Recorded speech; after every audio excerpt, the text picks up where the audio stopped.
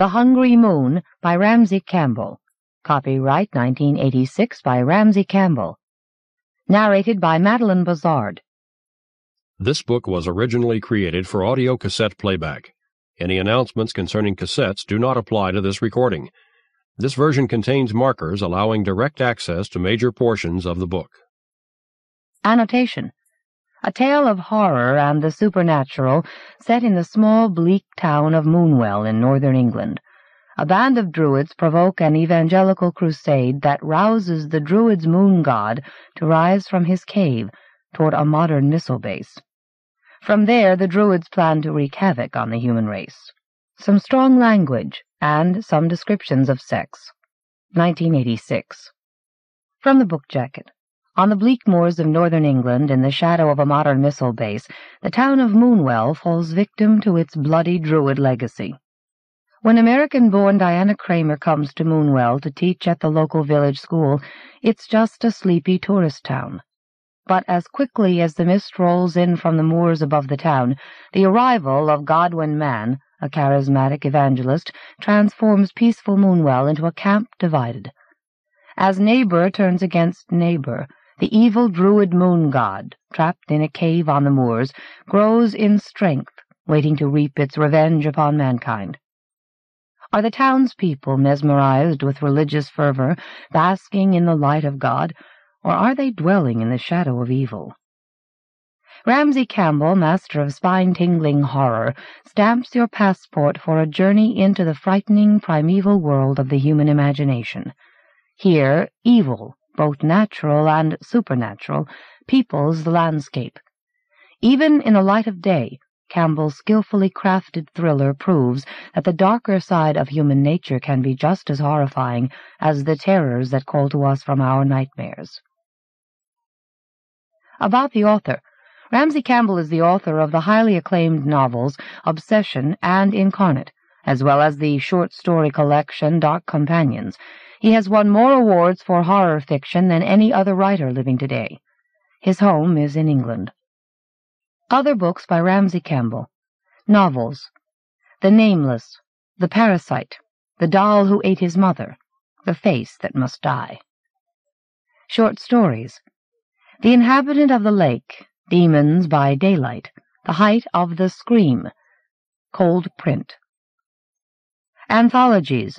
Super Horror, the far reaches of fear. New terrors, new tales of the Cthulhu mythos, the gruesome book. Dedication for Stephen Joe, stalwarts of fantasy. Acknowledgements. As usual, I owe most to my wife, Jenny, who helped the book take shape as I wrote it and kept an eye on the continuity. Jean Hill accompanied me to a Billy Graham rally in Liverpool, but I proved to be in no danger of succumbing. Indeed, the unexpectedly low-key preaching was received with a good deal of Liverpudlian skepticism by the congregation. Stan Ambrose of BBC Radio Merseyside's folk scene authenticated Harry Mooney, a song that appears to conflate several different Peak District folk traditions. And I mustn't forget Phil Booth, who sent me a jigsaw to keep me occupied while I searched for words, and the inventor, inventors of the compact disc, whose music helps me not to stray from my desk. The human race has a terminal disease called sin. Billy Graham. Go down, Harry Mooney, harry us no more. We've flowers to please you, to leave at your door. Old Derbyshire Street Song. Sustolere monstra, quibus hominem oxudere religiosissimum erat. Mandi vero etiam saluberrimum, the elder Pliny on the Druids. To fear the moon, to feed her as she must be fed, and never to look upon her feeding. Druidic Triad quoted by Posidonius. 1. Nick Reed stepped out of the newspaper building into the deserted Manchester street and wondered what the silence reminded him of. He took a cool breath of early morning air and stretched, wincing at the bruises he'd brought back with his report from the picketing. An unanswered phone rang in an office on Deansgate. A single car cruised past the department stores on Piccadilly, sending pigeons up from the roadway to wheel above the gable windows. Nick ran his fingers through his crinkly hair and tried to let the silence be itself. It couldn't be important to remember. He just wanted to wake up so as to drive home and sleep. He glanced up as sunlight snatched at the steep roofs through a gap in the clouds that were rushing a storm toward the peaks. Memory seized him then. It felt as though by the scruff of his aching neck. Diana, he gasped, and then he realized what else was wrong. He limped into the building, across the lobby that turned his footsteps high-pitched, up the stairs to the library. The blank gray screens of microfilm readers gleamed dully under the tubular lighting of the small white room. He ought to call Diana. He couldn't even remember how long it had been, but surely there was no need to wake her up. He began to leaf through the file of the last few weeks' issues, looking for the article about the peaks. He found it in last Monday's issue, one of Charlie Nesbitt's pleas to the readers not to take their holidays abroad when Britain had so much to offer. It read as Charlie sounded in the pub at lunchtime, poking the stem of his pipe at his listeners or puffing at it whenever he made a point he regarded as unanswerable. The Peak District is our oldest landscape, God's gift to walkers, but still unspoiled by tourism. Nick scanned the paragraphs that listed places to visit, then reread the article slowly, hoping he was wrong. But he hadn't missed anything. There was no mention of Moonwell. He made himself remember his first sight of the small town, the empty streets, the singing on the moors above. He was tired. That was why he was having trouble remembering. But had Charlie been tired too? Unless he came in unusually early, Nick wouldn't know for hours. He had to know. He limped back to the office next to the library, through the maze of glass cubicles, to wait at his desk. An office boy dropped the morning edition on the desk and woke Nick from dozing. His report had been edited, even though he hadn't said that the police had seemed to resent his presence as much as the pickets had. Some of the feature writers were at their desks now, but there was still no sign of Charlie Nesbitt. He was probably at breakfast, Nick thought, and grabbed the phone. Charlie's wife answered. Just a minute, she said curtly, and stifled the receiver with her hand. Beyond it, Nick heard her complaining. That's the sort of thing I mean. And then the receiver fell on wood. There was a muffled argument before Charlie demanded, Well, what's so important that it can't wait until I've finished eating? Charlie, it's Nick Reed. Sorry for interrupting. Glad you did, to tell you the truth. What can I do for you? For a moment, Nick didn't know and, remembering, felt like starting awake. This may seem an odd question, but was the article you wrote about the peaks subbed at all? Not anywhere it mattered, no. He sounded amused. Why, have they been toning you down again? Not more than usual. No, I was asking because you didn't mention Moonwell. Where? Moonwell. You know, the place where I ran into all that religious hysteria. Even you thought they were going a bit far when I told you about it. Good God, son, are you still riding that hobby horse? Can't you leave people's beliefs alone? There's few enough beliefs around these days. It isn't up to us to shatter them. He snorted and went on. Anyway, we've got a bad line here. It sounds as if you keep saying Moonwell. That's right. It used to be the old Roman lead mine, where they decorate the cave every year, or they did until this year. Come on, Charlie, you must remember that. I'll tell you what, Sonny. I've been at the paper a good few years longer than you, and it's been a bloody long time since anyone's accused me of not doing it properly, or had reason to. Now, I don't know what bee you've got in your bonnet this time, but you've caught me in the middle of an argument, and I'm not about to get into another. Just take it from me. There's never been a place called Moonwell in the Peaks. There is. I've been there, Nick wanted to shout, but Charlie had cut him off. Nick replaced the receiver, trying to stay calm, and reached in his jacket for his address book. Had he called Charlie in order to postpone calling Diana? What was he afraid to hear? Perhaps only the sound that greeted him when he dialed her number, the dull, high-pitched tone that meant it was unobtainable. The exchange could be busy, he told himself, and called the operator. Moonwell, he said, and when she came back to check, Moonwell in Derbyshire. Finally, he spelled the name for her. I'm sorry, sir, she said. There's nowhere of that name. Nick stared at the Moonwell number written in Diana's handwriting, saw the notebook tremble as his arm propped on its elbow wavered. All right, he said, feeling oddly calm, as if now that his unstated fears were realized he would know what to do. It wasn't until he reached the stairs that he began to run. Rain speckled the pavements and showered his face lightly as he ran to the car park. When he climbed into the Citroën, he felt as if he'd gone past needing sleep, though his glimpse of himself as he adjusted the driving mirror didn't look entirely convinced his large, dark, humorous eyes gazing out of his round face with its prominent cheekbones, broad nose and mouth, squarish chin that never seemed to have been shaved quite closely enough. He started the car and drove toward the edge of Manchester. The Stockport road was full of lorries heading for the peaks. Once a Boy Scout band held up the traffic for five minutes, and Nick lost count of the number of traffic lights that turned red just as he was approaching. Outside Stockport and the Manchester boundary, the small towns began, narrow, winding streets, terraces crammed with houses. Here and there one side of the street was occupied by a factory to let, the long blank limestone wall yellow as clay in the rain. Old folk in dusty cars pottered along the middle of the road, slowing for pedestrian crossings even when nobody was near, and Nick felt as if he would never reach the peaks that rose above the slate roofs. Then the road straightened and widened for a few yards at the edge of a town, and he trod hard on the pedal. Overtaking four slow cars, he raced toward the moors. The gentle slopes glowed half a dozen shades of patchy green beneath the glum sky. Heather flared purple. Limestone edges tore through the green. Spiky dry stone walls divided the rounded slopes like old diagrams of the human cranium. As the narrowing road wound higher, shrinking to a car's width wherever it crossed a river, the walls beside the verges fell away. A car had crashed through an arrowed barrier at a sharp bend, and was rusting fifty feet below the road.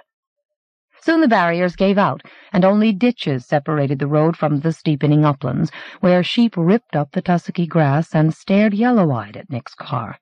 He hadn't seen a house or a signpost for miles when he realized that he no longer knew where he was going. He stopped the car on a level stretch of road and switched off the engine. The side windows were printed with dots and dashes of rain, which smudged the peaks ahead. The windscreen wipers thumped and squeaked repetitively as he reached for the AA book and turned to the Peak District road map. Eventually he closed the book on his forefinger and turned, frowning, to the index. Mooncoin, Moon, Moonsey, he read, and searched up and down the column in case the name was out of order. It was there, he told himself fiercely, opening the book again at the map.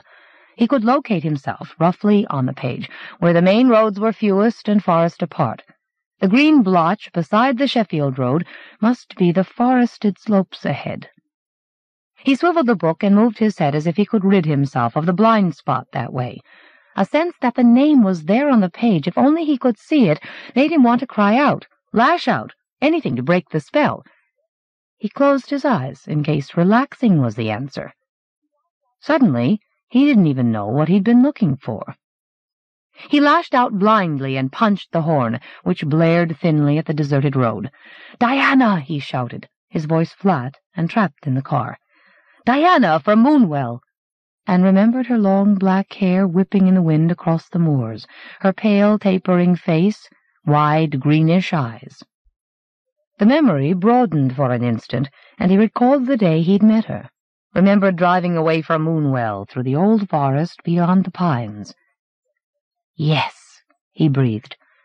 He started the car and drove into the rain that pelted the roof and blotted out the peaks. He had to trust his feeling that the forest ahead was the one he remembered, had to trust that his instincts had guided him right so far. The pines rose above him until the slope to which they clung in their thousands was almost vertical, and he thought of a green army giant arrows in the quiver of the limestone, green missiles. He almost drove past the road that plunged into the forest through a stony gap, its steepy, mossy walls streaming. The trees closed overhead and cut off the sound of rain, as if he'd driven into a tunnel. He switched off the wipers and was alone with the hum of the engine. Now and then a gobbet of rain slipped through the branches overhead and spattered the windscreen, though he couldn't see the sky. Relaxation and the green dimness must be lulling him, for he didn't notice when the pines gave way to oak and ash. The road, having sloped down into the woods, was rising as the trees crowded closer. Either clouds or branches were massing overhead.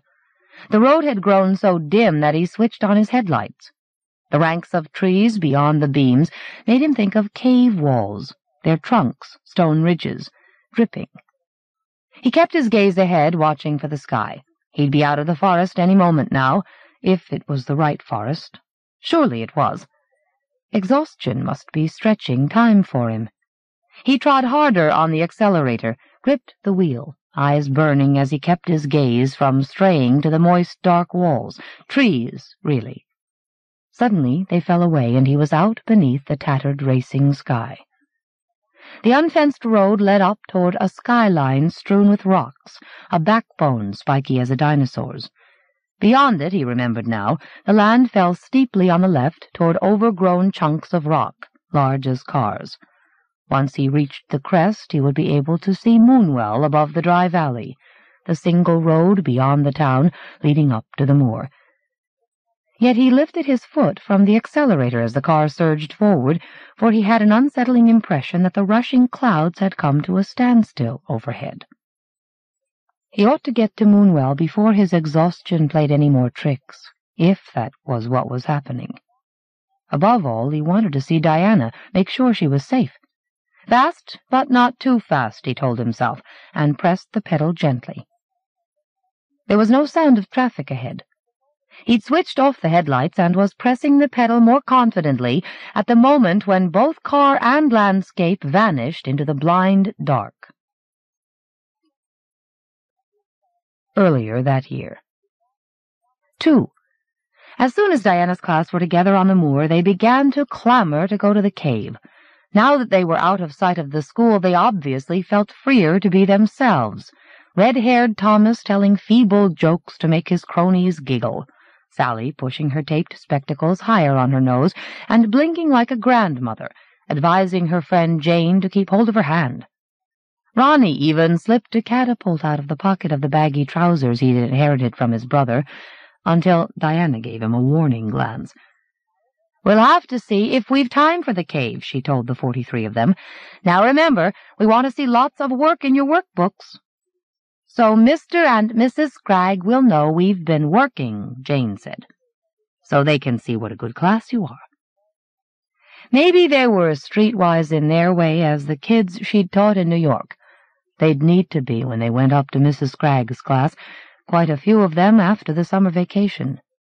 Kids were tough, she told herself, but when she thought of putting any child into Mrs. Scragg's hands for three years, sometimes she wanted to weep. The sky was clearing. The burst of May sunlight seemed to rearrange the landscape, opened out the moors, and underlined the dry stone walls with shadow, tinged clouds on the horizon green to show that they were peaks threaded with glinting streams. The sounds of the town had already fallen behind, and the two main Manchester-Sheffield roads, between which Moonwell was the only town for miles, were out of sight as well as hearing. Diana stood for a moment, her hands in the pockets of her zippered cardigan, the sun on her face. The silent brightening of the landscape felt like her first sight of Moonwell, her sense of having come home. When clouds hid the sun, her hands wanted to pull the overcast apart, but she held them out to the children instead. Who remembers what I told you about sunshine? Dozens of hands went up with cries of, Miss me, miss! She was hoping Andrew Bevan might respond, but he was hiding behind Sally's and Jane's mothers, who were helping supervise the outing. Is that hand up or down, Sally? Diana said. Up, miss, Sally protested, sounding hurt, and had to grab her precarious spectacles. Miss, you said there's less sunshine here than anywhere else in England.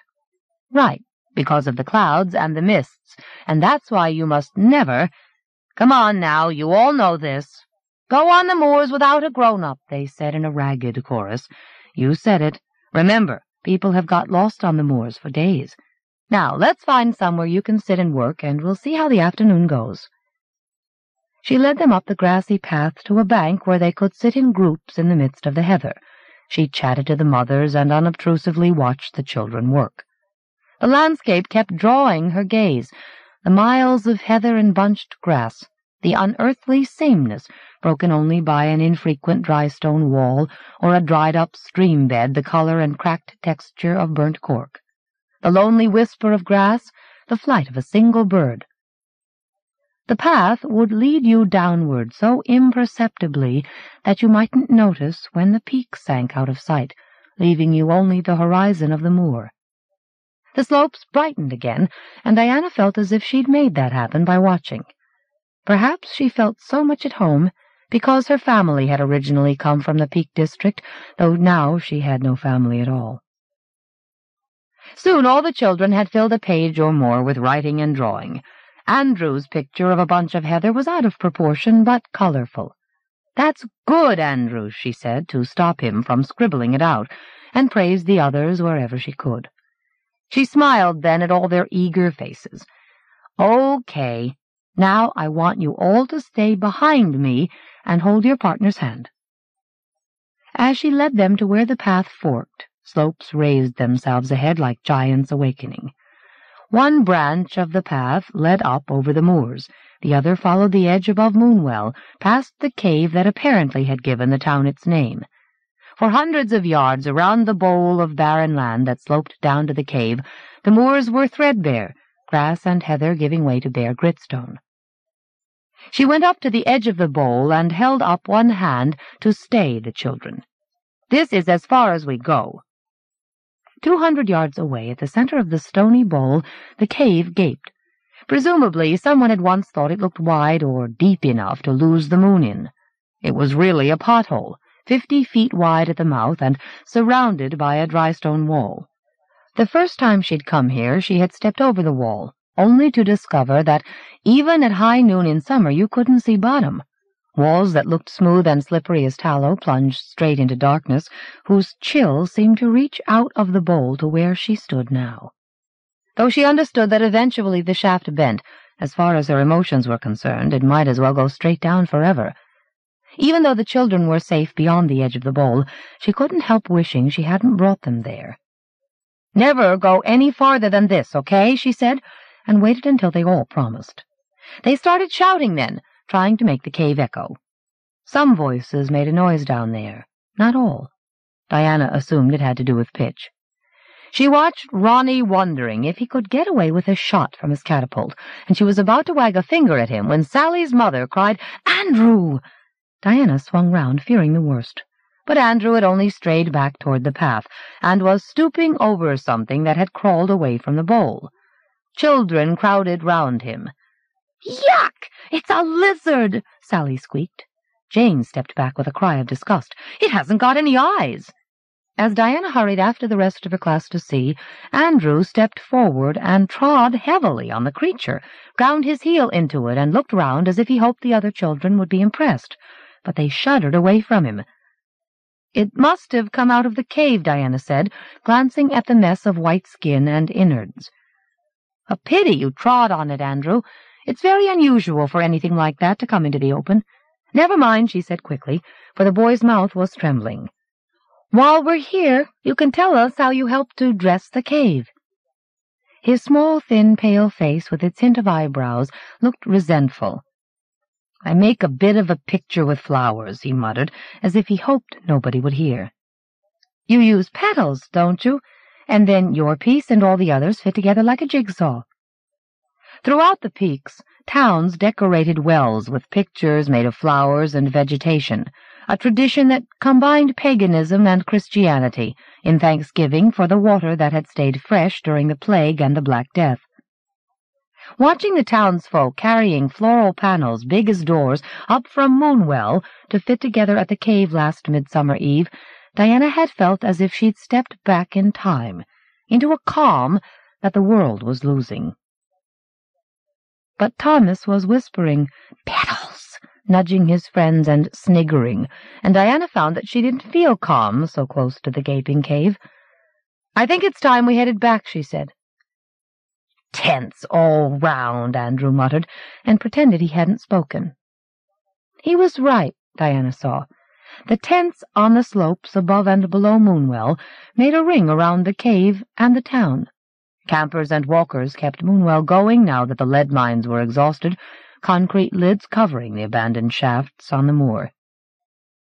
The path led back to the edge of the moor, and suddenly there was the town between a chapel and a church, tiers of limestone terraces like one side of an amphitheatre, the murmur of small-town traffic.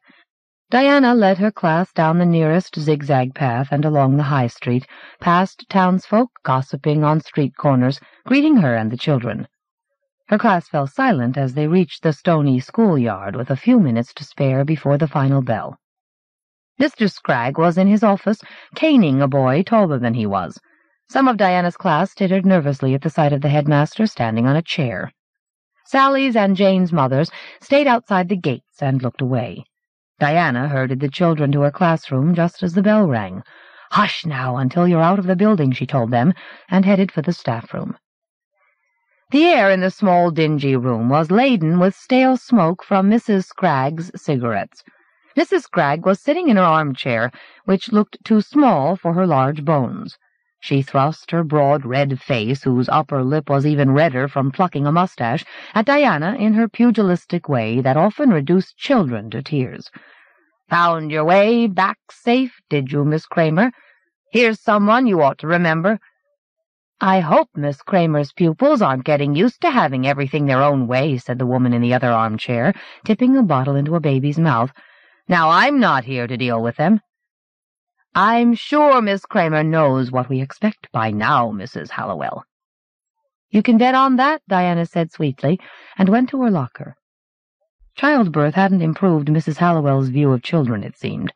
Best to leave before she had to bite her tongue, Diana thought, and was closing her locker when Mr. Scragg came in. His face looked flushed from the caning. He kicked the door shut with his heel and brandished a magazine at the women, glaring at it from beneath his bristling gray eyebrows. Look at this muck I found in Cox's desk. He won't be holding anything before he goes to bed tonight, I promise you. From that bookshop, I suppose, Mrs. Scragg said without looking. What else can you expect from people who'd sell books in a church? A pity the town didn't listen to me while they could. There's a good few regret letting them move in there, now that it's too late. Too many strangers moving in, if you ask me, Mrs. Hallowell complained, and Diana felt her glare on the back of her neck. No wonder there's so much vandalism and theft all of a sudden, and those hippies squatting in the holiday cottages, filthy creatures. God forgive me, but I wouldn't have minded if they'd poisoned themselves to death with their drugs. I wouldn't have taken you for a native with that Irish accent of yours, Diana thought of saying to Mrs. Scragg. Modern times get in everywhere, she said, meaning to joke. Not in this town, they don't. They're far enough away that we can see them coming. Here, I'll show you what we think of them. Mrs. Scragg took the magazine from her husband as if she were holding a soiled diaper. It was a Wonder Woman, Diana saw, just like the comics she'd read in her childhood, metal bra and all. Mrs. Scragg ground her cigarette into the face of the woman on the cover, dragged the red-hot tip over the glossy paper until the scantily clad figure was crossed out. Clear enough? You can tell your friends at the bookshop that's what we think of anyone who sells muck to innocents. I don't think the booths even sell comics, Diana said, but she might as well not have spoken. Excuse me now, would you? She hurried out of the stale room, along the shiny bilious corridor, past her empty classroom. All she could do was as much as she could, she told herself, not just educate the children, but strengthen their resilience, prepare them for years alone with the Scraggs. Except how could she prepare children like Andrew? She stepped out of the school and lifted her face to the sun. More and more, since she'd come to Moonwell, she felt there was something else she could do, if she could only think what it was. 3. Business was slack at Booth's Books, despite all the unfamiliar faces the summer had brought to the town, and so Geraldine strolled along to the Bevans' shop. June Bevan was vacuuming the display of rucksacks and Primus stoves and climbing gear, her long brownish hair with its hints of gray swinging lankly beside her face. She straightened up, round-shouldered still. Jerry, tell me you've just come for a chat. You mustn't let Andrew take advantage of you. I'm going past the school anyway, Geraldine lied. It's no trouble. Well, it's very kind of you to say so. We do appreciate you and your husband taking so much interest in him. I hope he says so if he ever speaks up for himself. He's quite chatty when you get to know him. Really? I mustn't know him very well, then. June's small, crowded face with its prominent cheekbones went blank.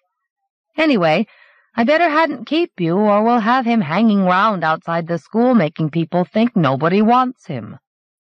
Somebody does, Geraldine thought, and you should. But she shouldn't be so quick to judge. The Bevans had befriended her and Jeremy when Mrs. Scragg at the school was trying to turn people against them, circulating a petition against letting the deconsecrated chapel be used as a bookshop. Some of those who hadn't signed seemed to feel guilty now, even if they didn't go to church, especially those who had children in Mrs. Scragg's class. Geraldine was tempted to have a showdown with the woman, but not now, not in front of Andrew. She made her way to the school along the high street, past shops displaying clothes and wool and local artists' paintings and fossils gathered on the peaks. Andrew was lurking behind the stone gate-post, chewing his nails to clean them. He stuffed his hands into the pockets of his long gray flannel shorts and looked away from Geraldine in order to smile at her. You look good and grubby, she said, he glanced down at his grimy legs and fallen socks, and seemed to shrink into himself. Don't worry, you'll wash, she said, taking his hand. Any eight-year-old should be dirty and untidy and tired by the end of the day. Jonathan would have been. But it was wrong to think about him while she was with Andrew. Aren't you talking to me today? she said. Yes, he said with a shaky laugh, but that was all until they came in sight of his parents' shop. His thin, pale face kept glancing at her when he thought she wasn't looking, and he didn't notice the horse's turd at the edge of the pavement until he trod in it. Fucking bother, he muttered, and flinched automatically. Geraldine managed to keep her face straight and look as if she'd heard nothing special. She held his elbow while he scraped his sole on the curb. As she let go, he blurted, I like being in Miss Kramer's class. I wish I could be forever. I'm sure she'd like you to be, Andrew, Geraldine said, and couldn't think what else to say. She opened the door of Bevan's for him, to June's cry of, Just look at you! Where on earth have you been? She gave June a placatory look and went on to the bookshop. The seventeenth century nonconformist chapel had fallen out of use twenty years ago, but had only recently been deconsecrated. It had seemed a perfect setting for the bookshop she and Jeremy had had to move from Sheffield when the mounting rates had forced them out, especially since living quarters were already built onto the chapel. But as if the undercurrent of righteousness among the townsfolk hadn't been enough, Geraldine thought wryly, they'd had to employ Benedict Eddings to help them convert the chapel. Jeremy was failing to reach Benedict by phone as Geraldine went in. You might tell him the alarm went off again at three o'clock this morning, he said, tugging at the black beard that covered his face from his cheekbones down. I really would be grateful if he'd give us a call as soon as he gets in. He put down the receiver and beamed at Geraldine, crinkles spreading from his large blue eyes across his square face under his high, balding forehead. No need for me to give his wife a hard time on his behalf. He gave her a tame bear hug and said, almost too gently and casually, How was Andrew? Better than sometimes. I should have brought him to choose another book. She disengaged herself eventually, feeling somewhat overwhelmed by Jeremy's hidden concern for her. If she were going to break, she would have done so years ago. Jonathan was somewhere. That was all that mattered. Perhaps only in her imagination, or somewhere like an endless dream. Come on, let's fix that shelf, she said. When they'd secured the bookcase that had begun to sag away from the wall the day after Eddings had built it, she replaced the books while Jeremy made dinner. Halfway through dinner, in the small white dining room with its view of the heathery slopes, they heard the Bevans come home. June was still scolding Andrew. Just you get upstairs and make sure the water's hot. What must Geraldine have thought of you, looking like a little tramp? Have some thought for me if you've none for yourself. I won't be used like that, Geraldine said, with an edge to her voice, but telling June so might make it worse for Andrew. She put on a tape of Sibelius instead, music bleak as bare mountains, to blot out June's continued scolding. The tape hadn't been playing ten minutes when June rang the doorbell. Could you turn the music down a little? Not that we don't appreciate good music, but the boy's just gone to bed. The sooner he's asleep, the sooner we'll have some peace, God willing. Presumably he'd been sent to bed with no dinner. Send him over here if it's peace you want, Geraldine suggested, but June was already marching away to her house. Geraldine turned down the volume and finished her meal, though her stomach felt tight. She was helping Jeremy clear up when the bell rang again. It was June's husband, Brian. Is he in? Not interrupting anything, am I? he said, and stepped over the threshold without waiting for Geraldine to invite him in. He had a soft, round face with a jutting jaw that she thought he thrust forward deliberately, sallow skin tinged bluish under his eyes, curly sideburns that trailed down to the hinges of his jaw. He went into the kitchen and found Jeremy washing the dishes. Got you doing her jobs, has she? Listen, I hope mine didn't offend you before. You're... Oh, you mean June. It was Geraldine she spoke to, actually. You know how she gets when she's on edge. Andrew was being stupid, contradicting her. Hadn't even the sense to keep his mouth shut. Anyway, listen, I wanted to ask if you were going out tonight. We weren't planning to. Why? Geraldine said. Would you like us to keep an eye on Andrew? I should think you'd had enough of him for one day. No. If you're not going out, come round for a drink. We're hoping to have the alarm fixed, Jeremy said. You'll hear Eddings from our house if he ever turns up. Say you'll come, or she'll think she offended you. Besides, Brian said, as if this left them no option, we want to talk to you about Andrew.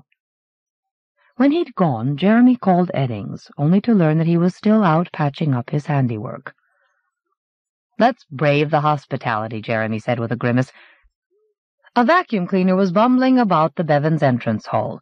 You'd think he could have wiped his feet after coming round to see you, June said, by way of explanation, and ushered them into the front room.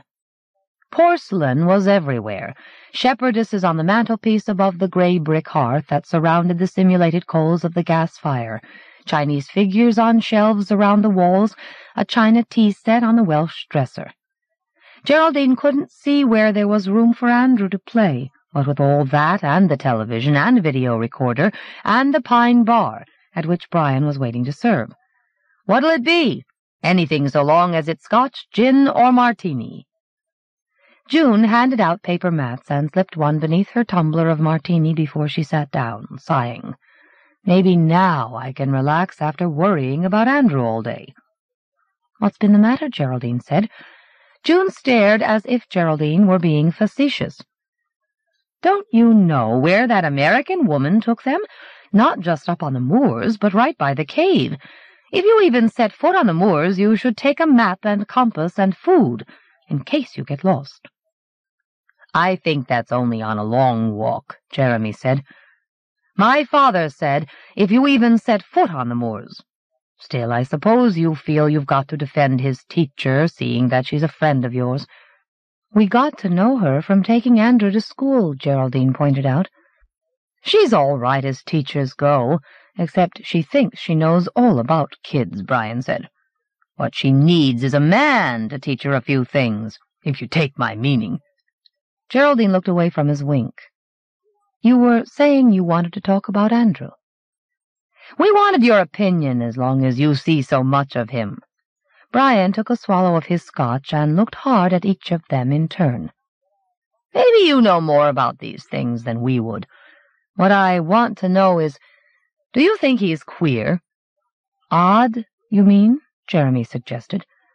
Not just odd, queer. I suppose you'd call it gay, though I'm buggered if I know what they've got to be gay about. Brian's face was reddening. Do you think he's not a man? He isn't yet, is he? Geraldine said. He's only a little boy. Most of us aren't sure what sex we are until we're at least in our teens. People round here are, let me tell you, and he'd better had be if he knows what's good for him. I'm sure he's as normal as any of us, Geraldine said, wishing he were, hoping he would be. That's my feeling, too. I didn't see how he could be queer. It isn't as if anyone could have got their hands on him. He turned, grinning, to Jeremy. I'll tell you something now. I used to think you might be one of them, what with all the time you spend in the kitchen, and that name of yours. June broke the awkward silence. If Andrew's normal that way, then what is wrong with him? In what way? Geraldine said. In just about every way you can think of, God help us. He's near the bottom of his year at school, though your teacher friend has brought him up a bit this year. I suppose we must give her that. And out of school he's even worse. Under my feet from dawn to dusk, and won't go out because nobody will play with him. Not that you can blame them when he never acts his age. Talks like a baby half the time. Perhaps if you encouraged him to talk a bit more. Talk more? Dear Lord, when I've had a weekend of him, sometimes I think my head will never stop aching. I dread the summer holidays, I don't mind telling you. If you had a day of him, I don't think you'd be so anxious to encourage him. I wouldn't mind. Well, let's not let him spoil the evening, Brian said, as June pursed her lips. Who wants to watch a video? You two haven't got a machine, have you? I've something here you might like. He reached behind the bar and produced an unmarked plastic box. His sudden eager good humor made Geraldine uneasy even before he said, It isn't what you'd call hardcore, more of a comedy.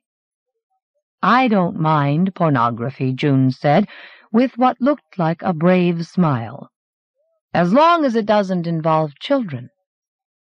Geraldine sighed inwardly and took Jeremy's hand as the film's few credits faded.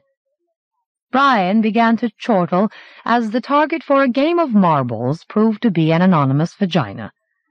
Geraldine refused to look at him, though she was sure he was gazing at her to see how she reacted, making her conscious of her long legs and large breasts, of the heat spreading up her heart-shaped face to her close-cropped silvery hair, to the tips of her slightly pointed ears. She hoped furiously that she wasn't blushing. That's what I call a game of marbles, Brian spluttered as the winner took the woman as a preamble to an orgy. At the first spurt of semen in the film, Jeremy cleared his throat.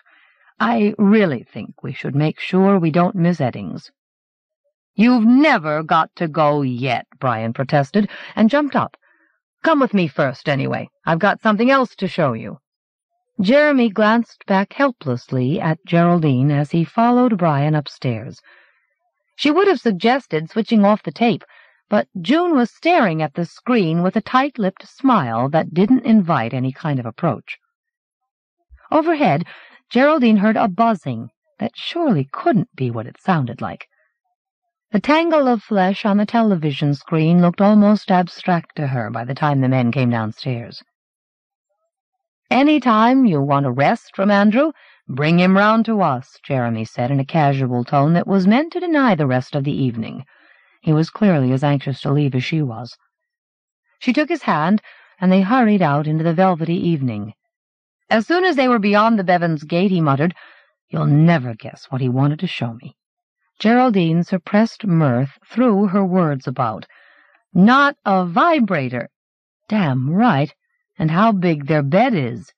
He was dropping hints about a game we could all play when I managed to edge my way out. I've a good idea who he had in mind for prizes. Just shows you what goes on behind net curtains. I could have done without knowing. Do you fancy a walk? Eddings won't be coming this late, or if he does, he can be inconvenienced for a change. And then I've something to read to you. They often read to each other in the evenings. She didn't realize how tense the Bevans had made her until she stepped onto the moor above the town. A cold wind snatched at her out of the dark as the higher slopes began to take shape against the black sky. take shape because something else was rising into view. An unstable white forehead above the edge beyond which the cave lay. She calmed herself down, even though the white rim was swelling too large, its outline trembling. Of course, it was only the moon, magnified by mist. She held Jeremy's hand and stood where she was until the moon was clear in the sky. It showed how much the Bevans had worked on her nerves that the sight of the incomplete moon above the cave made her so inexplicably nervous. 4. Just one more call, Hazel said to her parents, searching the phone directory that was open on her lap for a name that she hadn't yet marked. She dialed and put on her official voice. Mr. Fletcher, my name is Hazel Eddings, and I'm calling you on behalf of Peak Security. I wonder if you're confident that no burglar could ever break into your house. Here's Benedict now, her mother Vera said sharply, too late to stop the call, as Hazel's husband poked his sharp-chinned face into the room. Whenever you're ready, he called, jerking his arms to adjust his cuffs while he tried to fix his bow tie. You'll never manage that, Vera rebuked him. Here, let me. She followed him into the hall, and so it was only Craig who saw Hazel duck her head away from the phone, looking hurt. No need for that kind of language, she murmured, and dropped the receiver into its cradle as if she didn't want to hold it any more. What did he say, sweetheart? Craig demanded. She looked so vulnerable that his heart seemed to twist, as it had fifteen years ago at the sight of her in her first evening dress. But she blinked her eyes bright and smiled at him as if nothing had happened. I'm fine, Daddy, she said, and strode into the hall. Dressed like that, she looked even more like her mother, black hair piled above her long white neck, emphasizing her dark eyes and delicate bones like Vera's. Craig took Vera's arm and sensed that she'd heard Hazel's last words to the phone, but thought better of commenting now. Benedict opened the front door and waited for the others to precede him so that he could set the alarm. I may have to dash off after dinner, he said. If you like, Craig, you could come along. The Eddingses lived on the moorland road just outside Moonwell, in a cottage with blue shutters and whitewashed walls. The first few hundred yards toward the town were unlit, and Craig held onto Vera's arm. Once he slipped on a leaf that rain had plastered to the road and felt himself skidding into the dark. The lights began at the church, the outermost building. Lamps stretched the shadows of willows across the lumpy graveyard full of headstones, postering the church wall with the shadow of an oak. The small peaked porch was lit, Craig saw. I'll just get the newsletter, Benedict said. Come in if you like. Small blurred gargoyles poked their heads out of the thick walls beneath the high sloping roof. Light streamed onto the sparkling grass through the tall, thin, arched windows, each of which contained three figures in stained glass, crowded so closely that they looked almost like a single figure. Indeed, as a child, Craig had thought some of them were. The memory made him feel unexpectedly childlike as he followed Vera through the porch into the church. Beneath the pointed arches of the vaulting, the nave was calm and welcoming. Unbelievers welcome, too, he thought as Vera leafed through the visitor's book. A pity more people don't come in. It's a pretty church. Figures are up this year, anyway, she said, and then, oh, dear. Hazel glanced over her mother's shoulder and gave a cry of disgust. Someone had scrawled piss off across a page full of signatures. All the signatures were dated earlier that month. Before Craig could comment, Hazel cried, that's what happens when people stop believing. They've no respect for anything, even God. I think God will forgive them, Mrs. Eddings, the priest said, emerging from behind the high oak pulpit. He was a squat, beer-bellied man with a cheerful red face and straggling gray hair. I'm more worried that folk like yourself may be offended. I think that's a sin. Hazel stared open-mouthed at him. You don't think insulting God is a sin? I'm not sure that whoever wrote that rather silly comment had God in mind at all. I rather think they hoped to shock whoever read it. After all, this church has been here for close to eight hundred years, and the foundations for much longer. You can feel that, can't you? Yet that isn't a split second in the eye of God. Think how much less important this bit of childishness must be. Are you sure you ought to speak for God like that? Benedict said. Well, it rather comes with the job, you know. I do believe God forgives. And I think you can feel that here, too. He turned to Craig and Vera. You're Mrs. Edding's parents, aren't you? Do I hear you're thinking of joining my parish? Sorry, Hazel intervened. Father O'Connell, Craig and Vera Wilde. Craig shook the priest's hand, which was strong and warm. If we retire, we might come to Moonwell. We might even carry on doing legal work. But I ought to tell you, he said, taken aback by his own embarrassment. We aren't what you'd call churchgoers. If you're pub-goers, you'll find me there, too. You're from Moonwell originally, aren't you? Did you ever help dress the cave? We still make up the panels in here, you know. My personal opinion is that it strengthens the church. I'd be happy if you got to know Father O'Connell. Hazel lowered her voice as if she didn't want Craig to hear. You aren't getting any younger. In the street, Craig said. I quite like your priest. At least he doesn't believe in the hard sell. Maybe he ought to, Benedict said. Nothing wrong with being aggressive for God. He lost quite a lot of his congregation when he preached against the missile bases, as if he didn't realize the fear of them is bringing people back to God. They want strong leadership now that there's a base so close to Moonwell. They don't go to church to hear that kind of thing. I really believe he had the chance to turn our whole town back to God, if only he hadn't been so soft. That's why we've so much crime here now, because people won't stand up for what's right, and no wonder when even their priest seems afraid to. Still, you're helping prevent crime, aren't you? Craig said, rather than suggest that Benedict had something to thank crime for. How's business since you changed the company name? It wouldn't be half what it is without Hazel, Benedict said, patting her head. Changing the name is standard business practice, of course. So tell us the reason, Craig thought. There would be time enough to pursue it. Just now he was regaining his sense of the town, the way no Terrace was quite in line with its neighbors, the stretches of the high street that had no pavements, only grass verges from which the bellies of barrel-shaped drains protruded. Streets led down from the town square through the terraces toward the dry valley, and the sight of the crooked skeins of lamps descending into a gathering mist made him feel nostalgic and peaceful. He mustn't feel too settled, he reminded himself as they crossed the square to the Moonwell Hotel. The hotel was four stories tall, the smallest rooms up under the steep roof. The restaurant had space enough to cope if all the rooms were occupied, but since they never were, Craig hadn't booked a table.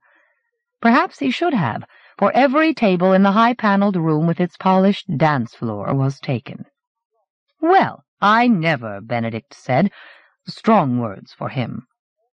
Presumably the people, mostly middle-aged, were a coach party, since they all seemed to know each other. The Wildes and the Eddingses found seats at adjacent tables, but they had hardly sat down when the couples at the tables rose. A minute later the restaurant had emptied, leaving the four of them with echoes, crumpled napkins, used cups and plates. It's a good thing we'll be having wine, Craig said to the waiter who came to clear the table of their predecessors' leavings, or you'd have sold none this evening. By the time a matronly waitress brought their meals, he and Vera had drunk most of the wine and were calling for another bottle, despite a surprised look from Benedict that stopped just short of reproof. As Craig cut into his chicken Kiev, he thought again of Hazel in her first evening dress. Remember the first time we dined at Sheffield Town Hall? You had chicken Kiev then. You couldn't work out how they put the garlic butter in. You said it was like a ship in a bottle. Did I really? Hazel said with a smile. Hazel remembers quite a lot about her childhood, Benedict said. I'm glad, Vera said, and blinked at him, though his pale voice had been neutral. Or shouldn't I be? Well, now, Benedict said, and Hazel interrupted. It's only that I happened to mention to Benedict how you and Daddy used to dress at home. How we didn't, you mean, Craig said, picking cork off his tongue. I know you were trying to be modern, ahead of your time, really, but you don't mind if I say this now, do you? I never liked it when you went around like that. I'm glad it's going out of fashion. Mind you, just the other day Benedict had to knock on someone's door and ask them to put some clothes on their little boy while he was playing out in his garden. They didn't sound very Christian to me, Benedict added. Vera put down the glass that she'd stopped short of her lips. So what else didn't you like about your childhood, Hazel? Let's hear the rest of it. Mummy, I didn't mean to hurt you. I wouldn't have said anything if I'd known you would take it that way. No, please, Vera said, and withdrew her hand as Hazel reached for it. I'd rather know. Just little things. I know you didn't keep me away from religious activities at school, but I always felt as if Daddy wanted to, and I wish you'd let me go to Sunday school, but I thought if I asked you might feel I was trying to say you weren't enough for me. I wouldn't have been. I hope you know. You wouldn't have said it, just thought it, you mean. Oh, Mummy! Hazel cried, lowering her voice as the sound echoed through the empty restaurant and brought a waiter's face to the kitchen doors. Say you aren't offended. I was always afraid we'd end up talking like this. You're a surprise to me, that's all, Vera said, blinking back tears, and Benedict cleared his throat. I'd better be getting back to work, he told Craig through a last mouthful of his main course. I'll come with you. Perhaps you could pick me up when you've been home for the van. Just as you like, Benedict said, in a tone that implied they should leave the women to themselves. His footsteps faded, sounding thin and prim, and then Craig tried to intervene. I know you didn't mean to hurt your mother, Hazel. We both realize you've got to be yourself. We've no right to try and keep you the way we'd have liked you to be, but at least you might leave us our illusions about ourselves. Hazel grabbed his hand and Vera's. You're the two people I most care about in the world. I only say these things because I worry about you. No need to, Craig said. If there's a God, he can hardly blame us for not being equipped to believe in him. Both women looked reproachfully at him, and he resented feeling glad when Benedict came back. As soon as he was in the van, which was piled with tools and new timber, Craig said, So, what did you want to talk to me about? Benedict turned the key again as the engine sputtered. I thought you might like to see how I look after my customers. I hope you'll agree we deserve to succeed. Meaning, Craig said as the van lurched forward, you're not doing as well as you think you deserve to. We could be doing better. We would be if I hadn't been landed with those alarms in lieu of payment when the firm was going bankrupt. I just need to liven business up, get myself a new van, smarten up our advertising, maybe employ someone part-time to deal with the work I'm not perfect at. I've worked out the initial costs. They wouldn't be outrageous. I hope your bank manager agrees with you. To be honest, he wasn't very encouraging. We owe the bank some money, unfortunately. He halted the van at the end of the village. Then what do you propose to do? Craig said. I was rather wondering if you and Vera might be able to help. Able, possibly. What had you in mind? Three thousand would be ample to put the business back on its feet, and twice that would pay off the bank as well. We're talking about a short-term loan, you understand. I'm sure we'd be able to pay most, if not all, of it back by the end of the year. I can't comment until I've talked to Vera. I shouldn't raise your hopes too high if I were you, Craig said as they climbed down from the van. The booksellers looked as if they'd been ready for bed. This is my father-in-law, Benedict said, which didn't seem to please them much. They led the way into the bookshop, and Benedict snapped open the microcomputer that controlled the alarm system. Just as I thought. This is what you did wrong, he said, and demonstrated with exaggerated patience. On the way out, he stopped in front of a bookcase. Oh, have you fixed it? I would have done that for you, he said peevishly. Business is business, he said as he restarted the van, but I do wish I could afford not to work for such people. Did you see what they'd put where the altar should be? A table full of books about superstition. Perhaps you don't think there's any difference. Craig gave a noncommittal murmur as Benedict drove back to the hotel. The women had already left. Do remember I'm not asking for the money purely for myself, Benedict said on the way to the cottage, mist drifting across the deserted main street into the headlights. Vera had gone to bed and was asleep. Craig found that he'd wanted to talk and felt lonely. He lay beside her, feeling the ache start in his bones, trying to fall asleep before their nagging prevented him. A stab of pain in his left calf brought him lurching awake, gasping. The plunge into sleep had felt like his fall into the disused mine shaft, his boyhood fall that was always waiting in his dreams when he was nervous. He peered at the room as moonbeams probed the curtains. He closed his eyes and drifted until an impression startled him. In the hotel restaurant, he'd thought fleetingly that the diners didn't just all know one another. The feeling lingered that they all knew something he didn't know and were waiting. 5. What's that we just backed into, Mr. Gloom? Some silly fool standing on the pavement, Mr. Despondency. Must have missed him, he's still standing. Great balls of fire, what's he doing now? Banging on the car boot as if we hadn't noticed him. Hey, up! He's banged it open. Here, here, what's the game? Get your hands off my car, or I'll have the law on you. Too late, Eustace realized that he shouldn't have started improvising, because now he couldn't think of a punchline. That really happened to me here today in Sheffield, but don't tell anyone, will you? he said, reverting to his normal voice. It didn't sound much like his in the headphones they'd given him, it was high-pitched and over-eager and more regionally accented than he'd thought possible. He could see his face reflected in the studio window beside the patient face of the producer, his hair sticking up above his perspiring forehead, his mouth only a little wider than his broad nose. He made his mouth into an O, his features turning into an exclamation mark, and for the first time the producer laughed. But this wasn't television. Eustace was auditioning for radio. Above all, he had to keep talking. He shouldn't have brought gloom and despondency on so soon. He should have told the incident with the car as it had happened, him slapping the boot and the driver accusing him of trying to steal from the car, because then he could have led into what had happened at the bank.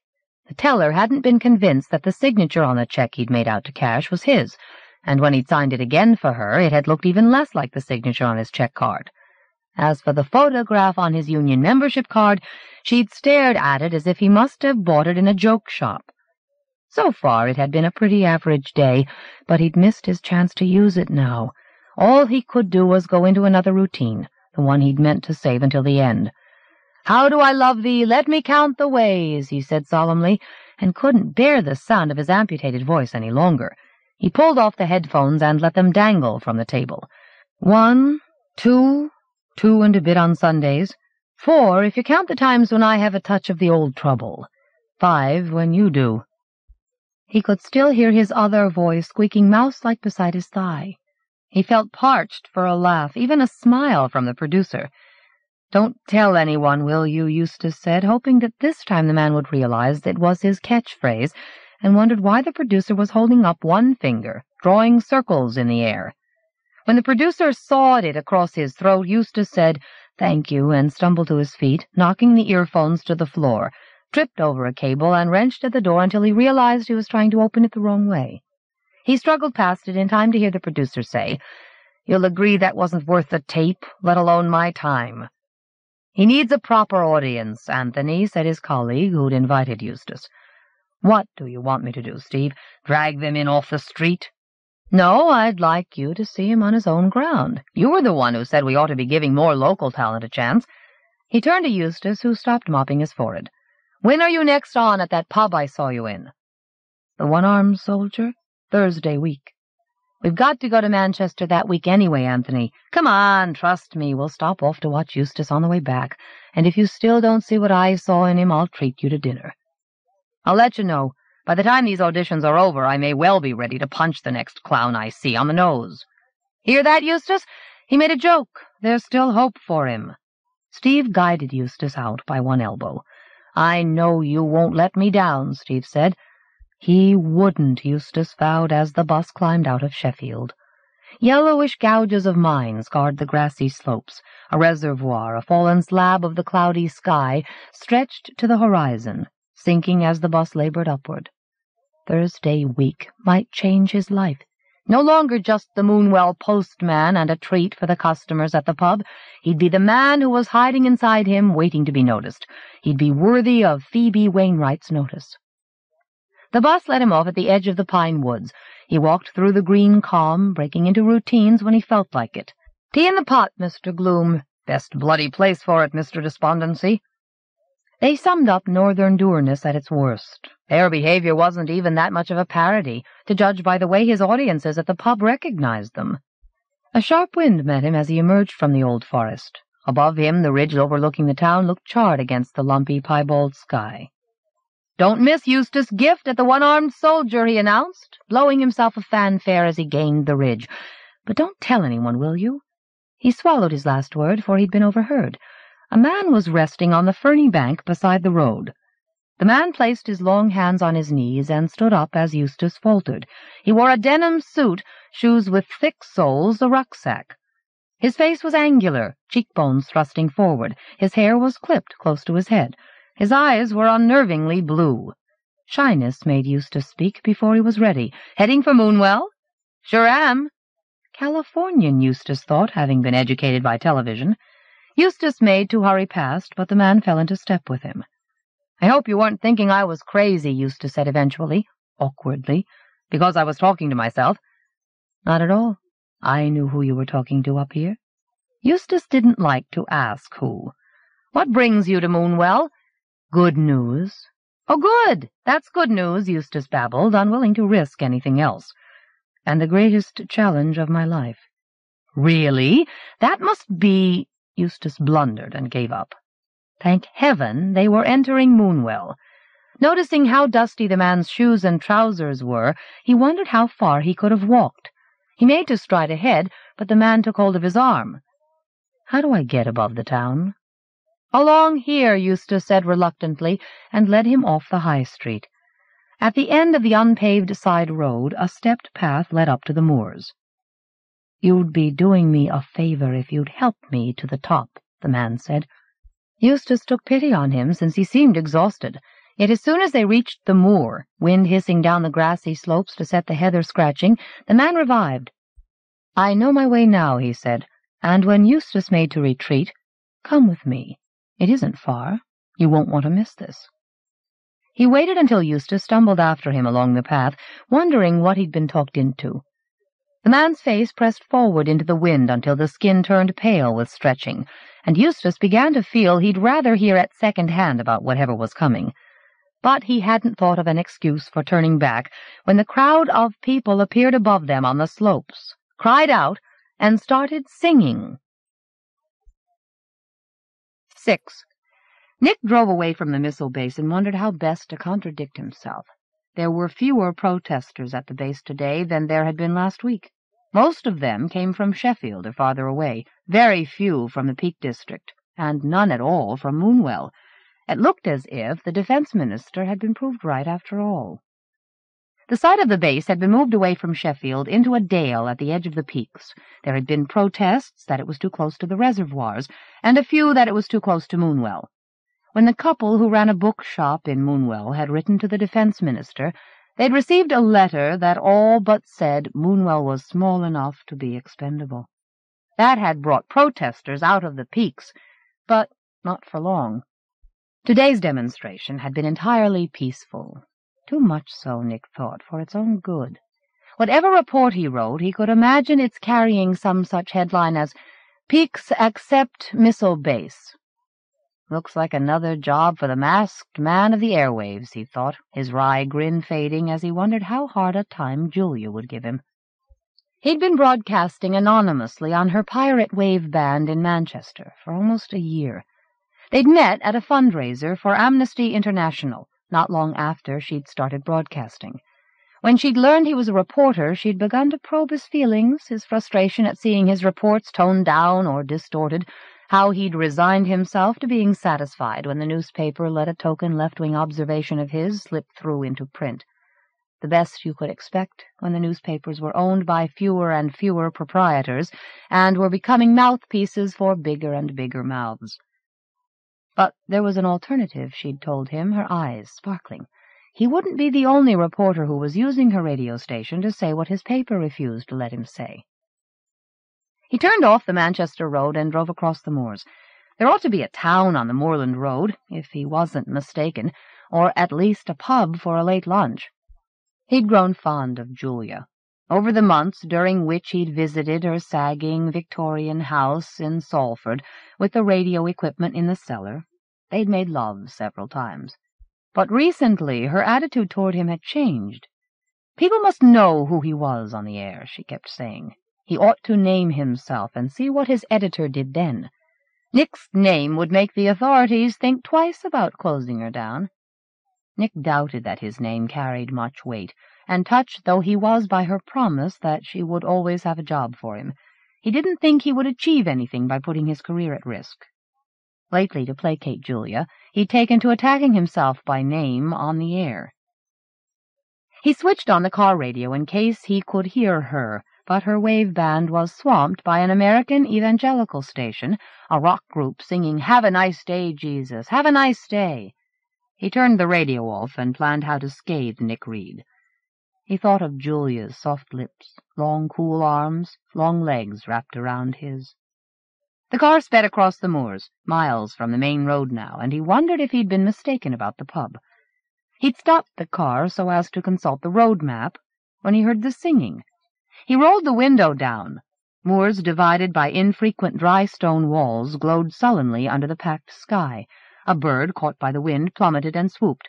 Water trickled in a ditch beside the road. A shift of wind brought him another snatch of song from somewhere ahead. It sounded like a choir. He put away the AA book without consulting it. There must be a town ahead that was conducting an outdoor service of Thanksgiving, as the townsfolk often did in the peaks. He drove up the next slope and saw the town, past a couple of farmhouses and a blue and white cottage. It looked typical terraces built of limestone and gritstone, small gardens brimming with flowers, a narrow main street that cut off his view of the rest of the town as soon as he drove in. The shops were locked, the streets deserted. He parked the car in the town square and got out, stretching. A telephone rang somewhere. A dog barked. The pub was locked, too, he saw. It didn't seem worth driving in search of another so close to closing time. The choir was still singing, out of sight above the town. He locked the car and went up. A path at the end of a terrace of cottages led him onto the moor. As he stepped over the edge, the singing surged toward him. There was a moment when it seemed to come from everywhere on the empty slopes, then from the churning sky. He went along the trampled grassy path through the heather toward a stretch of bare rock from beyond which he thought the sound was welling. He wasn't prepared for what he saw as he reached the top. The barren land sloped down to a large pothole, surrounded by a dry stone wall. The stony bowl outside the wall was full of hundreds of people and the sound of a hymn. Opposite Nick, by the wall where the lip of the pothole was highest, a man was kneeling by himself. Dozens of people had turned to stare at Nick. He stepped down into the crowd so as to be less conspicuous. Not everyone was singing. Some people looked bewildered, even suspicious. Nick had almost reached the front of the crowd when, with a shout that echoed from the slopes and startled birds out of the heather, the singing ended. Nick halted between a plump woman with a cheerful, delicate face and a couple with a restless child. The kneeling man had closed his eyes and raised his face to the sky, lips moving silently. He gazed at the crowd then, his keen blue eyes searching out face after face. I am Godwin Mann, he said in a light yet penetrating voice. And that's why I am here. The plump woman snorted, whether derisively or not, Nick couldn't tell. He means he's here to win people for God, Andrew, the woman on his other side murmured to her son. Please don't kneel unless you want to, Godwin Mann said but I'd like you to be seated until I ask you to stand up for God. When people stared at him or at the bare rock they were being asked to sit on, he added, If anyone would like a chair or a cushion, just raise your hand. Many hands went up, rather tentatively. In response to that, a large wedge of the crowd behind Mann, headed for a nearby line of tents, came back with armfuls of cushions or folding chairs, some of the crowd spread coats to sit on, though they still looked dubious. Nick suspected that some of them were sitting down because they resented having to stand, perhaps resented having been brought here at all. He was beginning to wonder what precisely he'd stumbled onto, all the more so when the Californian said, I guess some of you may think I was discourteous because I didn't tell you I was coming, but I didn't know how long it would take me to walk. From America? a man wearing a butcher's apron muttered. Mann gazed at him. No, from Heathrow Airport. I wanted to be sure I was worthy to speak for God. Nick sensed how those who'd grumbled about sitting on the ground felt ashamed of having complained. Score one for the evangelist, Nick thought as Mann went on. Don't think I'm saying I'm better than any one of you. Listen, and I'll tell you how I was until I asked God into my life. He took a deep breath and glanced at the sunless sky. I was brought up in Hollywood. My father was a British movie actor, Gavin Mann. When a murmur of recognition went through the crowd, he said a shade more loudly, I'm not here to speak ill of my father, but I was brought up in the worst ways of Hollywood. At five years old, I was drinking alcohol. At ten, I was smoking marijuana. At twelve, I was snorting cocaine. Fifteen years old, and I visited a prostitute. And one year later, a man came into my bedroom who used to swim naked with my father. I'm afraid my father only remarried after he divorced my mother because his fans would have expected him to. Well, I found out that night what my father did with his men friends, and the next morning I cut my wrists. As you can see. He held up his arms, displaying the pinkish scars like stigmata to the audible dismay of the crowd. My father got me to the hospital, but I wouldn't tell anyone why I'd done that to myself. All I wanted was to be left alone to get well so I could go someplace by myself and finish myself off. The woman beside Nick was dabbing at her eyes and jerking her son's hand when he asked her what was wrong. Nick felt uncomfortable and suspicious of Mann's weepy technique, especially when Mann said, the morning of the day before I would have left the hospital to kill myself, God saved me. He gave a wide, self-deprecating smile. Maybe that sounds presumptuous, thinking God would take the trouble for someone like I was, but let me tell you, he'd do the same for anyone, just so long as they ask. See, every day a counselor from Mission America came to the hospital and I'd turn my back on her, not knowing I was turning my back on God. Only that last day I heard God telling me not to turn away, and I told that counselor everything and accepted God into my life. The wedge of the crowd behind him whooped and waved their arms. They were the main choir, Nick realized. Some of you may be thanking God you aren't like I was, Mann said to the townsfolk in front of him. But are you really without sin? As God looks down on this unspoiled landscape, do you think he takes pride in everything he sees? Or does he grieve for his greatest creation, you and me? Can anyone here stand up and say that sin has passed your town of Moonwell by? He let the silence answer him. You see how much you know, but don't like to talk about. These days, it isn't fashionable to talk about sin, or even about God.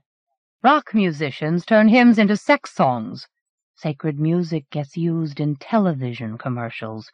Churches are turned into markets, as if man no longer needs God. But people still need to believe and that's why they're turning to magic and drugs and worse stuff to fill the gaps in their lives. But all that does is widen the gaps to let in sin. How could they face God? If the bomb dropped now, what sort of eternal life do you think they can expect? I'm not here to argue the rights and wrongs of nuclear war. But if that missile base on the other side of these moors were to be nuked right now, I know that I shall go to heaven because Paul's gospel tells me so. Some of the townsfolk nodded at that. Maybe some of you are saying to yourselves that it's okay for me because I have faith. But so have you. You had faith when you got up this morning that your house hadn't been burgled. You had faith when you went out into the street that you wouldn't be run down by a stolen car or a driver high on drugs. You have faith now that we won't see the nuclear cloud over these moors, and there won't be an earthquake that will spill us all down this evil hole. He stared down into the cave with what seemed to Nick unnecessary vehemence. Let me put it another way, Mann said, raising his blue eyes again. How many of you can say you have no faith at all? Are you really prepared to die alone in the dark, rejecting God? Christ died on the cross for you. He made that act of faith to show you how much God loves you and wants you to accept him. And if you reject that, you're condemning him to die alone without you, condemning Christ to die alone in the dark, crying out, Why have you forsaken me? You may call yourself a Christian. You may believe you lead a good Christian life, but hear this, you can't take what you need from Christ and leave the rest. You can't say, Thank you, Jesus, I've got all I want from you now. Just give the rest of the stuff to someone who needs it. You can't think your way to God unless you let God into your life to show you how to live, unless you accept Him whole like a child does. You're turning your back on Him, and your name is Judas. He was hitting his stride now, Nick thought, not sure whether some of the crowd were restless with resentment or guilt. But God wants you to know this, Mann said. He wants you to understand that he sees your doubts. He sees if you're afraid to confess your sins. He sees if you aren't sure of your faith. And he wants you to know you needn't doubt any longer. One act of faith will bring God into your life. Remember the thief on the cross had only to turn to Christ, and all his sins were forgiven. He was that day with Christ in paradise. His voice was rising, echoing in the cave. Can't you feel God looking at you now? He's looking at you and loving you as if you're the only person in the world, knowing all your problems and doubts and temptations and sins, and wanting to help you if you'll only let him, only turn to him for help. He knows if you think you can't live up to him, can't live by his commandments. That's why the commandments ask so much of you, to make you turn to God, because unless you let him into your life, you can't live up to them. Can you feel him loving you now, praying that you'll turn to him? That's right. God is praying for you. All he wants is a sign that you'll let him into your life, and I'm going to ask you to give him that sign now. I'm going to ask you to stand up for God. He put his hands on his thighs and shoved himself painfully to his feet. As he stood up, his legs wavered, and he stumbled against the dry stone wall, dislodging a fragment of stone. It skittered down the barren slope and over the edge of the cave. It struck rock twice on the way down. Nick sensed that the crowd was holding its breath, as Mann appeared to be. They heard a faint chink far below, and a fainter sound that might have been the stone slithering further into the dark. Mann gripped the wall, staring down. Someone coughed, and Mann looked up.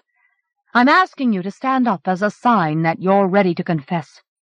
Don't be afraid that your sins are too terrible to be confessed. There is no sin so vile that God will not forgive, and no sin so trivial that it did not help nail Christ to the cross.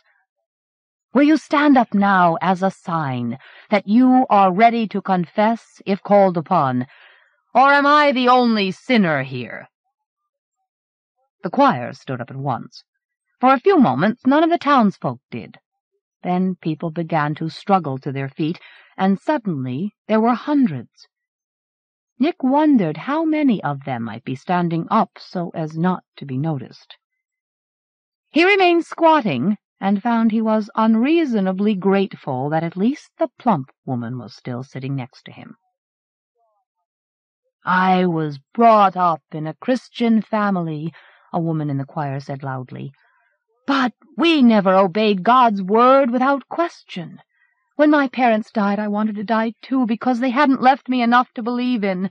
I turned to heroin until God's word saved me. As soon as she fell silent, an ex-alcoholic spoke up, and then a man who used to beat up his wife and five children.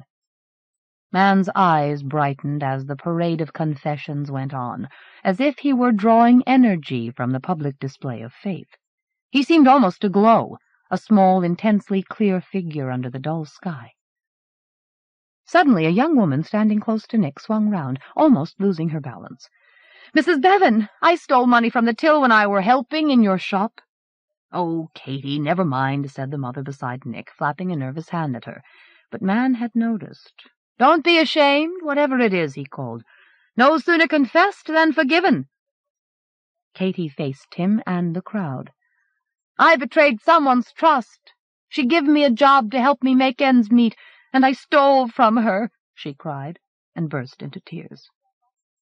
You mustn't make so much of it, Katy. It's nothing compared to some of the things I do, the shopkeeper protested, and winced out of her husband's reach as he tried to quiet her. I give in to lust, she told Mann, her voice growing louder. I do things you shouldn't do even when you're married. Me and my husband look at pornography to give us more ideas, as if the way God made wasn't enough. You never said you felt like that, her husband mumbled, reddening. I never knew I was making you do things you didn't want to do. It should be me who's confessing. Your marriage will be whole once you ask God into it, Mann declared. The clouds were breaking overhead, and the urge to confess seemed to spread through the townsfolk as the sunlight spread. All at once people were confessing to pride, vindictiveness, lapses of faith, envy, drunkenness, selfishness. "'Can you feel God loving you?' Mann cried. "'Can you feel him smiling?' Nick felt he was taking advantage of the sunlight, but around him people were nodding in agreement with Mann, smiling uncertainly, even beaming. Let us give thanks now, Mann said eventually. We thank you, God, for giving us your word to show us how to live our lives, to make everything clear to us. The choir joined in, the townsfolk following raggedly. As the prayer came to an end, Mann glanced at the sun. Soon it will be the longest day of the year, he said, and I really think by then your town may be God's, a truly Christian community. But I believe God would ask one more thing first. A truly Christian community can't keep a pagan tradition alive. The plump woman beside Nick peered sharply at Mann. I know you may think it's just a charming old custom, the evangelist said, but that's where Christianity went wrong, trying to swallow paganism instead of stamping it out once and for all. I want to ask you a favor on God's behalf. Will you think about leaving this cave as it is this year, not decorating it for once? No need to answer now, but can anyone here say that the picture you make out of flowers is worth offending God for? I'll speak up if nobody else will. The plump woman supported herself on Nick's shoulder and heaved herself to her feet. I'm Phoebe Wainwright, and I organize the cave dressing. I think you're making things too black and white. The tradition's part of what we are, and I'm sure I'm not the only person here who thinks so. Why, even some of the children I've delivered helped me dress the cave. Somewhere in the crowd Nick heard a murmur. She doesn't even go to church on Sundays. Otherwise, the townsfolk seemed embarrassed, resentful that she'd spoken up. I don't ask you to decide now, Mann said to them. Next time we meet here, you can let God know what you've decided. I only ask you to remember that paganism was always Christ's enemy. But a town where God has been invited into every home is a great defense against evil, and so I'll ask you one more thing. Next time we meet, I'd like those of you who stood up here for God to bring anyone who hasn't asked God into their lives. Some of the choir had slipped away to their tents for handfuls of silver balloons. They let the balloons, which were printed with the words, God loves you, flock into the sky, blotting out the sunlight for a few moments. The meeting was breaking up. Nick limped toward the front of the crowd, taking out his pocket tape recorder. There were several questions he wanted to ask Mann, but he wasn't out of the crowd, quite a few of whom were converging on the evangelist, when someone grabbed his arm. 7. The young woman who'd stopped Nick had a tapering face, wide greenish eyes, long black hair that the wind was tossing. He was rather pleased to have been halted by her until she spoke. Could you tell me what you're doing? She was a New Yorker, one of Mann's followers, obviously. Just going for a word, Nick said, indicating Mann. About what? Exactly what have you been doing? I think we're entitled to know. So far I've been watching. If Mann's followers were all as paranoid as this, what had they to hide? She was staring at his tape recorder. I haven't been using this, he said, if that's what you were thinking. Then why did you bring it at all? I always carry it. It comes with the job. Now, if you'll excuse me, I'd like a word with your leader. He may want to talk to me even if you don't think so. She grabbed his arm again. Aren't you with his congregation? Only by accident. I happen to be passing. Take it easy with the arm, would you mind? I'd like to be able to use it when you've finished with it. Sorry. Here. Please, put it somewhere safe. She was peering at his tape recorder and stifling a giggle. That's not a field telephone at all, is it? I thought you'd been using it to organize the response. I thought that was what you were doing to me on behalf of the God Squad. Looks as if we're on the same side after all. Maybe we should start again. I'm Diana Kramer, and I take it you're a reporter.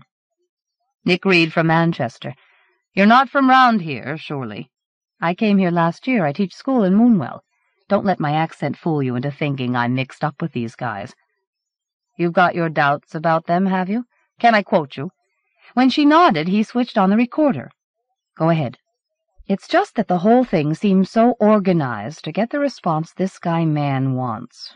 Nobody from Moonwell knew he was coming, so far as I know, and if they did, they certainly weren't telling.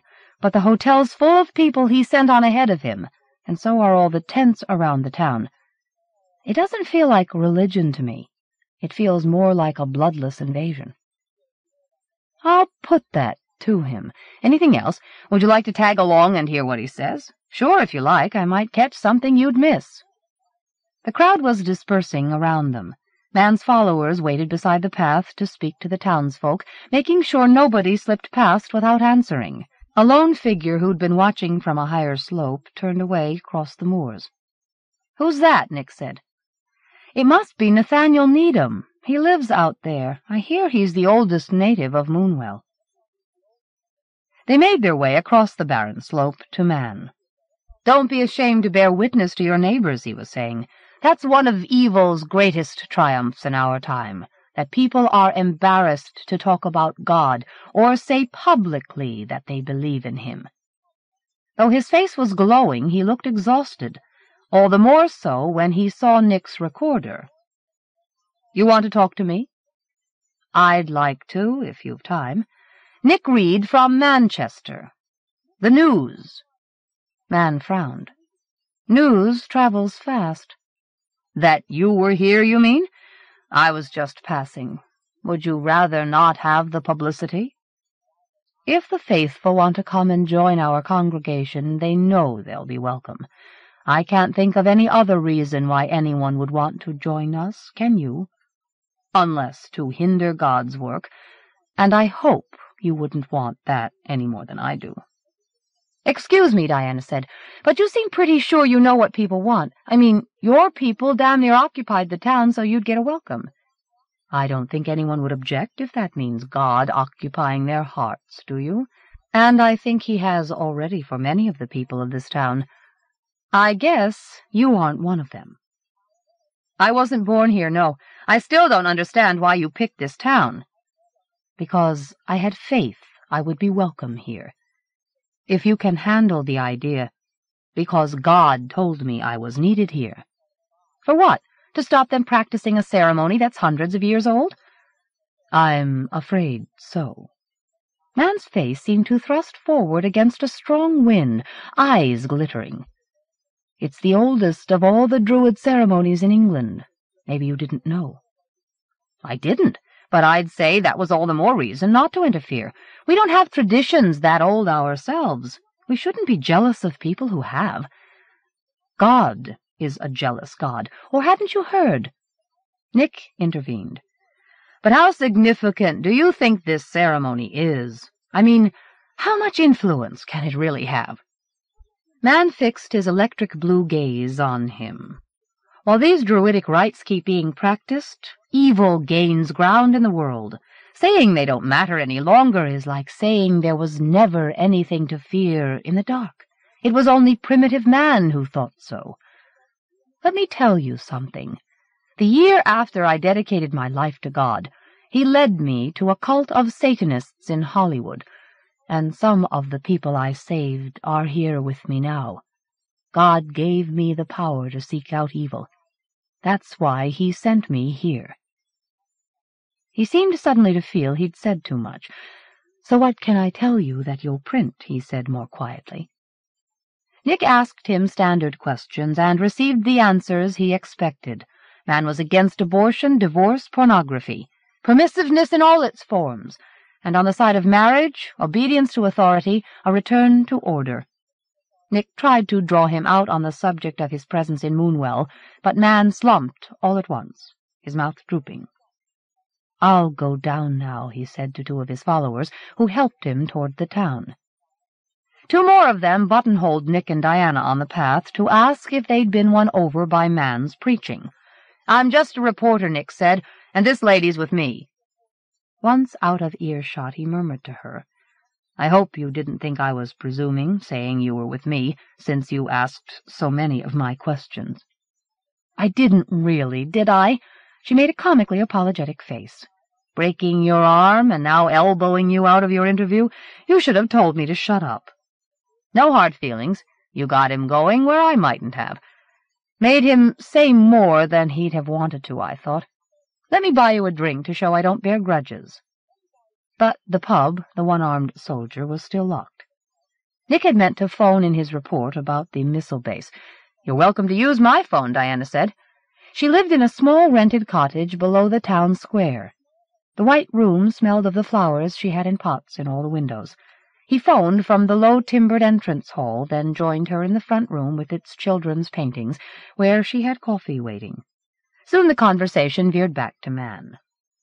What I don't understand, she said, is why he thinks doing away with this ceremony, just because it's the oldest, will put a stop to all the others. I don't know if that's what he meant. Why else would it be so important to him? Nick couldn't imagine.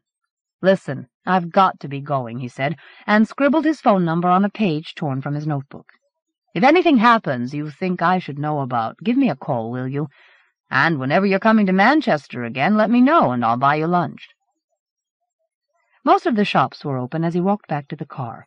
He wondered which of the people on the streets were townsfolk, which Mann's followers, and how many were now both. As he drove away from Moonwell down into the forest below the moor, Diana's question began to trouble him. He should have asked Mann what it was about the cave that had brought him all the way from California. He felt almost as if something had distracted him from asking. 8. Diana woke on Monday morning thinking about Druids. She'd got onto the subject almost by accident in the Manchester Library, where she'd been researching her Peak District ancestry. Her background seemed so familiar, though not the way her mother's grandfather had lived, a miner who'd carved his family a home out of the lime waste outside Buxton. But perhaps, she thought now, her sense of belonging had just been part of the peace she'd felt on the moors, the first time she'd felt peaceful since coming to England to try to adjust to the death of her parents. Her last sight of them at the Kennedy barrier was as vivid as ever, her father giving her a hug that smelled of the pipe tobacco he always bought near the New York Public Library, her mother's cool hands on her face as she murmured, Don't worry, Diana not knowing then why she felt anxious. The glimpse of the airliner dwindling into the blackening sky had wakened her hours later in a panic that had sent her praying as she hadn't since her childhood, praying they were safe. When she'd given in to her panic and called the airport, the clerk at first suspected her because she seemed to know the plane had crashed. Not until the police had questioned her at length did they tell her that both her parents were dead. She wondered how Mann would have dealt with that. Not so much that God had failed to respond to her prayers, but that if he'd wanted to take her parents, he'd taken dozens of other lives just to do so. Or didn't the individual lives matter to God? Just the number of lives, the statistic? All that could justify that kind of behavior by a God would be life after death. She'd reached that conclusion in the midst of her peace on the moor. The murmur of the world had faded into the sound of the wind in her ears. The mist had withdrawn over the deserted slopes until it seemed they would never end. And as Diana had drunk in the silence and loneliness, she had grown calm, at peace with her loss. She'd felt on the edge of passing through loneliness to whatever lay beyond. Teaching in Moonwell had, apparently, and now Mann and his aversion to Druids. On the way to the school through streets glistening with mist, pinpoint rainbows shining out of flowers, she thought how much the Druids had left behind. Kissing under the mistletoe, throwing spilled salt over your head, gargoyles as a civilized alternative to displaying the severed heads of your enemies above your roof, even calling two weeks a fortnight, since the Druids measured time by nights rather than days. Druids never wrote anything down, perhaps as an aid to memory. They often spoke in triads, since three was their sacred number. The great Celtic fear was that the sky would fall and the sea overflow. By the eighteenth century the Druids had become a romantic myth, but the truth seemed to be that they had been more savage, sacrificing human beings before battle. It was hard to be sure, since no account survived of their religion. Presumably the cave had been one of their sacred places, and she wished more and more that Mann would leave it alone. Mrs. Scragg was waiting for her in the schoolyard, which was unusually crowded. My husband wants to see you in his office. He was sitting at his desk, which looked absurdly large for him, reading a pamphlet called Stand Up for God, and rubbing his hands together. His broad smile made his face look cramped between his chin and bristling eyebrows. You've some extra pupils, he said. Godwin Mann arranged for us to take them. My wife will have the nine and ten-year-olds, and I'll have the eldest. I assume you can cope? No problem, Diana said, determined that there wouldn't be, even when her class lined up at the sound of Mrs. Scragg's ear-splitting whistle, and Diana saw their number had virtually doubled. All the new children looked bright-eyed and fresh-faced and eager, though some of them were sniffling from the chill that must creep into their tents. In her classroom, Diana said, I think you're all going to have to sit two to a desk. Her class moved over, shuffling and grumbling. When they'd made room, the new children remained standing. May we pray first? A boy with especially blond hair and a southern accent said. Sure, if that's what you do. The new children knelt, then gazed at the others. They were expected to kneel too, apparently, but Diana wasn't having her schoolroom routine taken over so thoroughly. Just bow your heads, she said, and bowed her own a little. Eventually the newcomers finished thanking God and sat down. Let's start by getting to know one another, Diana suggested. Why doesn't each of you tell us your name and a bit about yourself? I'm Emmanuel, the blond boy said. I come from Georgia. My daddy and my uncles worked a farm there until my uncles died fighting God's war against communism. Two English children and two from California claimed to be fighting God's war, too. Sally was bristling. Suddenly she said loudly, My dad's in a union and he goes to church. You can go to church and still keep God out of your heart, Emmanuel said. We'll pray for him and for you to show him the true path. Sally stuck her tongue out at him and wrinkled her nose to stop her glasses from slipping. My mum says if there's another war, it'll be the last one, Jane said, because the bombs will kill everyone. You shouldn't care so long as God is your best friend, said a Welsh girl.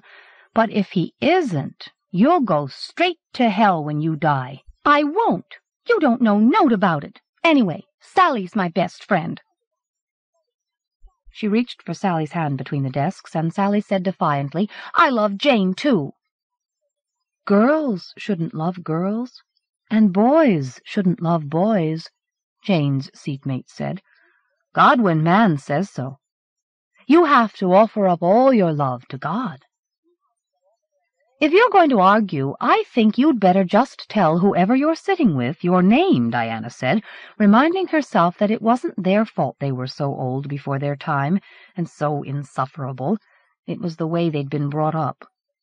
Now I'm going to hear each of the new children read, and the rest of you can see how much you can read by yourselves. She'd heard two readings when Thomas's seatmate said loudly, You mustn't say that kind of stuff. Tell Miss Kramer the kind of dirty stuff you were saying. Not here, okay, Thomas? We don't want to offend anyone when there's no reason to. I forgive you. I'll pray for you, Thomas's deskmate said, and Diana had the disconcerting impression that he was talking to her as well as to Thomas. That was the way the morning went, the new children not so much telling tales as telling their seatmates to confess whenever they did anything wrong, however trivial. She went into the schoolyard at lunchtime, praying that there wouldn't be so puritanical while they were playing games. A radio was blaring disco music, which seemed promising until Diana realized that the lyrics, repeated over and over, were, Upon this rock I shall build my church. Some of the Moonwell children began to dance enthusiastically until the owner of the radio switched it off. You shouldn't dance like that, she rebuked them. Some of Diana's class were teaching the newcomers to play Harry in the Hole. The Welsh girl, Mary, was chosen to be in the hole, to be blindfolded and try to grab a victim from the circle that surrounded her, holding hands. If she guessed who the victim was, that child had to join her and be blindfolded and once that process started, the circle wouldn't hold for long. But before the game had even begun, Mary pulled the blindfold off. What am I supposed to be? The giant who lives down the well, Thomas said. He means the cave, Ronnie said impatiently. We poked your eyes out and threw you in. No, we chopped your arms and legs off and rolled you in, Thomas told her with relish. Mary looked as if she wanted to run. Diana hushed Sally and Jane, who were holding her hands and telling her secrets, and started to intervene, but the boy with the portable radio was ahead of her. What's wrong, Mary? he demanded. They want me to play at being him down the cave, Daniel. You mustn't play that, any of you. Don't you know who he is? He's the devil waiting down there. He'll come for you if you don't pray to God, and make sure your folks do. A cloud rose into view above the town, blotting out the sun. Its shadow flexed rapidly over the cottages and rushed into the schoolyard, evoking a sudden stony chill. He's not a devil. He's a giant, Thomas said. Anyway, if he gets out, he'll get you first in those tents up there. He'll pick you up and turn you inside out and put you down to something else, and then you'll have to crawl about like that forever. Andrew spoke for the first time haltingly. He can't be a devil when the cave's a holy place. My granddad said they threw the giant down there because it was holy, and he wouldn't be able to get out. Your granddad's telling lies, Mary said in her sharp Welsh voice. You should listen to Godwin Mann. He speaks with the voice of God.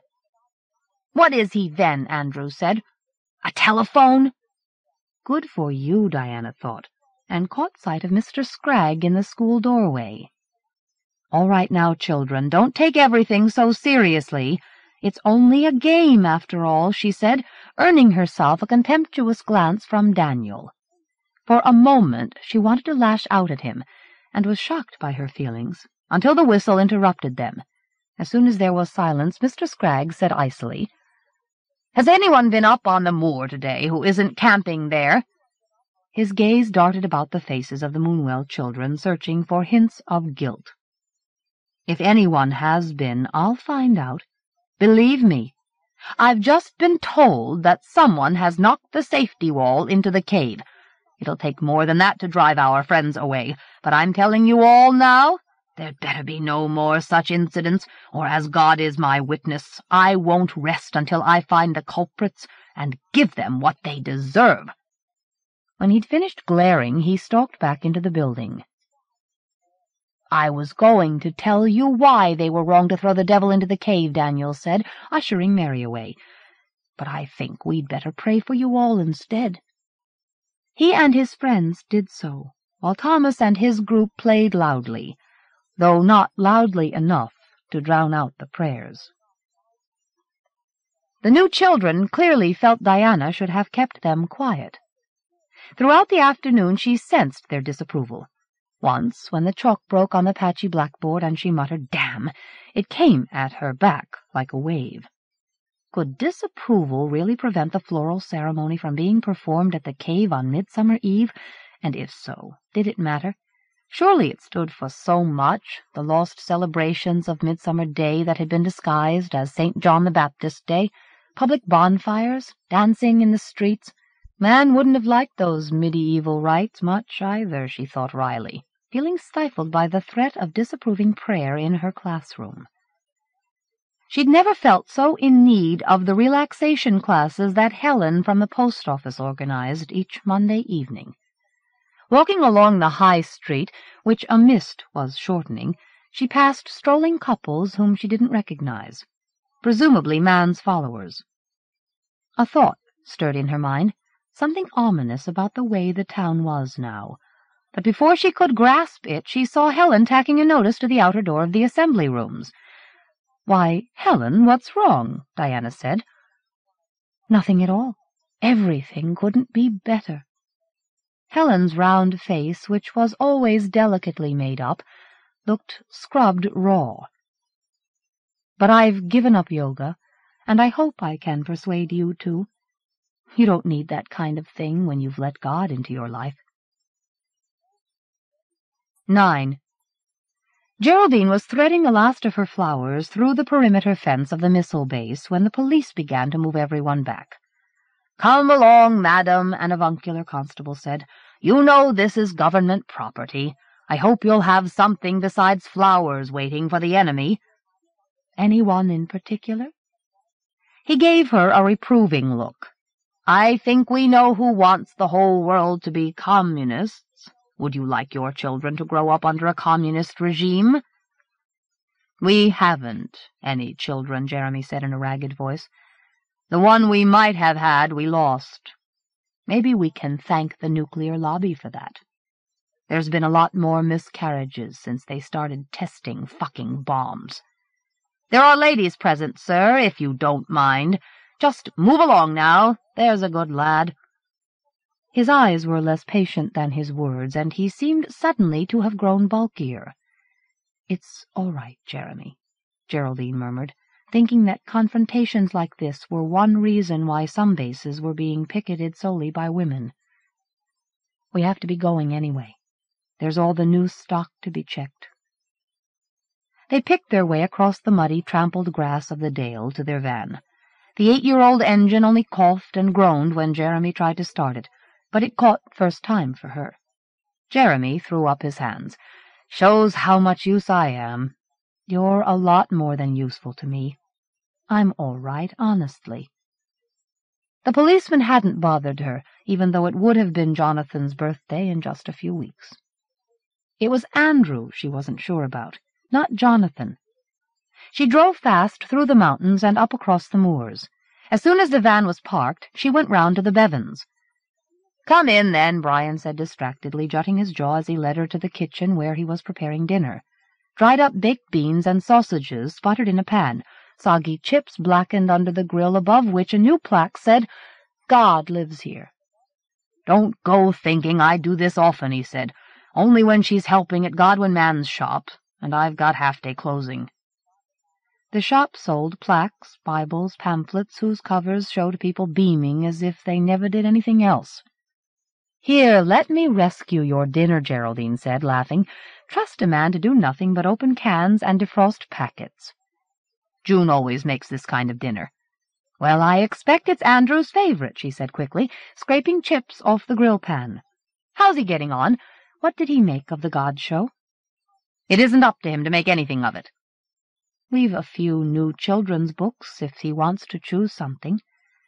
If you want to go giving away books you could sell, you aren't going to let me stop you. He seemed uncomfortable so close to her in the small, hot, smoky kitchen, and turned away to mutter, We're grateful, really. I know we could do with giving him more of our time and having a bit more patience. Maybe now our lives are being changed. Andrew was playing soldiers on the stairs. He'd snapped off the barrel of a plastic anti-aircraft gun and was sticking his chin out like his father so as not to cry. He brightened when he saw Geraldine. Do you want to see my V's? What's the matter with you? Brian demanded. Do you want Geraldine to think we don't bring you up to speak properly? See my V's? he mimicked in an idiot's voice. Geraldine wants to give you a book to read. I wouldn't blame her now if she gave you a baby's book.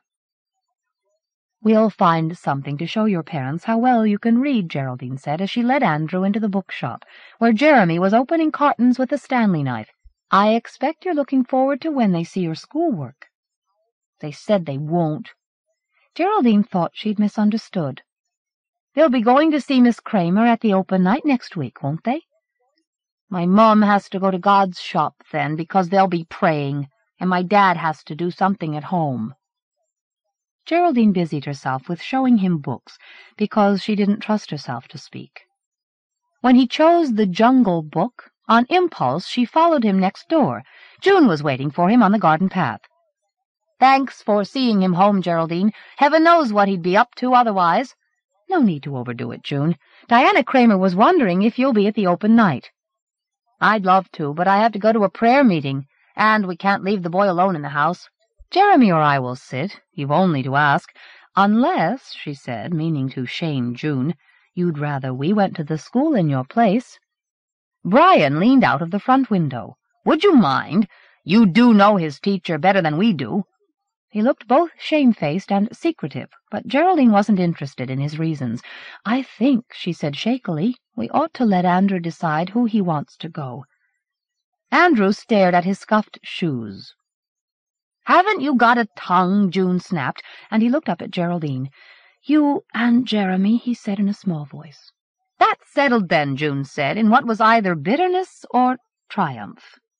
Geraldine was about to retort that it was nothing of the kind when the alarm at the bookshop began to shrill. She couldn't think for the noise. She ran back into the shop just as Jeremy switched off the alarm. I'll call Eddings, she said, eager to deal with him, to use up some of her anger. He wasn't at home. I'll tell him you called as soon as he comes in, his wife Hazel said. Someone else's need is greater than ours, is it? You might say that, yes. He's visiting our neighbors on behalf of Godwin Mann. I'm afraid praying isn't going to fix our alarm. Are you sure? Perhaps you should try while you're waiting. Geraldine made the worst face she could manage at the receiver and dropped it into its cradle. When he finishes God's work, he'll get round to his own, she told Jeremy. A pity we can't ask God to guarantee Benedict's work. And what had the Bevans to say for themselves? Don't lose your temper. I'm not about to lose my temper. Why should I lose my temper? There's no reason for me to lose my temper just because of people. She closed her eyes and gritted her teeth and growled, almost screaming, and then she told him what had happened. He didn't seem to know what was best to do any more than she did. Whatever they tried, she thought Andrew would be the loser. They argued about it all through dinner, though really she was arguing with herself. Eventually she admitted, I can't think. Shall we go out for a drink or a walk or something? We can't if Eddings is coming. Go by yourself if you like. You've had a pretty grim day one way and another. I'll finish checking the stock and maybe catch you up later. Street lamps were lighting up in the dusk. The jagged edge of the moor above the town smoldered against the glassy purple sky. Geraldine walked quickly up the path to shake off the growing chill. How could she make the Bevans do right by Andrew? He was their responsibility, not hers. He wasn't her child. He wasn't Jonathan. Jonathan was safe wherever he was. She told herself that in the chilly, white-tiled Sheffield hospital. Jonathan was alive somewhere, and growing. She didn't need to see him, though sometimes she did, in dreams. She wished she could share her conviction with Jeremy, but the only time she'd tried, he'd begun to humor her. Jonathan had felt threatened, in danger of ceasing to be, and she had never mentioned him again. She could keep him safe. It was Andrew who had to live in the real world and cope with whatever it did to him. She stepped onto the moor and followed the path that glowed dark green in the dusk. The chill of the limestone seeped up like mist through the grass. She walked faster, hugging herself, wondering why the chill should make her nervous. She was on the bare stone above the cave when she remembered and halted, shivering. Home from the hospital, she'd made herself give away Jonathan's clothes at once. She'd opened the chest of drawers in the room that would have been his, She'd reached in to take a handful of baby clothes, and then she'd sucked in a breath that hurt her teeth, for the clothes had felt like ice. She could feel her fingertips aching with the cold as she'd begun to shake from head to foot. She'd stood there, unable to let go or pull away until Jeremy had found her. Later, when he'd got rid of the clothes, she'd learned that he'd felt nothing odd about them, no undue cold at all. The full moon trailed a rainbow halo over the clouds on the horizon. The moorland path reappeared, having faded under the sky that was now almost black. The tents on the higher slopes were chunks of ice. She hadn't known what the cold meant then, and she didn't know now, certainly not that it was so cold wherever Jonathan was, but she didn't want to be alone with that thought up here, especially when the moonlight made the landscape even bleaker. She hurried past the cave, heading for the path that led down to the far end of Moonwell. Then she faltered, for there was no longer a gritstone wall around the cave. In the moonlight it looked even deeper. Though she was at the edge of the stone bowl, she felt too close to the gaping dark. She started away, and a fragment of rock flew from under her heel, skittered down the bowl. For no reason she could grasp, she was terrified that it would fall into the cave. She ran for the path, stumbling, almost falling.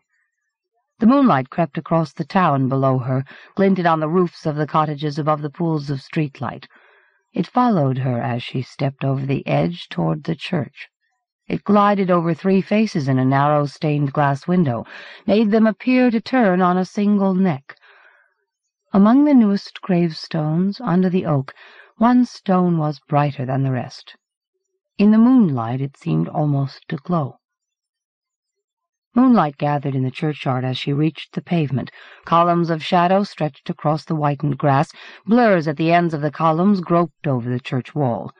Geraldine peered across the road. Then she crossed to the pavement bordering the churchyard. She still couldn't see the name on the glowing headstone, couldn't tell what kind of stone it was that was able to reflect the moonlight so strongly, almost as if it were shining itself. She paced along the railings and lifted the latch of the iron gate. The gate must have been oiled recently, for there was no sound. Perhaps her straining to read the stone at the edge of the shadow of the oak was blanking out her other senses. As she stepped onto the moonlit gravel path, she wasn't aware of her footsteps. The light that seemed to have congealed into a stony stillness made her begin to shiver. She left the path and advanced between the mossy stones, her feet slipping on mounds that reminded her of beds. She was close enough to read the inscription now, the little there was of it, and her legs were shaking. She had to support herself on stones that crumbled under her fingers. When she fell to her knees in front of the glowing stone, far brighter than the stones on either side of it, it was to stop herself from trembling as much as anything. But she was shivering as if she might never stop. The only date on the unblemished headstone was eight years ago, and the only name was Jonathan. 10. I hope I'll see you at the pub tonight, Mrs. Wainwright. Phoebe. If he called her Mrs. Wainwright, Eustace thought, she might tell him to call her Phoebe. That would help. He'd known exactly what to say to her until he turned the corner into Church Row, tugging so hard at his collar that the button flew into the road to be pulverized under the wheels of a delivery van. Mrs. Wainwright, he decided and now all he had to do was walk along Roman Row, press down the latch of her bright green wooden gate, walk under the trellis of flowering vines, and up the gravel path that was as good as a watchdog for letting her know someone was approaching. lift his leaden hand to the doorbell, take a deep breath that he meant to hold until they came face to face, so that he would have to let it out and ask her at once. He'd already sucked in his breath when he realized that he hadn't taken out the magazine he was supposed to be delivering. He pulled it out so hastily that he spilled half the contents of the post bag on the cottage doorstep just as she opened the door. As he fell to his knees, he thought of how he looked, a swain kneeling before his lady love, who didn't even know she was. When she squatted to help him, her dress rode up her plump thighs, and he almost fell over backward.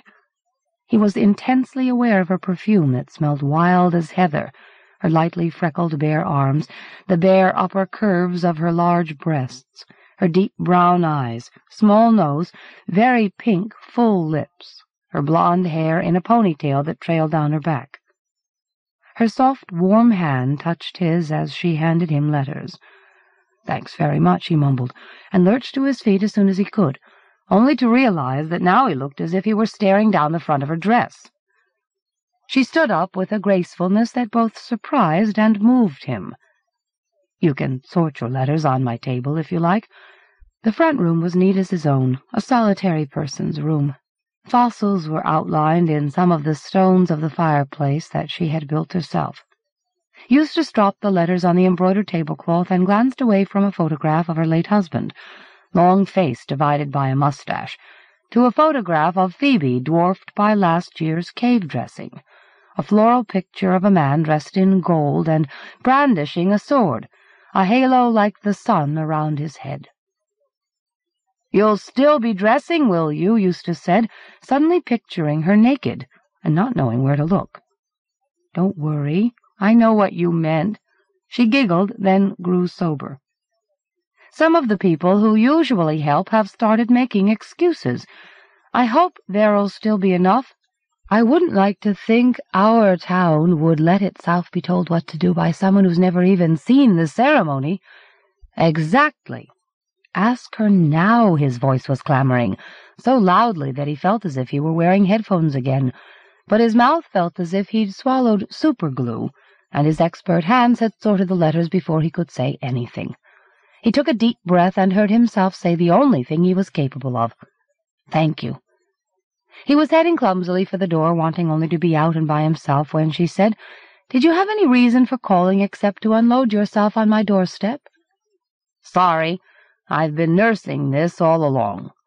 He handed her the magazine and remembered that her husband had been a male nurse, killed two years ago as he drove off the road in the midst of an instant Peak District fog.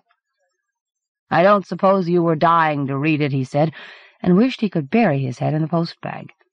She was both smiling and frowning when the doorbell rang. He followed her as she opened the door to two women with bright open faces, shoulder bags stuffed with pamphlets and books. Will you let God into your house? one said. Eustace slipped past them. I'm going now, so there'll be room for him. You'll have to excuse me, too, I'm afraid, Phoebe said to the women. As she closed the door, she called after Eustace. I'll see you later. I'm looking forward to your show at the pub.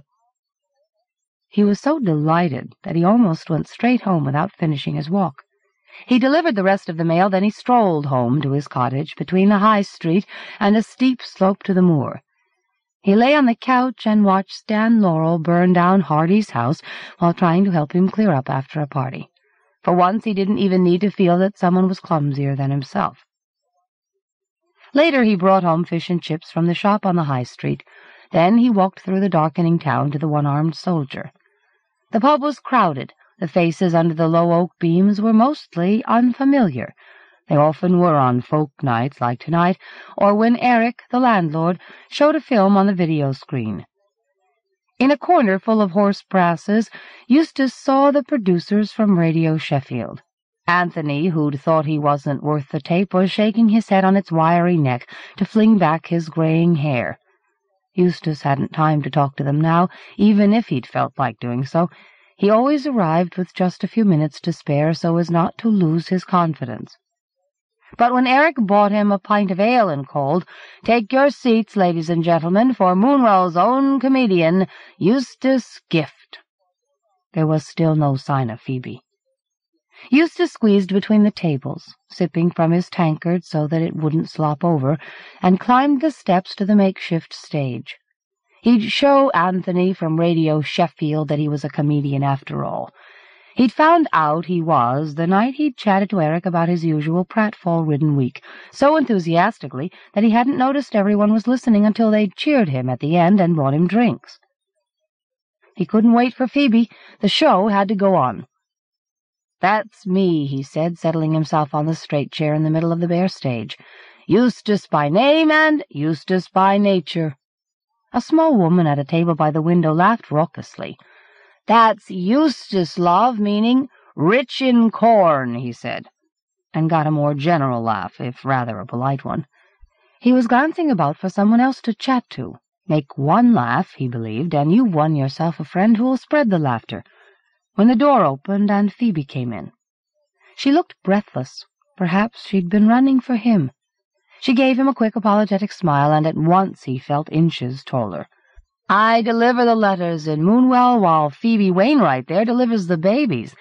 Lucky it isn't the other way round, or I might be delivering second-class citizens. That brought another polite laugh, but all it earned him from the radio producers was a faint shift of the lips. It was time to give them something sharper. Things may change now that Mission Moonwell's come to town. I believe soon we're going to have to call letter boxes epistle boxes, don't tell me you thought epistle was what you are when you come out of a pub. Father O'Connell, who was sitting with Diana Kramer, laughed at that, and so did the radio producers. I hear Godwin Mann's been resting in his room at the hotel since he introduced himself to Moonwell, Eustace said with an innocent look. But don't tell anyone, will you? Probably gives him a headache listening to God's voice all the time. Good job that never happens to me. The way I am, I'd get a crossed line, hear a voice saying, Fasten your seat belts, or What color underwear are you wearing? He reached for his tankard, but let his hand dangle. The laughter he was leaving space for hadn't come. A few late laughs sounded encouraging rather than spontaneous. As he took a quick swallow of ale, he saw the butcher leaning against the bar, gazing at Eustace as if he wished he'd try a different style of humor. That couldn't be right. The butcher had been skeptical enough at the rally.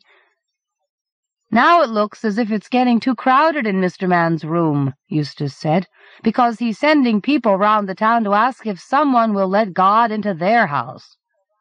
When Steve, the other man from Radio Sheffield, laughed at that, heads turned to stare at him.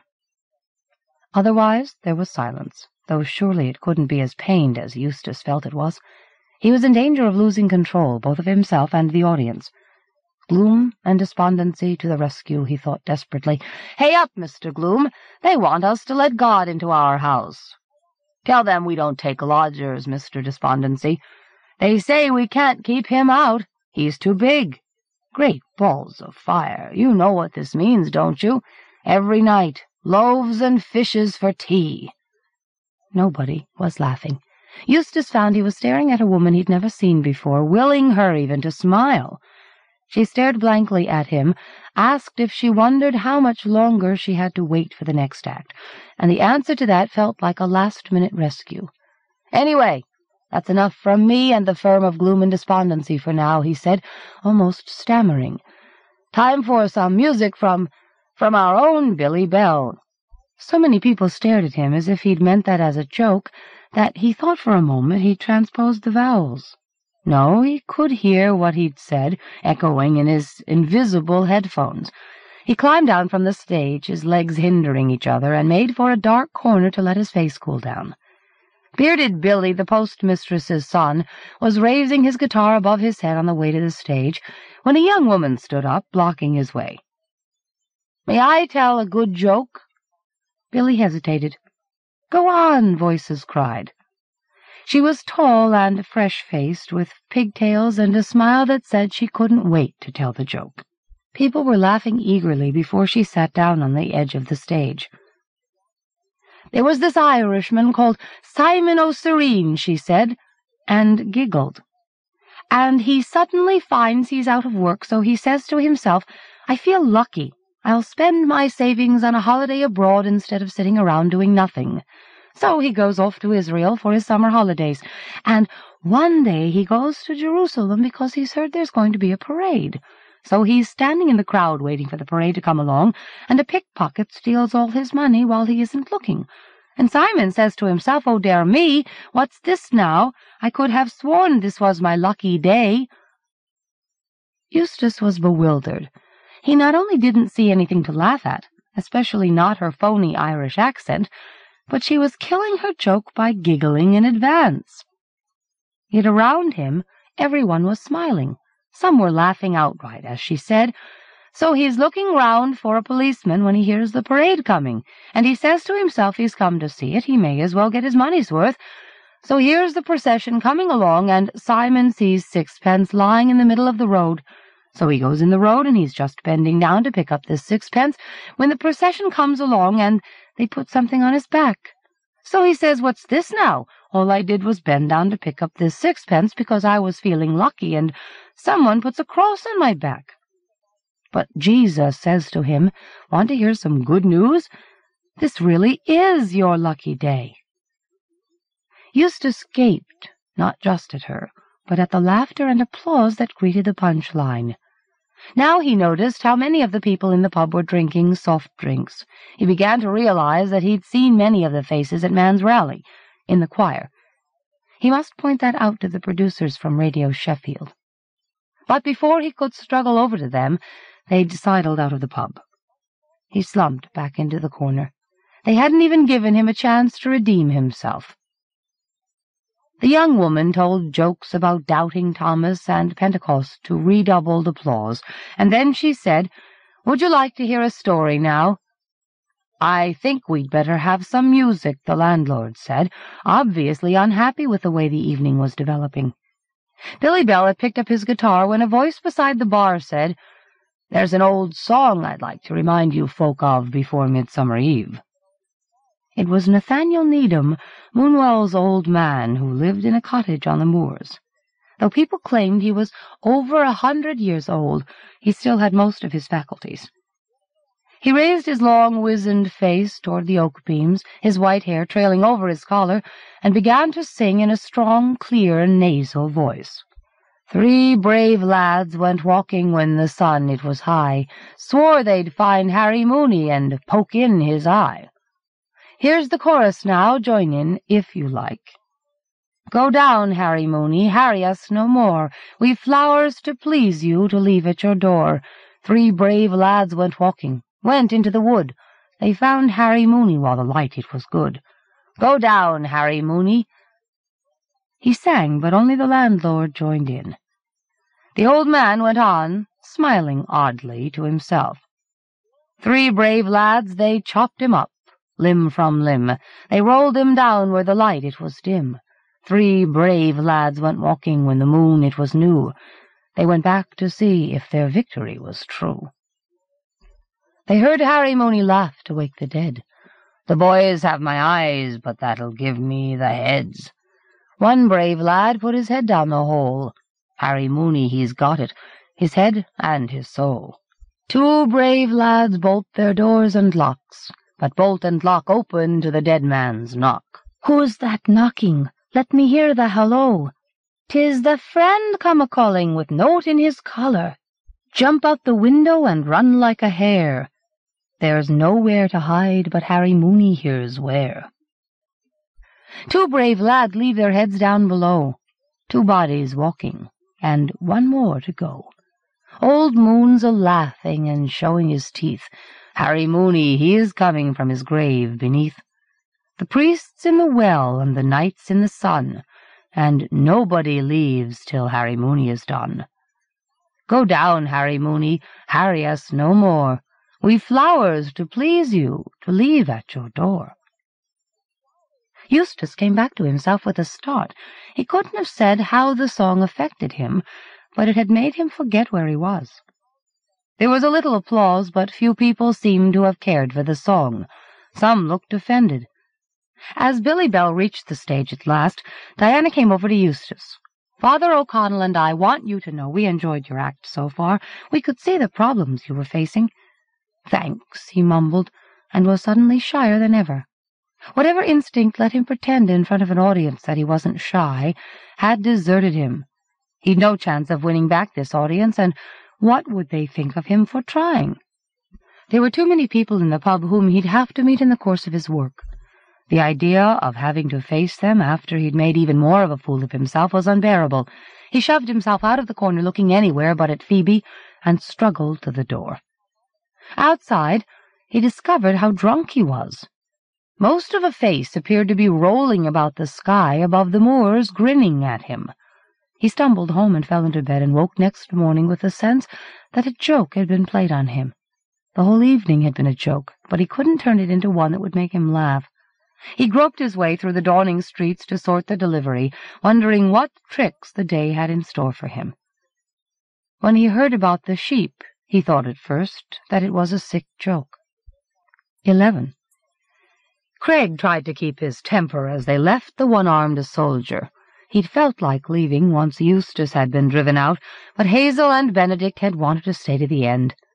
The bearded youth with the guitar had received polite applause, but most of the audience had obviously been waiting for the last act, a Christian duo with an array of instruments and joyful messages.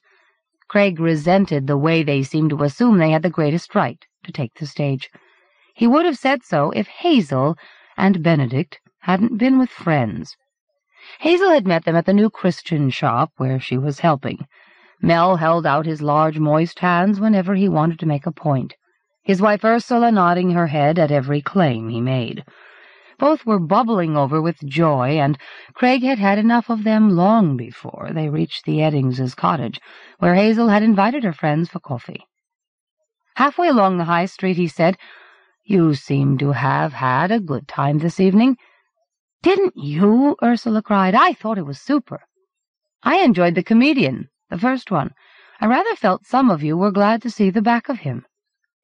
I certainly was, Benedict said. Moonwell can do without that sort of thing. Can't do without a postman, though, can it? I wouldn't blame him if he decided Moonwell could. You wouldn't blame him, Mel said, drooping a shoulder toward Craig. Surely you would. It's up to all of us to blame him, to show him where he's gone wrong. Craig breathed heavily rather than argue when he'd had so much to drink, but Vera spoke up. You don't usually go into pubs, do you, any of you new people?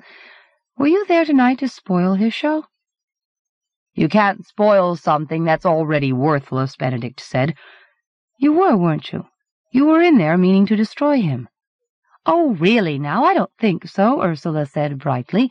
He must be a pretty poor comedian if one failure destroys him. I hope it'll teach him to make the kind of jokes we can all laugh at. But you must remember that he went on stage tonight meaning to destroy our faith in God. I should think God and your faith can look after themselves. You near as damn it took over the pub so that the people who weren't on your side would be too embarrassed to laugh. No, no, Mel said as gently as a sick-bed visitor. The people are already with us, as you saw. They've realized they need God, not his enemies. Such as us, you mean, Craig growled. Mummy isn't, not deep in her heart, Hazel said, almost pleading, and neither would you be if you'd just take the time to think. For a moment Craig wanted to take her hand, squeeze it to let her know she shouldn't worry about him, especially not when he was trying not to worry about her. Mel and Ursula began to murmur a hymn, and the Eddingses joined in. They were still singing when they reached the cottage on the moorland road. Craig slumped in a chair in the front room under a mass-produced painting of Christ holding out his hands, a tasteful dab of blood on each palm. It was the lack of any painterly feeling that offended Craig, the assumption that any kind of representation ought to be enough to provoke an automatic response. He hoped Benedict had bought the painting, not Hazel. Mel and Ursula sat down in the corner seat, and Mel read Craig's face as he looked away from the painting. "'Aren't you at all spiritual?' Mel said. "'Put me down as a don't know, if you like. Christ doesn't allow neutrality. Anyone who isn't with him is against him. He held out his hands as if he were offering Craig something large, yet weightless. Can you really search your heart and say there isn't emptiness where there should be faith? Emptiness is good enough for me. Mel turned to Vera. Hazel said you were more of a believer. We believers have a duty to show others the right path. I believe in Pascal's wager. Pardon? The philosopher who argued that since the existence of God can't be proved, it's worth betting he exists, because if he doesn't, you've lost nothing. But if he does, you've gained, well, whatever you've gained. That's sophistry masquerading as faith. The only way to believe in God is let him rule your life. I think we're a bit old for that, Craig said. We don't feel the need to be constantly told what to do. Benedict carried in a tray full of mugs of coffee. Some people might think that's what you want to do to us. What do you mean, Benedict? Some people. Suddenly Craig wanted to get the inevitable confrontation over with. If you've something to say, spit it out. What do you feel you're a victim of? Benedict set the tray down carefully next to a pile of tracts. Excuse me. Thank you, he said as he passed the mugs round, and then he blinked at Craig. Well, I think you need to accept the way Hazel's grown up, and I think you'd like to tell me how to run my business. If Vera and I were going to lend you the money you asked for, we'd have wanted to. I suppose that's fair, to let you make suggestions, anyway. I said if, Benedict, if we'd been going to lend you the money. Hazel tried to steady her mug with both hands, winced at the heat, and put down the mug on the hearth. Aren't you going to? she said, her voice a little too high. We don't know how much we'll have to spare, if anything, Vera said. We don't know where we'll be living. Not in Moonwell, if it carries on the way it's going. What way is that? Benedict demanded. All Godwin wants to do is make a little piece of the world free of crime and sin and corruption. He can do it here because we're so cut off, safe from outside influences. Surely even you can't say that's not worth doing. Even who? Craig felt his chest stiffening with anger. Even someone as sinful as us? Perhaps now you see why we wouldn't feel welcome. Oh, Daddy, you know you're both always welcome, Hazel pleaded, but Benedict interrupted. You haven't told me what you don't like about my business methods. Don't be so sure you'd want to hear. I'll tell you one thing we don't care for, and that's the way you use Hazel to try and drum up customers. We've heard some of the abuse she's had to put up with, and no wonder, the way you expect her to play on people's fears to sell your damned alarms. I don't mind, Daddy, really I don't. It's my duty to help. Oh, for Christ's sake, Hazel, when did you turn into such a bloody prig? Craig demanded, and gritted his teeth as if he could bite back what he'd said. I'm sorry, I didn't mean to say that. Put it down to the drink. I forgive you. Craig gritted his teeth harder. What's wrong? Benedict asked lightly. She said she forgives you. Yes, because your friend Mann says she has to. Am I right? You're forgiving me because it's your duty, Hazel. Isn't that so? It's got nothing to do with my loving you, or your loving me, or anything else that's real. He turned on Benedict. I'll tell you what's wrong with your kind of forgiveness. It suppresses the feelings you'd have if you were honest with yourself. I thought religion was supposed to bring peace, that's the one way it might have got to me at my age. But if I lived around your forgiveness for any length of time, I'd end up with an ulcer. Now, if you'll excuse me, I'm very tired, and I've already said too much. Nevertheless, he halted in the doorway.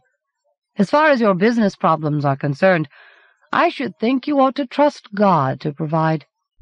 He labored upstairs to the bathroom and splashed water on his face, glared at himself in the mirror as he brushed his teeth. When he went into the bedroom with its twin folding beds, Vera was waiting for him.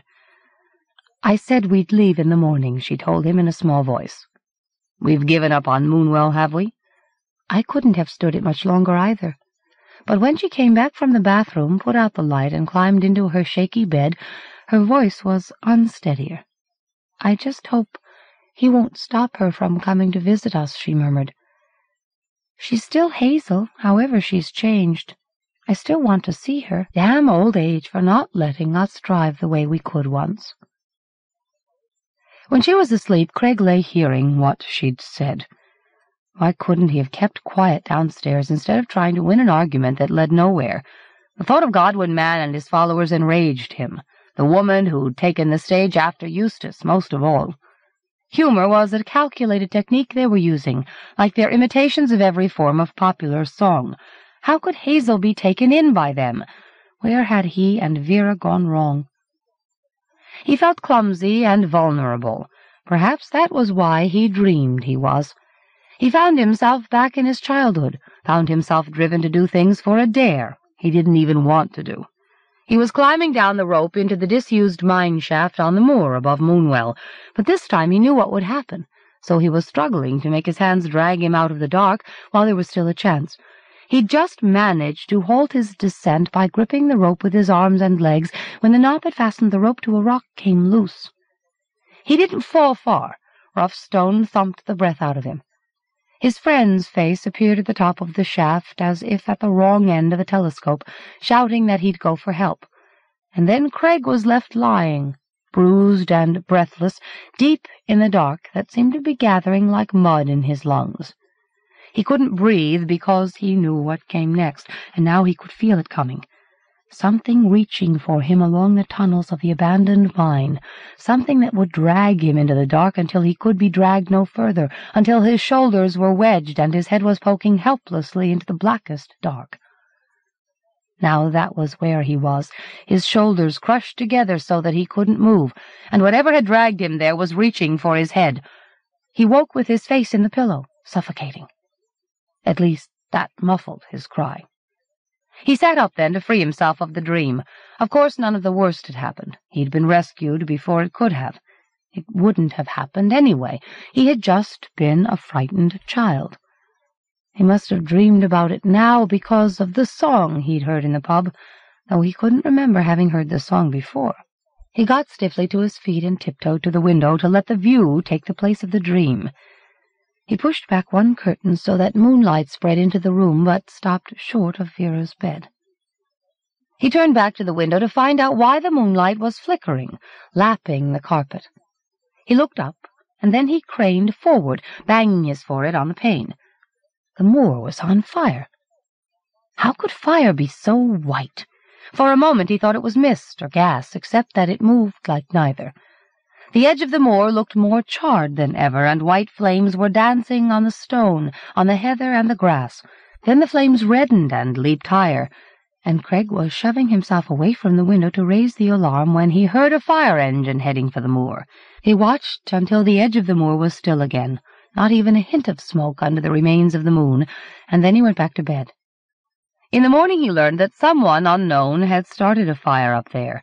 The fire had driven a flock of sheep through the tents, injuring two of Mann's followers.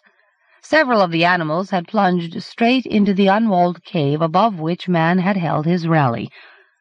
Benedict recounted all this in a tone that seemed almost to imply that Craig and Vera were somehow culpable. Apart from that, he said very little as he drove them back to Sheffield, and Craig had nothing to distract him from feeling that he shouldn't have let himself be forced out of Moonwell though it was certainly too late now. He kept remembering that first sight of flames that had looked white as ash, white as the moon. 12.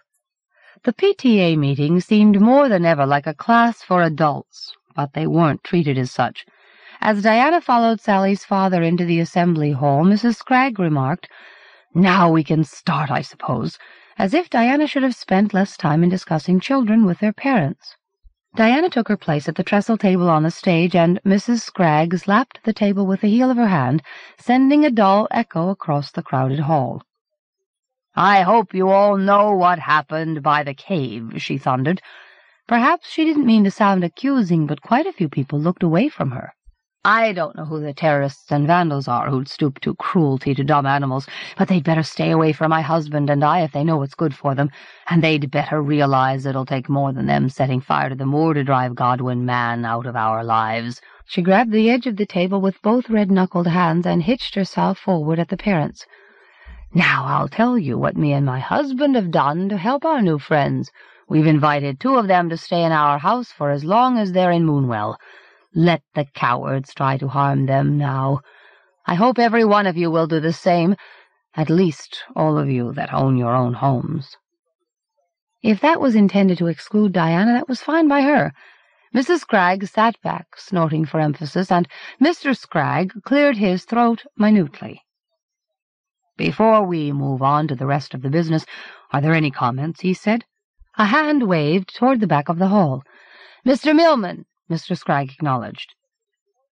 I appreciate the points you were making, Mrs. Scragg, but Mrs. Scragg frowned at him as if she'd never seen him before. Stand up now, or we'll not be able to hear you. He stood up awkwardly, leaning on the folding seat in front of him. I was saying that of course I don't approve of trying to drive people out that way, but I do think it's understandable if there's a bit of resentment about... I mean, nobody asked for the town to be changed overnight. My family and I go to church every Sunday, and we don't need to be made to feel that isn't enough. Several people were nodding agreement, even murmuring. Perhaps this time, Diana thought, they'd speak up for themselves. Nobody asked Mary and Joseph if they wanted to have the Christ child, Mrs. Scragg said. If all you're wanting is to cry over the spilt milk, Mr. Milkman, I think we'll be getting on with the business of the meeting.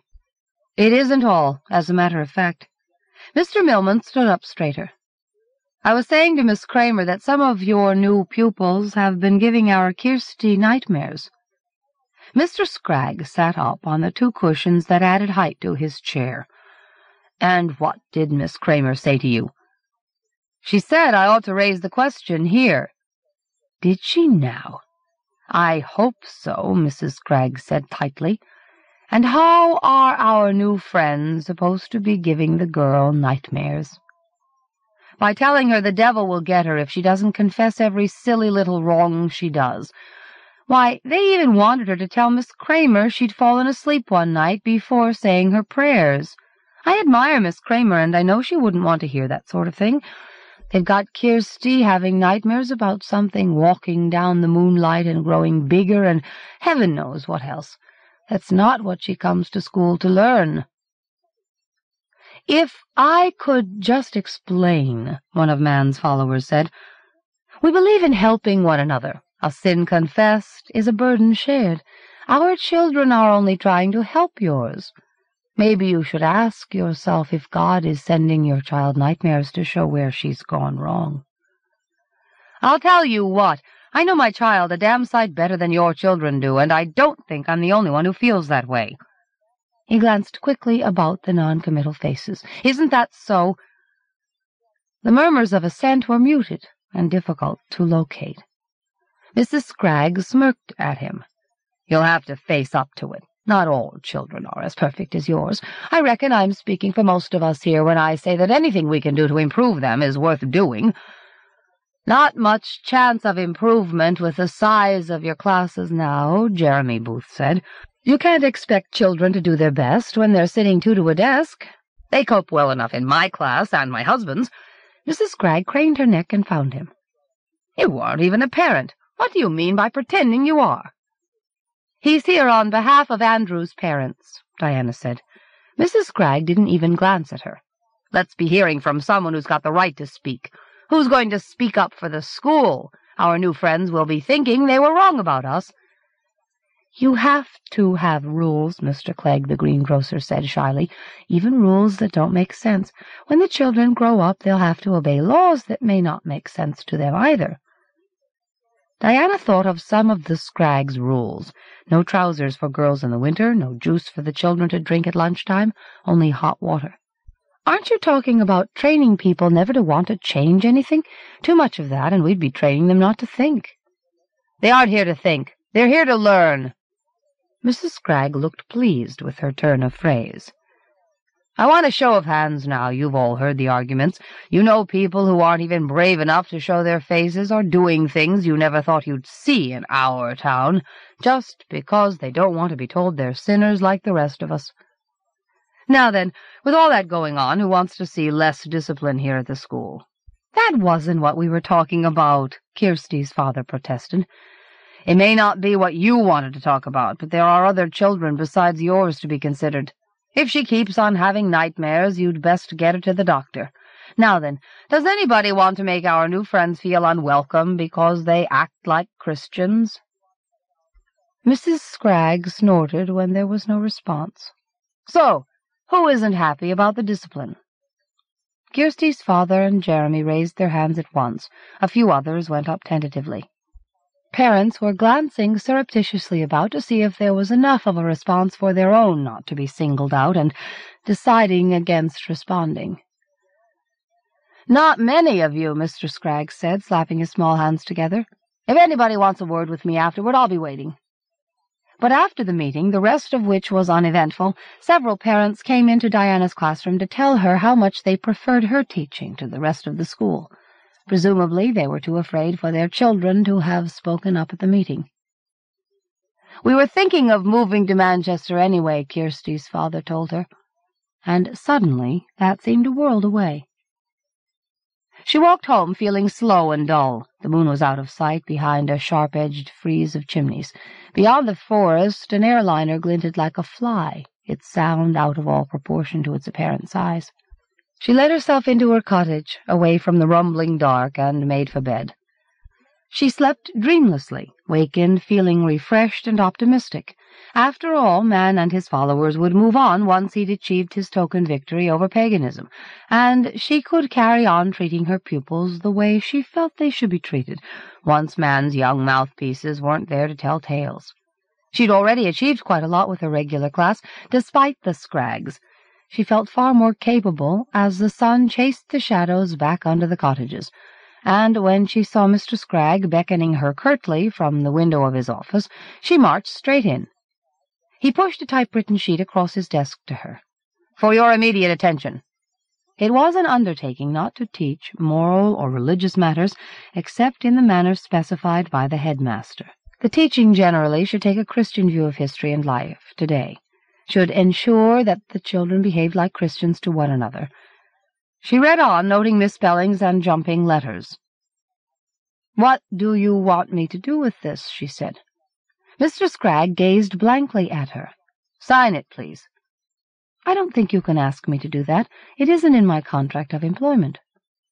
His small face seemed to harden beneath the bristling gray eyebrows, yet when he spoke his voice was almost lilting. In that case, I have to tell you that this school no longer needs your services, he said. 13. As Saturday wore on, June grew impatient with Andrew. At last she gave him some Christian stickers to put up around the shop, but when he tried to climb into the display window, she threw up her hands. What do you want to do? Knock everything down? Try and have the sense God gave you, she cried, and Brian intervened. Come on, son, you can help me in the back. In fact, there wasn't much to do in the long, narrow room that smelled of boots and rope and cold Primus stoves. "'What do you want to do, son?' Brian murmured. The boy peered timidly up at him from under his eyebrows that were hardly there at all. "'I can read to you.' "'You've already done that for your mother. You don't need to do any more today,' Brian said, and saw Andrew suck in his hollow cheeks with disappointment. "'All right, if you want to.' The boy scampered into the shop, shouting, Daddy says I can read to him. Brian felt ashamed of himself, wished again that he'd attended the open night and talked to Andrew's teacher. He would have, except that since the rally at the cave he'd been reluctant to show his face in public. Since the rally, he'd seen women looking in the shop window and pretending they weren't talking about him. Once he'd overheard a murmur about the things his poor wife had to put up with, the things he forced her to do. He wanted to tell them he hadn't touched June since the rally. He wouldn't, while she didn't want him to, however frustrating it was for him. But he couldn't tell anyone that. No doubt the town thought even worse of him because he was too ashamed to invite one of Godwin's followers to take refuge in the house. At least June was no longer taking Valium. Godwin's religion had done that for her. Perhaps in time she would be more patient with Andrew. He wished he could be more patient himself. Sometimes when it was just himself and Andrew, he didn't feel so bad. But when Andrew began to read him a pamphlet, he couldn't help wincing inwardly whenever the boy misread a word. Not ice ache, he said, trying to be gentle. You don't want to grow up not being able to read or write properly, do you? You don't want to have to work down a mine because you can't get anything better, stay down there all day in the dark. When Andrew tried, ice acre, Brian wanted to shake the stupidity out of him. It's Isaac, damn it, Isaac! See if you can read just one line without making a fool of yourself. Andrew almost read the last sentence right, about how God wanted every child to obey his parents and teachers and anyone in uniform. He gave his father one quick, pleading glance, which made Brian feel awkward and embarrassed. That was better, he muttered. Come on, I'll take you to watch the football for trying. Wind-herded clouds across the sun, racing shadows, molded themselves to the slopes. As Brian and Andrew walked down the steepening streets to the edge of the town, the wind carried the smell of charred vegetation from the moor above Moonwell. Would Isaac's daddy really have killed him? Andrew said. It's only a story, son, to show you how to behave, or if it's true, it happened a long, long time ago. Would you kill me if God said you had to? Nobody is going to tell me to kill you. Now, stop being morbid and watch the game. Two teams were playing five-a-side in the field that the school also used. Fathers and sons and old men smoking pipes stood outside the white lines shouting. Pass it! Pass the ball! Brian yelled. Oh, you silly bugger! When Andrew flinched, he gripped the boy's shoulder. I'm not shouting at you. You can shout too. But Andrew stood staring even when the ball rolled almost to his feet. Go on, son, kick it, Brian cried. The players were yelling at him too. Kick it as hard as you can, son. You're not a girl, Brian told him, and the boy lurched forward. He gave the ball a glancing kick, slipped in the mud, and fell.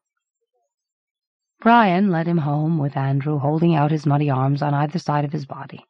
In the bathroom, he waited for his father to undress him. Can't you even do that for yourself? Brian growled, embarrassed by having to touch the boy's pale skin, his penis that was shrinking back into his scrotum as if it didn't want to be seen. He needn't feel guilty, he told himself. June was embarrassed now, too, whenever she saw the boy naked. He ignored Andrew's protests that the bath was too hot, hauled him out when the boy lay there, saying that his fingertips looked like raisins, and eventually got him dry and dressed and back to the shop. June raised her eyes heavenward. Where are the clothes you were wearing? What have you been up to now? Someone kicked a ball at him, and he fell down, love. His clothes are in the washer. He's got to get dirty sometimes if he's going to be a proper boy. You're no better. Look at your shoes. You don't have to roll in the mud to prove you're men, do you? June was smiling wryly. Never mind, Andrew. At least there are some decent children for you to play with now, not like the ones who always tease you. I'd rather play with you and Daddy. Would you? June hugged him. Then we will. It's about time we were more of a family. I'm glad you care more for us than for your so-called friends at the bookshop. I think they've been pretty good friends to us all, Brian intervened. Oh, do you? Well, I'll tell you what I think. She checked herself. But not in front of Andrew, and not while we've got a customer. A young woman was looking in the window, comparing prices. As Brian hurried Andrew into the storeroom, she came into the shop, and Brian caught a glimpse of her. Large breasts, long, bare, sun-tanned arms and legs. Broke my flask this morning, she told June. I'll take that green one in the window. You can count these for me, son, Brian murmured, opening a carton of bootlaces. He heard June say, Have you walked far? Ten miles this morning. Hey, don't think me rude, but don't go putting any of those stickers on my flask, will you? If God wants me to carry his advertising, he'll have to pay me. I didn't think we had towns like this in England. God in every window. It's a pity there aren't a few more towns like this. Haven't you any time at all for God? I've just walked away from that and my parents, told them I was going walking for a fortnight, and they mustn't ask me where. What do you call this town, anyway? Moonwell. Can't say I've heard of it. Must have overlooked it on the map. Thanks for the flask. Listen, I hope I didn't offend you with my big mouth. I don't matter. It's God you should worry about, and yourself, and you should think of your parents. At least let them know where you are. It isn't that simple, the young woman said, and Brian heard her striding away from the counter, her haversack jiggling. He imagined her bottom swaying in the tight denim shorts, her pert face that he'd glimpsed, her wide, moist lips. His penis had hardened as soon as she'd mentioned her big mouth. What's wrong, Daddy? Andrew said. Brian opened his eyes, quieted his breathing, and suddenly saw his chance. He had to take it, had to escape the room that had grown hot and stifling. I've dropped some money down by the football field, he said, and as soon as he heard the shop door close, went out to tell June. The young woman was turning the corner of Moorland Lane as he came out of the shop. She was going straight up to the moor then, not following the main road. Realizing where she was going excited him, though he couldn't have said why. He strolled along casually to Moorland Lane, and as soon as she was out of sight on the path the side street led to, he paced to the end to wait until she reached the moor. A loose stone came rattling down the slope as she climbed over the edge. Brian glanced along the terraces of cottages before stepping onto the path. Nobody was about, and the street was still deserted when he reached the top. He poked his head over the edge. The young woman was striding along the path that would take her past the cave. She was alone on the moor, or thought she was. Nobody would see or hear. Nobody would, because Brian wasn't going to do anything, only imagine what he could do. Your thoughts were your own, whatever Godwin Mann might say. Brian felt as if they were the only place he could hide and be himself. Nobody would see if he crept up behind her, unheard because of the blustering wind. He could imagine how she would struggle, how hard it would be to pin her muscular limbs. It occurred to him that all the excitement had gone out of his marriage once June always gave in to him. As soon as the young woman was out of sight, Brian scurried across the moor. Nothing grew now between the edge where the path climbed over and the stone that surrounded the cave. Here and there charred stubs of heather stuck up from the oily black ash that squeaked underfoot. He couldn't do anything to her, he realized, because Godwin Mann came to the cave to pray every afternoon about now. All the same, he trod quietly as he paced up to the rim of the stone bowl. The young woman was squatting at the edge of the pothole and shading her eyes to peer down. There was no sign of Godwin Mann. The sight of her, alone there at the edge of the dark, made Brian's heart pound. The wind had dropped, and he felt as if he were at the exact center of a silence as motionless and chill and deep as the cave. He felt as if the silence were seeping into him, emptying him of himself. He'd begun to move his limbs stealthily, for what purpose he no longer knew, when the ash caught in his throat. The instant he coughed, he knew what was going to happen. He lurched forward into the bowl, desperate to prevent it if he could. The young woman glanced up at the sound of his cough and made to get up as she saw him coming. She blinked, frowned, jerked her head back, her wide mouth stiffening. She was shoving herself to her feet, away from the rim, when her feet slipped and she fell. He hadn't even time to stretch out his hands uselessly toward her. One moment she was on the edge, the next the stone was bare. Her scream plummeted into the dark and was cut short by a thud. After that there was silence, except for the sound of a heavy object sliding further downward amid a shrill rattling of stones. Brian had to force himself to go to the edge. He was terrified of falling after her. Eventually he crawled to the rim of the cave on hands and knees, feeling as if once he got there he wouldn't be able to crawl back. Silence and darkness filled the shaft, as if she had never been there at all. For a moment he thought he heard an object being dragged away somewhere, but that couldn't be below him, even if that was how it sounded. He scrabbled backward from the edge and was halfway up the bowl before he dared to stumble to his feet. He turned away, sickened by the sight of the empty stone throat, and ran toward Moonwell. He hadn't meant to harm her. She shouldn't have put herself in danger. All he'd wanted was but he couldn't think now what he wanted. She must have been killed instantly, like the sheep. But he ran to the police station in case there was a chance she was alive. I think someone's fallen in the cave, he panted. The sergeant at the front desk of the small limestone building near the square reached for the pen behind his inky ear. How long ago? How sure are you?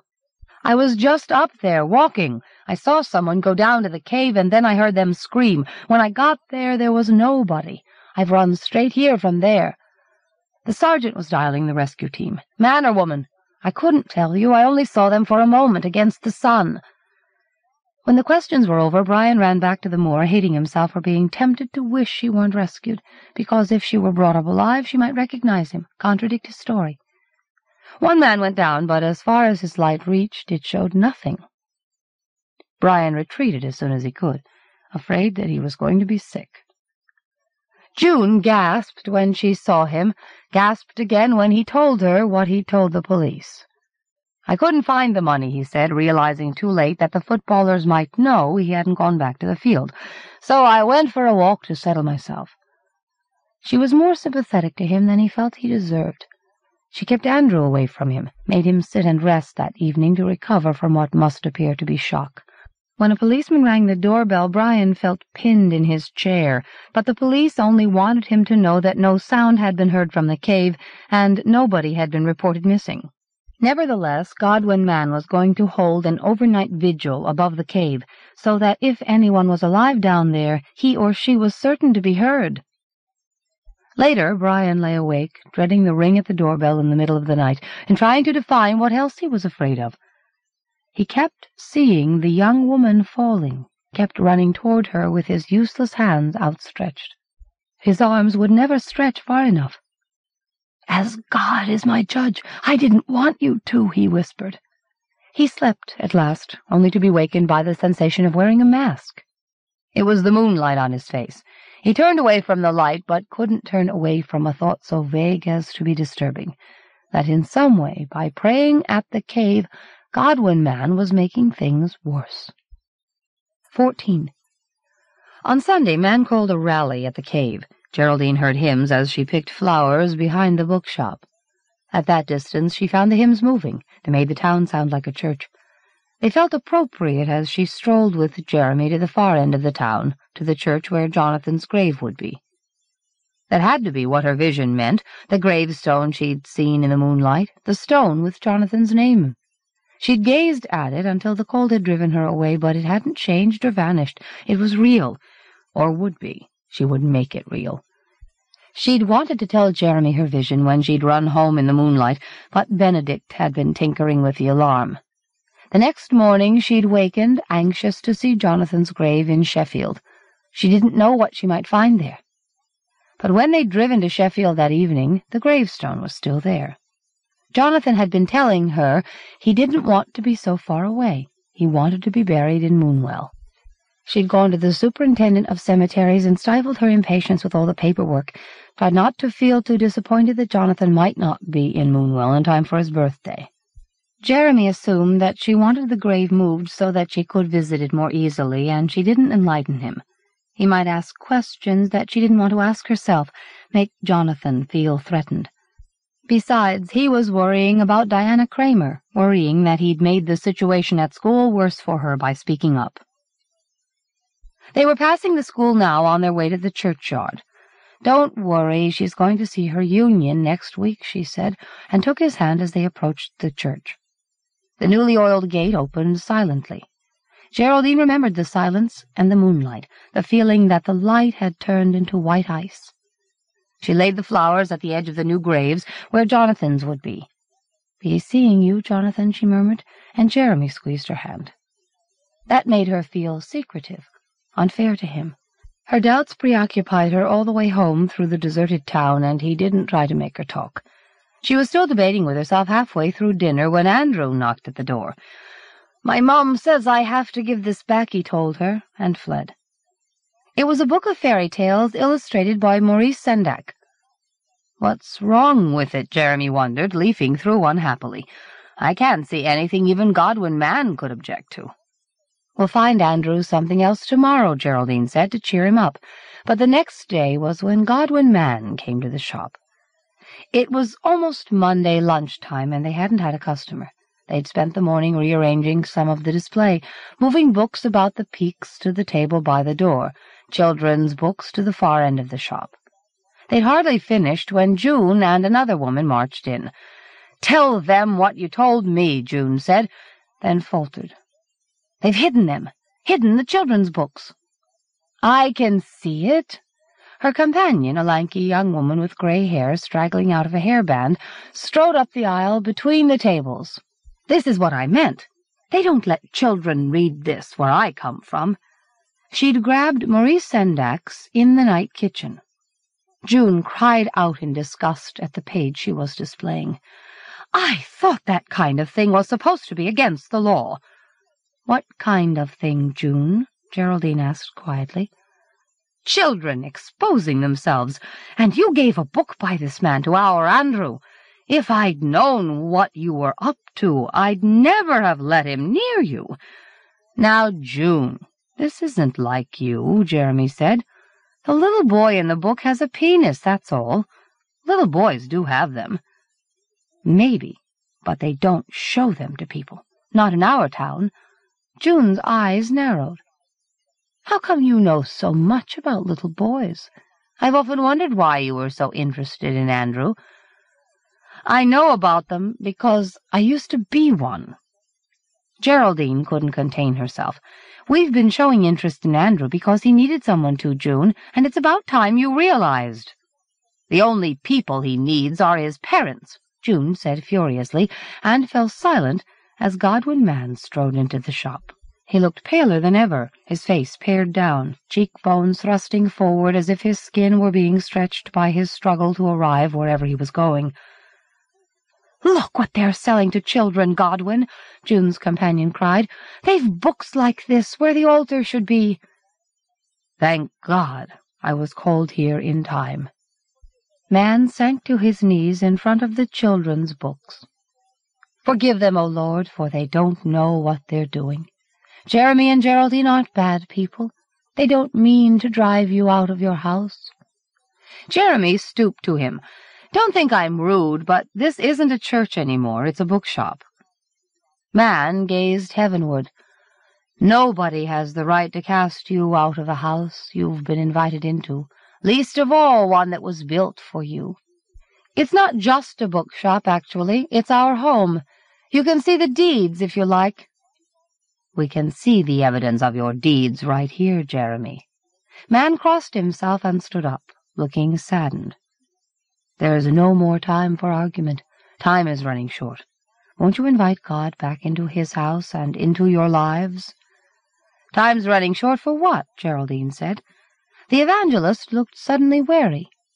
I should like to tell you, but not until you've asked God back into his house.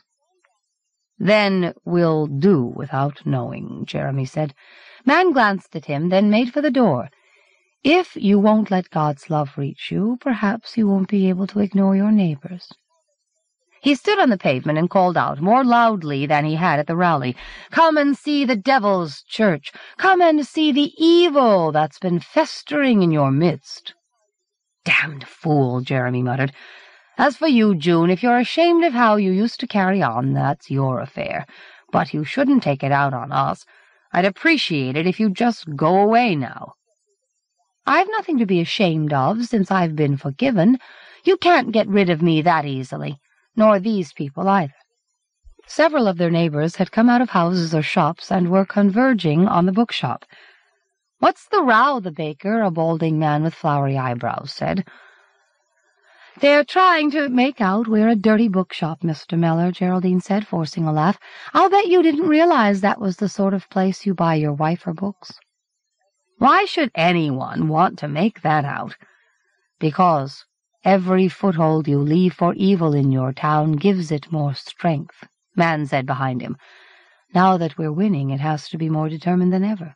Why else do you think there was a fire on the moor? June brought Mr. Miller the Sendak picture book.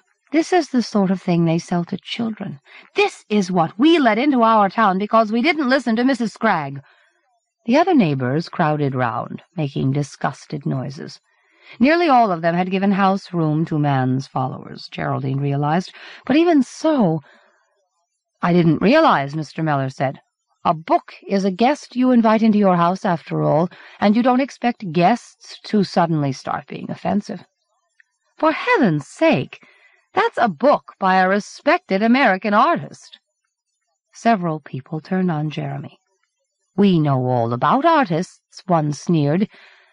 Jeremy moved quickly to intercept Mann, who was stalking toward the children's books. What are you up to now? Ask yourself what Christ would have done if he'd found such things being sold in the temple. You lay a finger on those books unless you mean to buy them, and you'll find yourself leaving very suddenly. All the neighbors except Mr. Miller ran to Mann's aid. Don't you dare touch him, screeched the woman from the wool shop. He's a man of God. Mann held up one hand. Thank you, my friends, but violence won't be necessary. I think I may be able to shame Jeremy and Geraldine into realizing what they've been doing. He strode off to the Christian shop. Mr. Mellor blinked uneasily at the others, then sidled out, back to the bakery. June went to scrutinize the shelves, and the others joined her. So long as you mean to buy something, Jeremy said. But even when he repeated it, they ignored him. They were still pawing at the shelves when Mann came back. He marched straight to the children's books and seized the copies of In the Night Kitchen. And I see Lolita and some drug books over there. If there's anything else that your town doesn't need, just show me where it is. Put those down and get out of here, Jeremy said in a quiet, stiff voice, or I'll call the police. They'd think that pretty strange, you calling them because someone was buying your books. Here's fifty pounds to start with, and if we go over that, just tell me. He slapped the notes down on the children's table and set off to search. Soon all his helpers were carrying piles of books.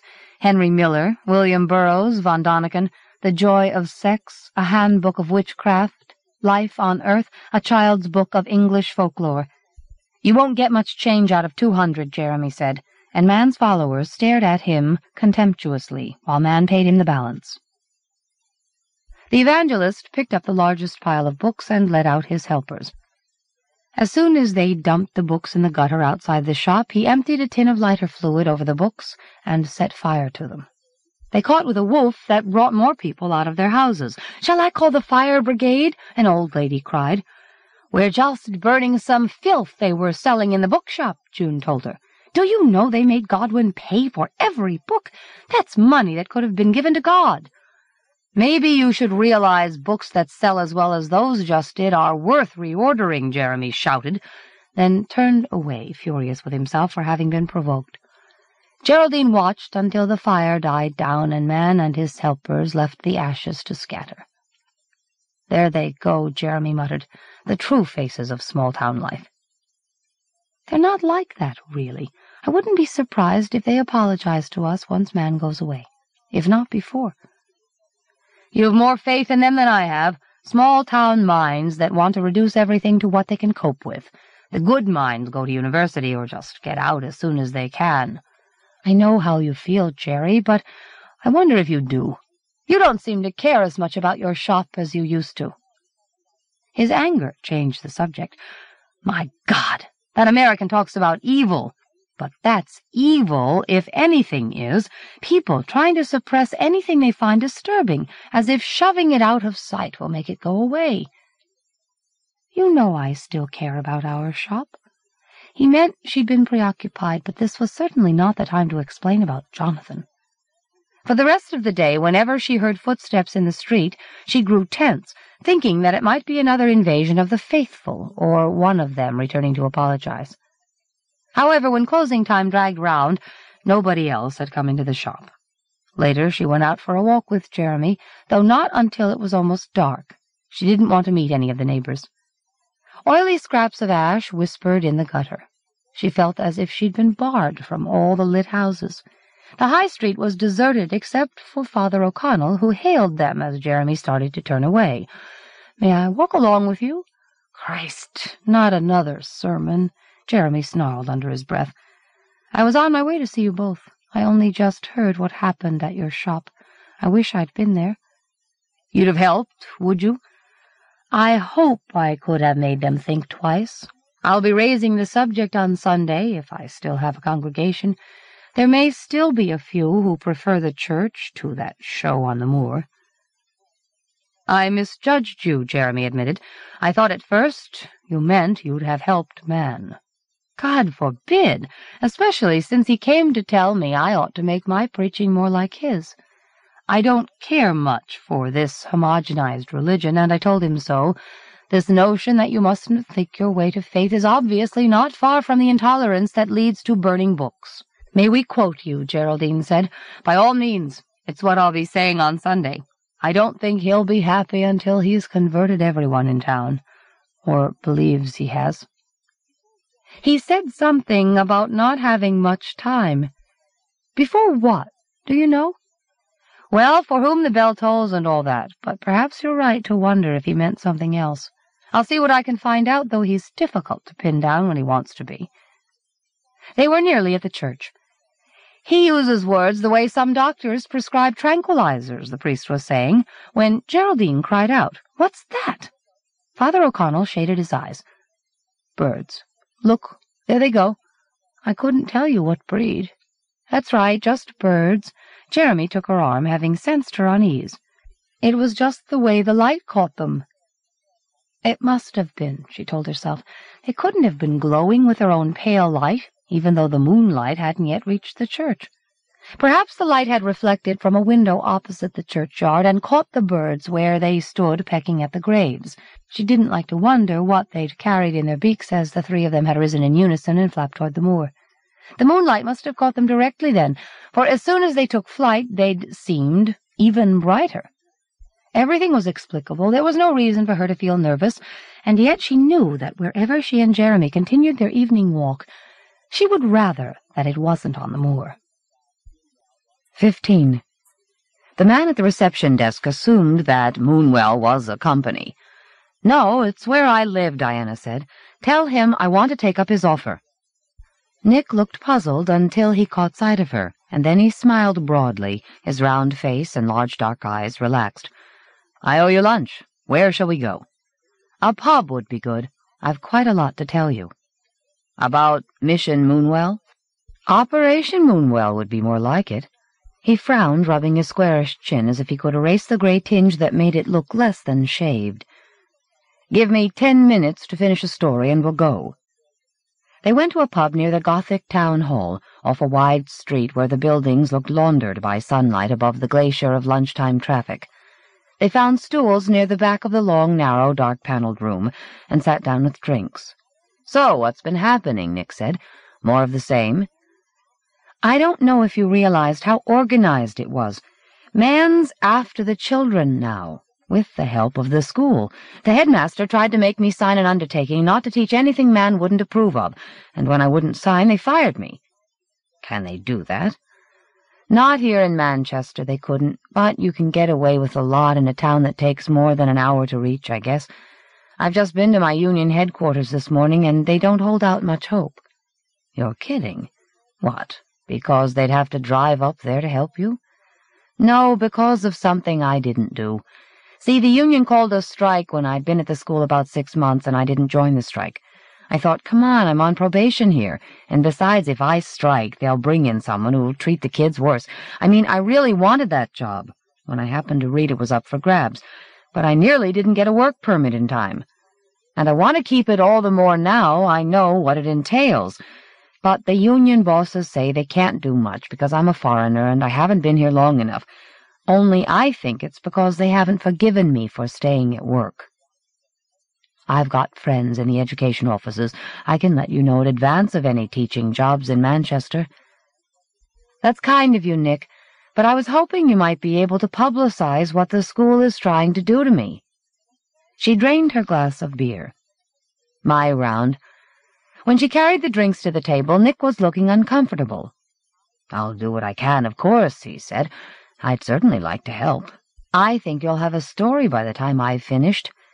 She told him about Eustace Gift's show, the book burning, Father O'Connell's doubts. And now Mann's going from house to house, so nobody can sit on the fence. I told you it was systematic. The priest said he was willing to be quoted, did he? That may be the clincher. Let's eat, and then I'll talk to my editor. She waited in the lobby of the newspaper building fifteen minutes before he reappeared. She jumped up, her mock-leather chair reflating. Do you need me? Diana, I'm really sorry. Not to say embarrassed. I didn't have much success. Maybe I should talk to him. I'd take you up if I thought it would do any good. You see, I did a series on Billy Graham and the rest of this fundamentalist backlash last year, and my editor's taking the line that it's last year's news. Doesn't seem to see it's getting worse. He did raise an eyebrow when I mentioned your priest, though. Listen, are you free for dinner? I owe you more of an explanation, but I'd rather not go into it here. You needn't feel you owe me, Diana said gently. Well, anyway, I'd like to buy you dinner. I finish work at six. We'll decide who pays when they bring us the check. I still need to go to the library. But in the high-domed reading room, where she had to apply at the desk for any book she wanted, there seemed to be no information that she needed, nothing to give her an insight into Mann's obsession with the cave. Indeed, she could find very few references to Moonwell. Then, as she leafed through the catalogue again more studiedly, she found an author's name she knew. The subject entry was for Lutudarum, the book proved to be an updated yellowing pamphlet bound in plastic by the library. It was an essay about a lost Roman lead mine, which the writer located on a sketch map showing Lutudarum where Diana would have looked for Moonwell. The writer's name was Nathaniel Needham. I should have thought of him, she told Nick over dinner in Chinatown. He lives on the moors. If anyone but Mann knows what's supposed to be so important about the cave, he should assuming it means much to anyone but Mann. This whole idea of a deep, dark, evil well sounds pretty Freudian, don't you think? Her quick smile faded. I think there's more to it. There are certainly enough stories about the cave. Not about Mann, though, I'm afraid. At least none he doesn't tell himself. His father's real name was Maniple, and I don't blame anyone for changing that. So tell me why you're having problems at the paper. Do you ever hear Radio Freedom? No, the evangelical station blots it out in your area. It's a pirate radio station I used to broadcast on. Say things the paper wouldn't let me say. Only when I came back from your town, I couldn't have disguised my voice enough, because my editor realized who I was. Oh, shit. He put it rather more strongly. I'm lucky still to be working there, I can tell you. And then the woman who runs Radio Freedom said I should broadcast who I was and work for the station if I cared about the truth, and that was the end of quite a good relationship, and maybe of my chance to help you. Do keep in mind what I said about finding you a job. I ought to take you up on that, shouldn't I? I ought to get out of Moonwell since the parents have got what they seem to want. He looked taken aback by her sudden bitterness. Is it really that bad? Nick, when I started teaching at that school, the kids were terrified of me because they thought I'd be like the other teachers. Is that bad? And when you weren't, they started getting out of hand, I imagine. Sure, until they saw I wasn't going to hit them or send them to the headmaster for a caning. We didn't cane kids in New York. We don't need to do it here. It really pisses me off to hear parents saying it never did them any harm. I think people forget how it was for them at a school like that. Otherwise, they couldn't bear to send their children and they're scared to be singled out as troublemakers. Even now they're grown up. The kind of fear Mann plays on. That's another thing that worries me. My kids won't say they believe his scare stories if they don't, and I'm afraid he or his followers may start some crap about how the kids are against him. Nick drew a deep breath and stood up. I may not be broadcasting any more, but I can still give Radio Freedom the story. Let me call Julia now. He came back looking frustrated. I can't get through. I'll try again in a few minutes. Julia may want to run an interview with you. Don't let your meal get cold. Nick, I think it'd be best if I don't go on the air. We both of us know what I really ought to do. Do we? Nick said doubtfully. Sure, I ought to go back to the school and sign the son of a bitch of a form so that at least I'll be there to look after my kids. Saying it made her feel even more certain, made her instincts feel as keen as they had the night they'd wakened her with a glimpse of the airplane. This time she wouldn't fail them, she promised herself. After dinner, Nick suggested coffee at his apartment, but she was afraid that a sudden mist might wipe out the road back to Moonwell. She knew that if she went home with Nick, she might end up spending the night with him. In other circumstances, she might have wanted that as much as she sensed he did.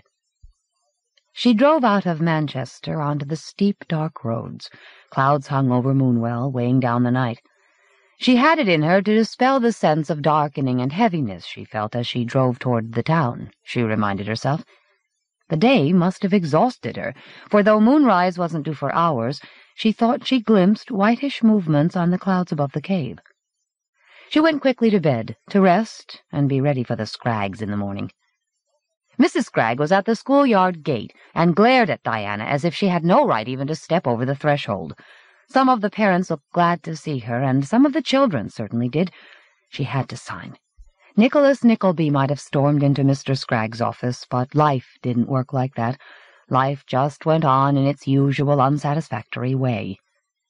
She hurried into the school and knocked on Mr. Scragg's door. The headmaster stared blankly at her. I'm sorry I was hasty when you asked me to sign that disclaimer, she said, managing to smile. I'll sign it now, if I may. I'm glad you listened to your conscience. I hope you'll find it is its own reward. He began to shuffle papers on his desk. But as far as your job is concerned, I'm afraid you've changed your mind too late. The post has already been filled by two of our new friends, who don't even want to be paid. 16. Andrew's head felt big and aching, his nose and eyes stuffed with tears. But you said I could last year, he whined. Said it was good for me. Well, we were wrong. His mother stuck out her hand for a close peg from the bag he was holding, a canvas bag with a little girl holding a handful of pegs stitched on it. I've said no, and that's all there is to it. But it's at the church. Father O'Connell doesn't mind. There's too many things he doesn't mind when he's supposed to be a man of God. You're not to go near the church without me or your father, do you hear? You're not to have anything to do with Mrs. Wainwright or dressing the cave. But you promised you and Daddy would come and see me doing it this year. I was wrong. Can't you understand? God sent Godwin Mann to show us where we'd gone wrong. Give the bag here if you're going to be stupid. I'll get the peg myself. As she grabbed the bag, she dropped her armful of washing on the lawn. Now look what you've made me do, you little devil! Just you kneel down and ask God for forgiveness. Grass blades poked Andrew's bare knees. Please, God, forgive me, he muttered, and had to repeat what his mother said, for being such a trial to my father and mother. Now go up to your room and close the door, his mother said, and don't come down till you're worth knowing. Andrew felt as if that might be never. He stumbled to his feet, glancing nervously about in case anyone had heard him confessing, and saw his father in the kitchen watching him. His father looked away quickly, as if the fat gray sky meant something to him. "'Just you read that story about how to obey your parents!' Andrew's mother cried. Andrew sat on his bed and stared at his room that no longer felt much like his. The bareness seemed chilling now that he couldn't have Maurice Sendak posters on the walls. He wasn't allowed to see Geraldine or Jeremy or even Miss Kramer now that she wasn't at the school, and he didn't want to play with the new children his mother liked so much, who made him feel he hadn't confessed enough. He felt even clumsier and more of an embarrassment to his parents than ever. He began to tear the pamphlet about Abraham and Isaac, tiny pieces from the edges of the pages. He didn't dare hate God, but he hated Godwin Mann. His mother hadn't really changed, except for talking so much about God. But his father had changed somehow since Godwin Mann had come to town. Andrew didn't want to think how. He couldn't help flinching when his father came into the room. Don't do that, son. His father collected the torn scraps of paper and flushed them down the toilet beneath the plaque that said, God loves you. Put that away before your mother sees what you've done to it, and we'll go out for a bit.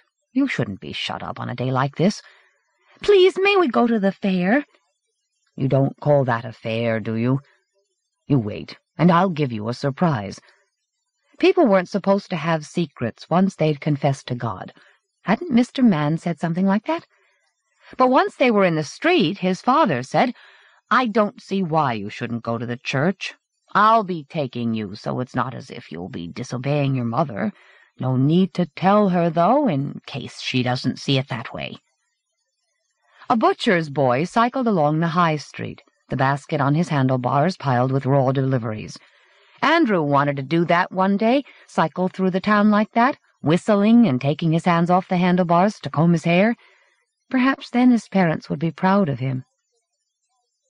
If he wouldn't be disobeying his mother, why couldn't he tell her so that she would come and admire his bit of the cave dressing? Sometimes thinking felt like trying to lift a weight that just grew heavier, especially when people were impatient with him. He was trying to put words straight in his head so as to ask his father in a way that wouldn't make him angry when they came abreast of Roman Row. I'd better check with Mrs. Wainwright that someone's at the church, his father said. Mrs. Wainwright was trimming the vines on the arch above her gate. Andrew ran to her, then faltered, for she looked as if she wanted to cry. I'm sorry, Andrew, she said, staring at the vines. We won't be dressing the cave this year. Andrew's father caught up with him. Why not? I thought you were going ahead anyway. There won't be enough people. Her eyes were so bright and blank they made Andrew's ache. Anyway, I've more to worry me than dressing the cave, but I can't talk about it in front of the boy. The cave doesn't matter now. It does matter, Andrew blurted as she turned awkwardly and almost ran into her house. Her door slammed, and he saw that her next-door neighbor, a toothless old woman with a mustache, had been standing hands on hips in her front doorway. Good riddance to her. The less we see of her, the better, she mumbled loudly, working her lips over each other between phrases. Why, what's happened? Andrew's father demanded. Haven't you heard? She lost a baby last night. And do you know why? Because the mother wouldn't have her sort in the room. I won't have my baby delivered by that godless woman. That's what I was told, she said. You'd think a midwife would have knelt down by the bed if it was that or lose a baby. But not Mrs. High and Mighty Wainwright.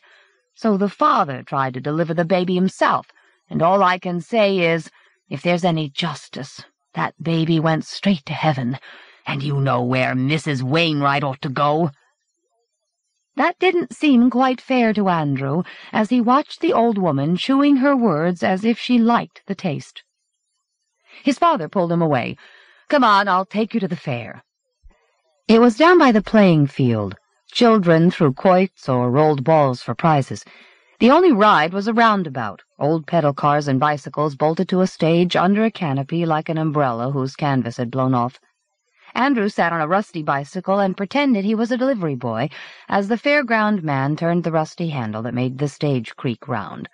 Look at me, Dad, he shouted every time his father went by, because every time his father was staring at the sunless sky above the moors, as if it meant something to him, or he wished he were somewhere else. The fair didn't make up for his not being able to help Mrs. Wainwright. When they went home, he could tell that his mother sensed he was still disappointed, for she let him say grace before dinner. All too soon, long before dark, it was time for bed.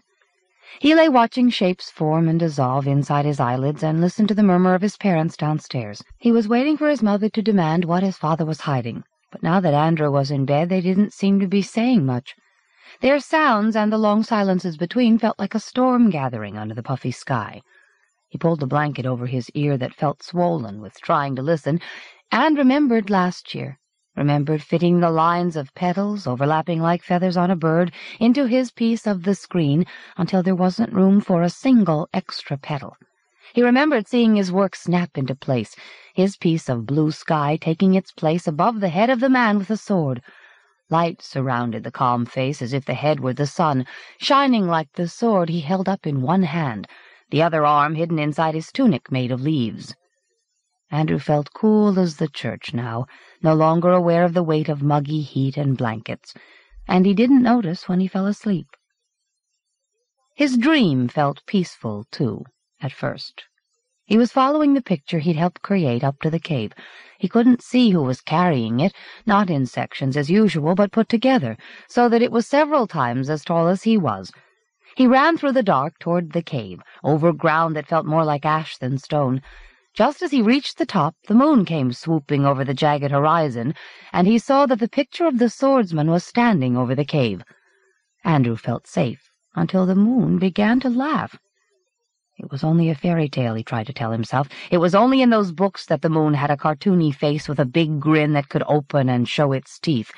But it was laughing at the way the swordsman was tottering drunkenly at the edge of the cave, as if he'd been moved too close. He was only a picture, Andrew told himself, and Mrs. Wainwright had said he didn't matter. The swordsman fell forward into the yawning dark, and Andrew heard him scream as he'd never heard anyone scream in his life. Andrew lurched awake and almost screamed himself at the tarry dark. He struggled out of bed, stumbled toward the landing. Whoever he woke up would shout at him, but he couldn't bear to be alone with the dream. He inched open the door of his parents' room, and then he halted, gaping at the white statue that lay next to his mother in the bed. The moon was shining directly on his father's face. He looked as if he were bathing in the light, soaking it up.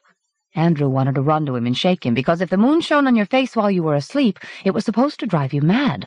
His mother had told him that was just a story, but she always drew his curtains tight when there was going to be a moon. He would have cried out to her now, except he was growing afraid of seeing his father's eyes open, full of moonlight. Then his father's face writhed into an expression Andrew wouldn't have dreamed it could wear, and he fled back to his bedroom, hid in bed. His father must be having a nightmare. Only mightn't you look as terrified as that, if you were going mad? What would his father do then? Something worse than the way men at football games screamed at one another, worse than making Andrew's mother sound as if he was hurting her when they thought Andrew was asleep. Andrew hadn't heard her make those noises since Mr. Mann had come to Moonwell, but now the waiting silence made him more nervous than the noises had. He ground his knuckles into his ears. His mother always told him in the summer that he'd better be asleep before it was dark. Now he felt as if he was finding out why, finding out that everything changed for the worse. He couldn't bear waiting, couldn't bear not knowing what was happening in his parents' room but when he made himself get out of bed and tiptoe back across the landing to ease their door open, he almost screamed. His father wasn't in the bed. His mother was still huddled in the blankets, her back to the moon. As Andrew tried to nerve himself to wake her, he heard the front door close quietly. Suddenly, he could move. He tiptoed across his parents' bedroom, knowing instinctively that he wouldn't bump into anything, and peered into the thin moonlight. His father was across the main road and loping up the nearest side street that led to the moors. At once Andrew knew that his father had meant to leave him at the church and go wherever he was going now. Andrew wouldn't have been able to tell his mother without giving himself away. He backed out of the room and managed to close the door with his stiff, shaky hands. If his mother found out what was happening to his father, whatever it was, she might make it worse. Andrew dressed quickly and crept downstairs put the door on the latch, and slipped out of the house. His body heat seemed to flood out of the top of his head toward the cloudless sky. As he dodged across the high street, the clock above the assembly room struck two. He ran along the side street and up the zigzag path, both exhilarated to be out so late and afraid of what he might see when he caught up with his father. At the top of the path he poked his head gingerly over the edge. His father was loping toward the cave, Ash softening his tread under the waning moon that made Andrew blink. As Andrew ran after him, the boy couldn't hear himself. Running on the moon must be like this, running in silence, hardly feeling your own footsteps. His father was at the rim that surrounded the cave, and Andrew threw himself face down in the ash, because his father was pacing round the rim to a point almost opposite him but his father was too intent on whatever was beyond the rim to notice Andrew. Though he felt exposed by the moonlight and the charred landscape, Andrew began to crawl through the ash. He crawled until he was almost abreast of his father, just able to see him by raising his head. He hid his face in his hands to clear his throat, and when he looked up again, his father had gone over the rim. Suddenly terrified that he meant to throw himself into the cave, Andrew scrambled up to the edge. The moon was almost overhead. It glared into the stone bowl and made the lip of the cave appear to glow. Beyond that, the cave looked as black and deep as the sky. Halfway between the cave and the edge of the bowl, one of Mr. Mann's helpers was kneeling, fingers interlocked, eyes closed. He must be guarding the cave, Andrew thought. Behind him, so stealthily Andrew couldn't see him move, Andrew's father came creeping. His face was a smooth, luminous white mask. His shadow inched in front of him, as silent as he was. The praying man must see it if he opened his eyes, but no, the shadow was directly behind him, touching him now. Suppose he felt it and turned. Andrew was as terrified for his father, terrified that his father would be found out, as he was of seeing what would happen when his father reached the man. His father was inches short of the man when he heard something. His mask-like face lifted in the moonlight. Andrew thought of a dog pricking up its ears. His father began to back stealthily away, up the bowl, and Andrew fled back to his place in the ash. On his way, he saw another of Mr. Mann's helpers hurrying across the moor. The newcomer passed within a few yards of Andrew without noticing him. I'm sorry I overslept, he called down toward the cave. Andrew's father was already out of sight along the other path, the long way back to Moonwell. Andrew ran home as soon as the newcomer was in the stone bowl, ran slapping himself to dust off the ash, slapping harder to stop his thoughts.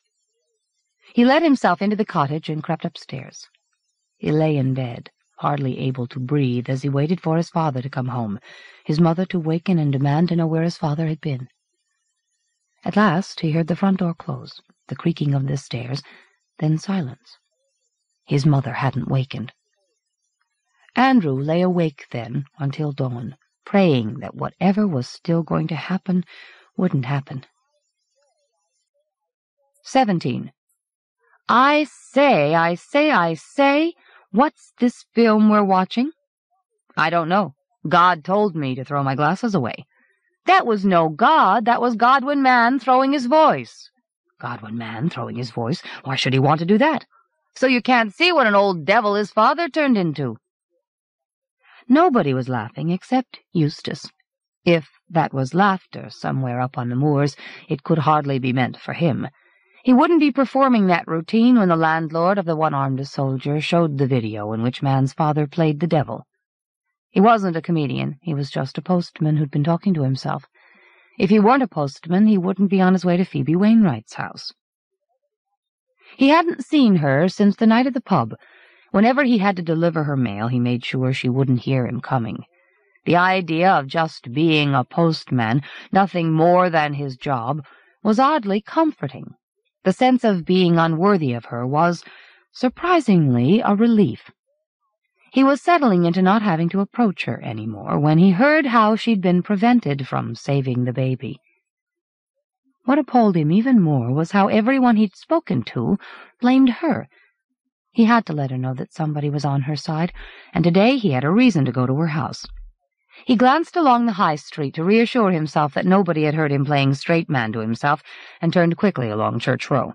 He had a letter for her that had been posted locally, and a childbirth magazine that was too bulky to go through her letterbox. He stepped under the viney arch and tried to think of a joke to cheer her up, something about the magazine in case the sight of it upset her. They mustn't have heard that God doesn't want you to deliver any more babies, he thought, and rang the doorbell. When she peered through the front room window, he was shocked to see how slack her face was. Cheering her up would be more of a task than he'd thought he realized, and then he heard his headphone voice delivering the tasteless, insensitive joke he was planning to offer her. He tried frantically to think of something else to say as she opened the door. All he could think of were jokes even more tasteless than the one he'd suppressed, and he was terrified that they would spill out if he opened his mouth. She was gazing at him, not so much patiently as indifferently, while he fumbled in his bag as though he might have more for her. He thrust the letter and the magazine at her. For you, he mumbled, as if they were presents. Her face turned blanker still as she glanced at the magazine and stuffed it under one arm. Now she was tearing the envelope open with one plump thumb. She must want him to speak, otherwise she would have closed the door. I heard what happened the other night, he blurted, and floundered on. They won't let either of us do what we do best, will they? Maybe they just can't stand creative people. When she looked up from the single page she'd unfolded, he wished he'd made one of his jokes instead. It was a joke, of course, a joke at his expense. Sorry, he babbled. Nothing worse than a comedian trying to be serious, except I'm not much of a comedian, as you're painfully aware. She must be wondering if he would ever stop. Trapped with his own headphone voice, he wondered that himself. He gulped himself silent, and she began suddenly to blink, more and more rapidly. For a moment he thought she might hide her face against his shoulder, and then he found himself staring at the closed front door. Her letter came seesawing through the air to his feet. He picked it up and rang the bell without thinking. In the seconds before she flung the door open, he saw what the letter said. The message, written in large anonymous capitals, said, Leave our town before you kill more children. Phoebe snatched it from his hand. Can't any of you leave me alone? If I throw myself down the cave, will that make up for the baby? she cried, and slammed the door. He reached wildly for the doorbell, but turned away instead. Whatever he said would only make things worse. He saw himself handing her the letter for the second time, the third, the fourth. He couldn't even survive that by making it into a joke at his own expense. There was nobody to whom he could tell the joke. He finished his deliveries and tramped home, speaking to nobody. No, he didn't want to speak to Eric at the pub. What on earth would Eric be achieving by showing the film with Mann's father? It was nothing but defiance. So trivial it was like accepting that the town was Mann's now. Eustace stalked into his cottage and locked himself in with his rage at himself. He had only just dropped his post-bag beside the sofa when someone knocked at the front door. It was the dressmaker who lived three cottages away. She squinted at him through the smoke of the cigarette in one corner of her mouth. "Well, Mr. Gift," she said, the cigarette jerking, "you've been keeping well out of our way, haven't you?" "Where's your friend? In your pocket? Up your arse?" But all he said was, "I've just been doing my job." "So long as that's all you've been up to." She slapped her breasts vigorously to dislodge a worm of ash. Well, are we going to see you up there on Sunday? He felt close to laughter, or something more violent. Someone like her had sent Phoebe the letter. I don't think you'd want to see me, he muttered. Oh, yes, we would, my lad. Do you know you're the only one in the street who wasn't up there last Sunday? You're not going to say we're all deluded, are you? I'm not going to say that, no. I should think not, too. Do you know that every single person in both of the next streets was up there? Just you make sure you are on Sunday. We don't want our street shown up. She trod on her cigarette and peered at him. You aren't scared to go, are you? No need to be. We all know what you have to confess. Do yourself some good for a change. It doesn't seem to have changed you. Now, if you'll excuse me, Eustace said, and closed the door while I play with myself, or get ready for a black mass, or stick pins in my Godwin Mann doll. His urge to laugh went out with the words, leaving him more furious than ever. He went back to the sofa and watched the dressmaker stump away down his path, and suddenly he had to force himself to sit down rather than chase after her, grab her, drag her, where he didn't know. Somewhere he was almost sure he heard laughter deep and hollow, growing. 18. Priest defends sex books, the headline said. Given the lack of detail in the report, you might well assume that the bookshop was a sex shop. The name of the town, a small town near Sheffield, was apparently Moonwall. It wasn't Nick's fault, Diana told herself. He'd done his best, and now she must do better. She dropped the newspaper on the hall table and stepped out of her cottage. The afternoon was grey and muggy. Diana's thin dress clung to her as she made for the hotel. The round-shouldered man at reception, who wore a Sacred Heart badge in his lapel, referred her to one of Mann's helpers when she asked for Mann. "'If you need counseling, perhaps I can help,' the young, wide-eyed, smiling woman said. "'Godwin is resting just now.' "'I thought he was available to anyone who wants to talk to him.' Usually he is. Right now he's preparing, the young woman said, and went on quickly. Miss Kramer, isn't it? I'll tell him you were asking for him. He'll come to see you as soon as he can. Then Diana would talk to Nathaniel Needham. Indeed, that might better equip her to talk to Mann. Townsfolk watched her suspiciously as she headed for the nearest path to the moors. This morning, the woman from whom she rented the cottage had wanted to know how much longer Diana would be staying now that she had no job. For a while yet, Diana had told her, for as long as she felt the children had to be protected. It didn't matter that she'd seen parents telling their children to stay away from her. Her instincts told her she had to stay, and that must be to protect the children, even though she had a vague, uneasy notion that she was underestimating whatever she had to protect them from. She climbed on the moor and hurried across the dead ground, the ash that muffled her footsteps, and the oppressive silence that seemed to surround the cave, above which one of Mann's followers was kneeling. From the top of the slope where Needham had stood at the rally, she surveyed her route. The slopes beyond were thick with grass and heather, but there was no sign of a cottage, nor of a path. A mossy concrete slab showed her where an abandoned mine shaft was. She avoided that and trudged up the next slope, fanning herself. There was a cottage two slopes ahead. She ran down into the next hollow and made her way between the abandoned shafts left uncovered this far from town. Tussocks and heather slowed her down, grass concealed ankle-deep puddles. The silence seemed to have followed her from the cave. No bird was singing. Not until she climbed the next slope did she realize the silence was missed. In the few minutes she'd spent in the hollow, the adjacent slopes had all but vanished. A clump of trees looked like stitching on gray velvet. The mist unveiled a glimpse of the cottage a few hundred yards ahead, then wiped it out. She made for the cottage, the only landmark. At the bottom of the slope darkness lay under the grass. She avoided the dark widely wherever she saw it, even if it was only puddles. She felt as if the ground were gaping at her, opening its mouths.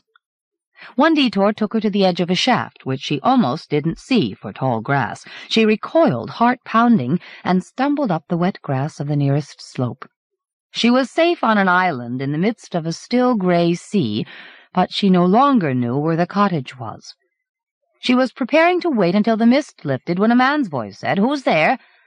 I'm lost. Can you help me? Wait there where you are. The mist fell silent, and Diana's eyes began to sting as she tried to see where the voice had come from. When it spoke again, it was farther away. If you want to be found, keep talking, it growled.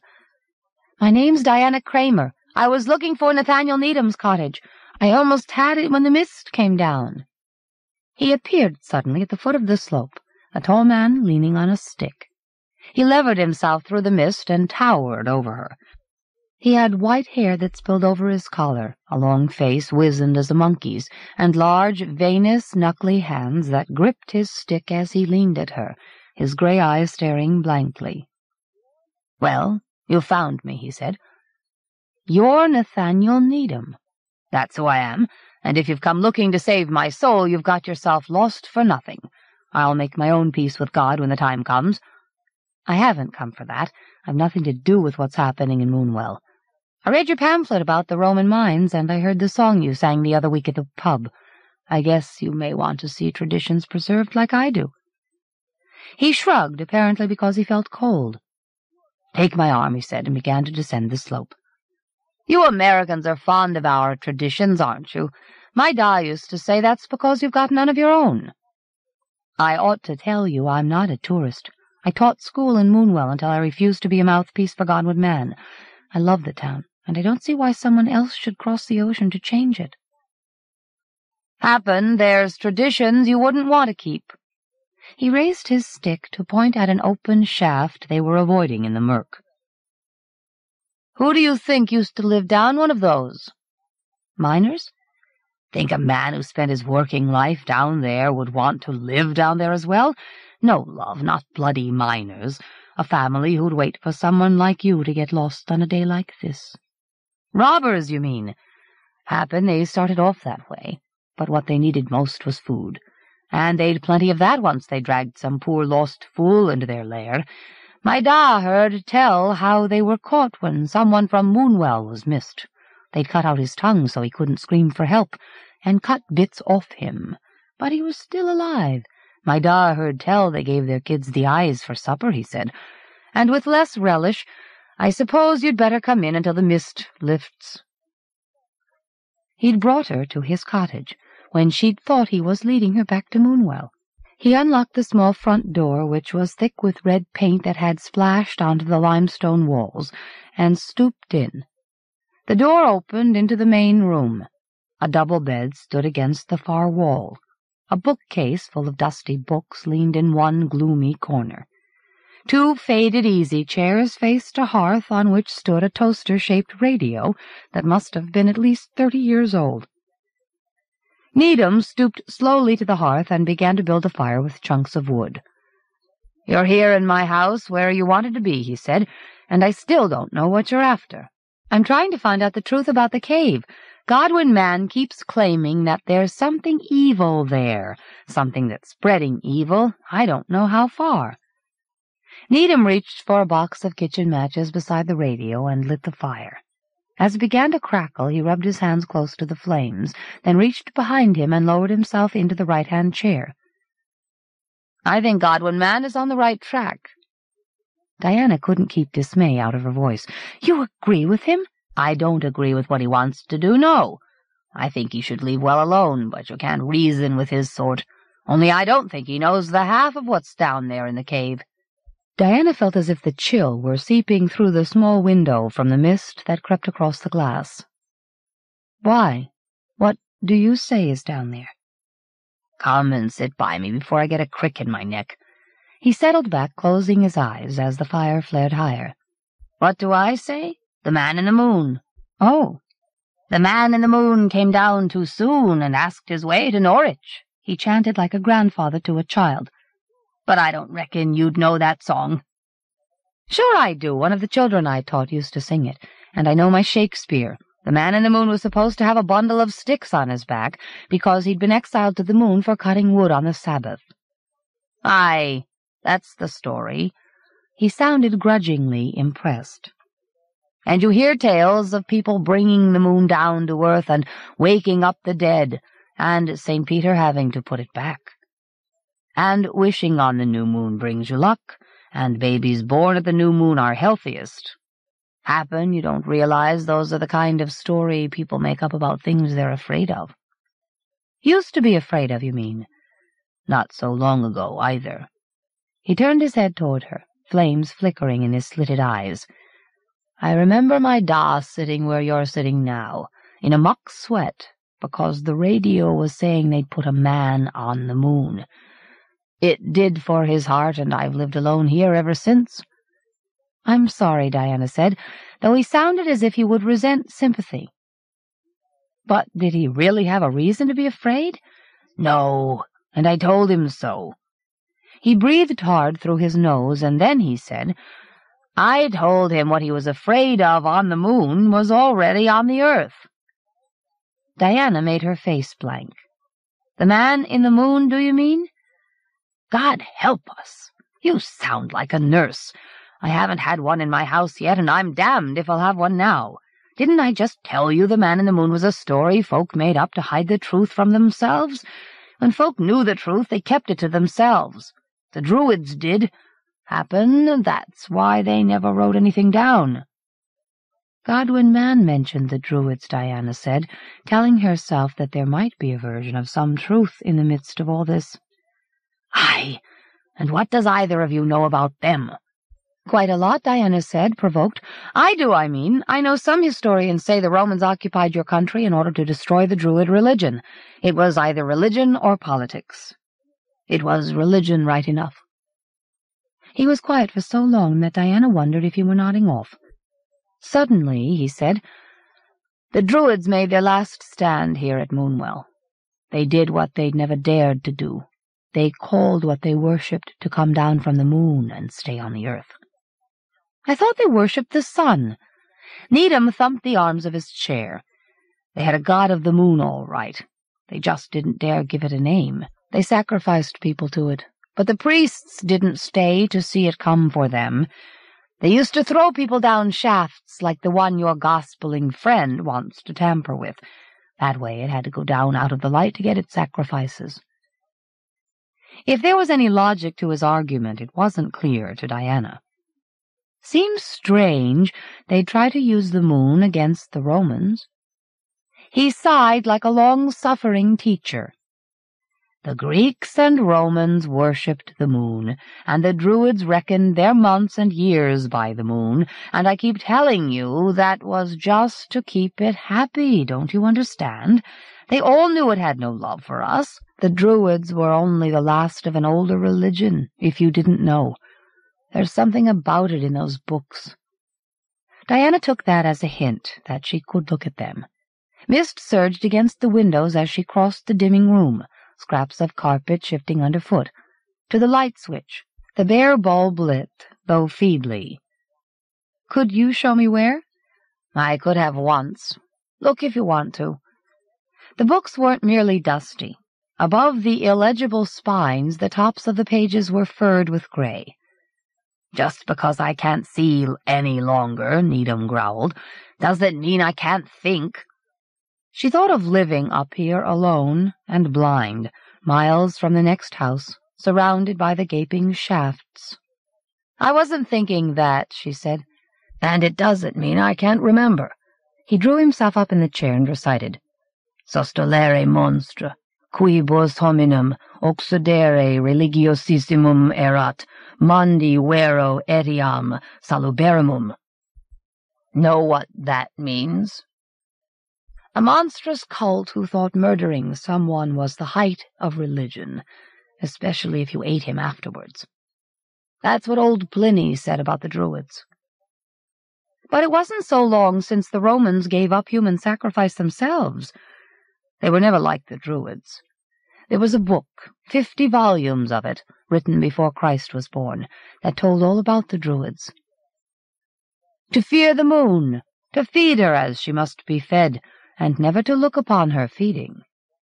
I read that somewhere, quoted out of one of those books, the thing the Druids used to believe.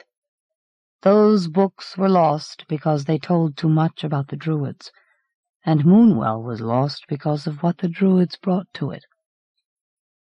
You mean its Roman name was lost? Aye. You said you'd read my pamphlet. The thought seemed to mollify him. The Romans couldn't have known this was the ideal place for the Druids to call on their god that wasn't a god but a monster. Why was it ideal, Diana asked, and then her instincts told her. She didn't need to hear him say, because we see less of the sun here than anywhere else in the country. The shapeless movements at the window were darkening. But is there really any story about the Druids using magic or whatever it was against the Romans? Diana said. He turned his head and stared at her with nothing in his eyes. Eventually he said, I'll tell you what I know, and if you don't believe it, suit yourself, but you won't like what you hear. At least she wouldn't have to touch the fattened books.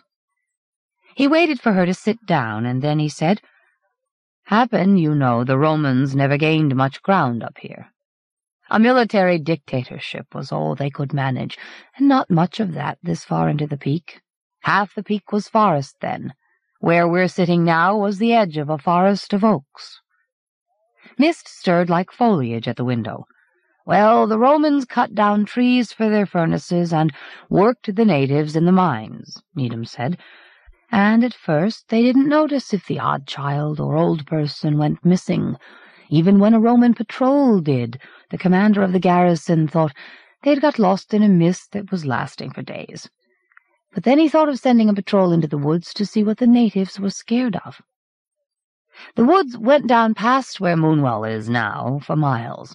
You can still see some of the old trees. Whenever the trees had to be felled for fuel, the natives had to be forced to do it. The Romans thought they were just being superstitious savages until they noticed that the natives were most afraid of the woods when the moon was up. Well, the commander knew that meant Druidism, and he sent a patrol into the woods in daylight, and they found the cave you're so concerned about. It was in a glade of oaks then, and all the oaks around it were carved. Some of them had three faces, and some looked like men with their innards hanging out, the way the Druids used to cut them open as part of their magic. Some of those carvings must have been hundreds of years old even then. And caught on one of them, they found a bit of a tunic that a soldier in the missing patrol had been wearing. The commander didn't let on to the natives that he knew anything. The Romans just kept watch until the next full moon, and then they saw a few of the natives sneaking off into the forest. One of them was carrying a newborn baby. The Romans followed them to the cave and saw them throw the baby down, and they were just going to seize them when the thing that lived in the forest came looking for its food. His eyes were brighter, as if he could see what he was describing. The Romans ought to have noticed there was more to the place than superstition. Happen some did. Some of them thought on the way to the cave that there was more moonlight under the trees than there ought to be. One soldier even thought that the rays coming down through the branches looked like a spider's web, the way they kept crossing. He thought the light seemed to get hold of your feet when you stepped in it. But happened that was the ground, or the undergrowth. Only there must have been more to it than moonlight, because they saw the thing in the forest running across the web the rays made to get to the baby in the cave. You don't want to hear what it looked like, do you? Diana nodded, then had to swallow in order to say, if you know. They could never agree on what they saw, not that they talked about it much. The light got brighter as it came nearer, for a start, until the moonlight hurt their eyes. It looked like a spider as big as a man. A beautiful spider, made out of moonlight. Or it may have looked like a maggot that was growing more legs than a spider, or a man with arms and legs that stretched out over the forest, and a face just like the moon's face, except it was moving. The Druids were running away from the cave as they saw it coming, and they ran straight into the soldiers. But the soldier who'd seen the light turning into a web saw it scuttle over the edge of the cave, down to the baby, and the light seemed to flare up out of the cave as if the moon had fallen in. The Romans marched their prisoners back to the village and executed all of them, except the head druid, who was an old man they'd hardly even noticed. They wanted to find out from him what they were up against, and he wanted them to know. He'd done what the druids never dared to do. He'd used magic so old it was almost forgotten, not just to call their god they mustn't name, but to keep it here on the earth, instead of coming down on the moonlight for its sacrifices. He believed the whole forest was its place now, the Druid's last refuge where nobody else would dare enter. Well, the commander didn't know if burning down the forest would help, so he tried to starve the thing into the open. He set a guard around the village so that nobody could get out. A few nights later they saw the moonlight coming through the forest and trying to reach out for people, and sometimes they saw a man made out of moonlight standing just inside the forest, beckoning. Some of the soldiers almost went to him, except the others held them back. One of them thought that when the man went back into the forest just before dawn, he got taller as he went away, until he was as tall as the trees. The commander had the notion that the thing got weaker as the moon waned, of course, the Druid priest made out it wasn't so, but he must have realized the commander was waiting until it was weakest before he attacked. So one night, just before dark of the moon, the Druid escaped, ran into the forest. He came back at dawn, or something did. Meaning, Diana said. Meaning it looked like him. It mostly was him. He'd made the ultimate sacrifice, and he almost managed to let it come among them before they realized. Only the Romans saw how all the villagers backed away when the Druid came out of the woods. So they tied him until he couldn't move a muscle, and waited until nightfall. And they saw him start to glow as if he'd swallowed the moon. The next day they made the villagers cut down the trees around the cave, all except the one where they'd found the bit of uniform and then they crucified the Druid on it, and piled wood round it, and set fire to it. In the morning the fire was ash, but the Druid, or the thing that looked like him, was still alive and crawling about in the hot ash, though all that was left of it was a head on a few charred bones. For an instant Diana saw that as clearly as if she'd once seen it herself. She snatched her mind back to the flickering room, the windows patchy with moisture, the pain must have trapped it, Needham said, or going inside the Druid. Otherwise it would have got loose from the tree.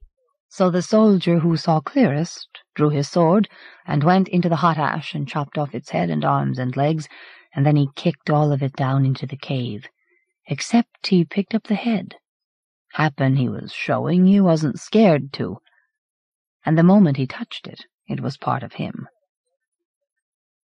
He went and stood on the edge of the cave, and he cut off his own arm, and then he stepped off the edge himself. That same day, the Romans killed all the villagers and burned the village and most of the forest to the ground. Even as a story, that dismayed her. But why? Though the place would be forgotten, so that the rest of the Druids wouldn't gather here, and they knew something was alive down there that might get a hold over people who settled near. Presumably Rome wasn't happy about what they did, because there's no record of it, or the garrison as I know of. Though I wonder if the thing down there wiped out all memory of the place until it was ready to come back. But if the memory was wiped out, how can I know about it? Say I dreamed it. Say I dream because I can't see. I told you you wouldn't believe me. I didn't say that. But I don't understand how, if all that was forgotten, the dressing of the cave got started. I think the Druids still knew where to look. It would have wanted them to. I think Moonwell was settled by Druids, people with some of the old beliefs anyway, after the Romans left Britain. Happen they thought they'd revive what was in the cave until they realized what they'd be reviving. What do you think it'd do if it ever got loose? Think how much it must hate mankind for crucifying it and burning it and chopping it to bits and leaving it down there in the dark. The figure they made out of flowers wasn't a tribute. It was meant to guard the cave. I heard tell that once it didn't just have a halo round its head. Its head was the sun. The sun god, Diana realized. That's why they put it there on Midsummer Eve, only now they pretend it's for St. John the Baptist Day and make it look like a saint. Aye, but do you know why it was Midsummer Eve? Because that's when the nights start getting longer and the power of the sun begins to wane, which is like saying the power of the moon gets stronger. In Rome it was the feast of your namesake, the goddess of the moon. No, I'm the other one, the huntress, Diana said, almost without thinking. If Mann stops them dressing the cave, how much do you think it will matter? Not much, by itself. Needham's eyes were suddenly more lifeless than ever, if that was all he planned to do. Why, what else? You'll have to ask him that.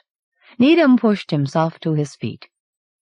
Now, you'll have to excuse me. I haven't talked so much for years.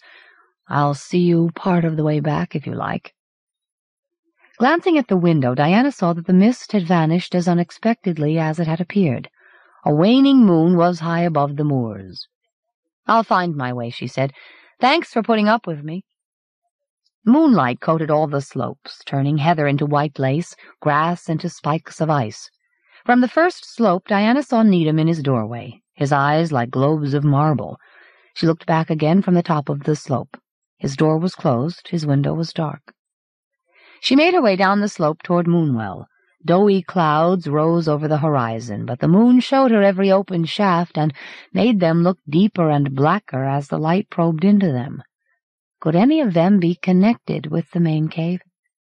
The breathless silence isolated her with the moon, tilted coquettishly above her as if to display how little of its face was left, half an eye gaping at her, the top of the head missing. However fast she walked, it hovered over her.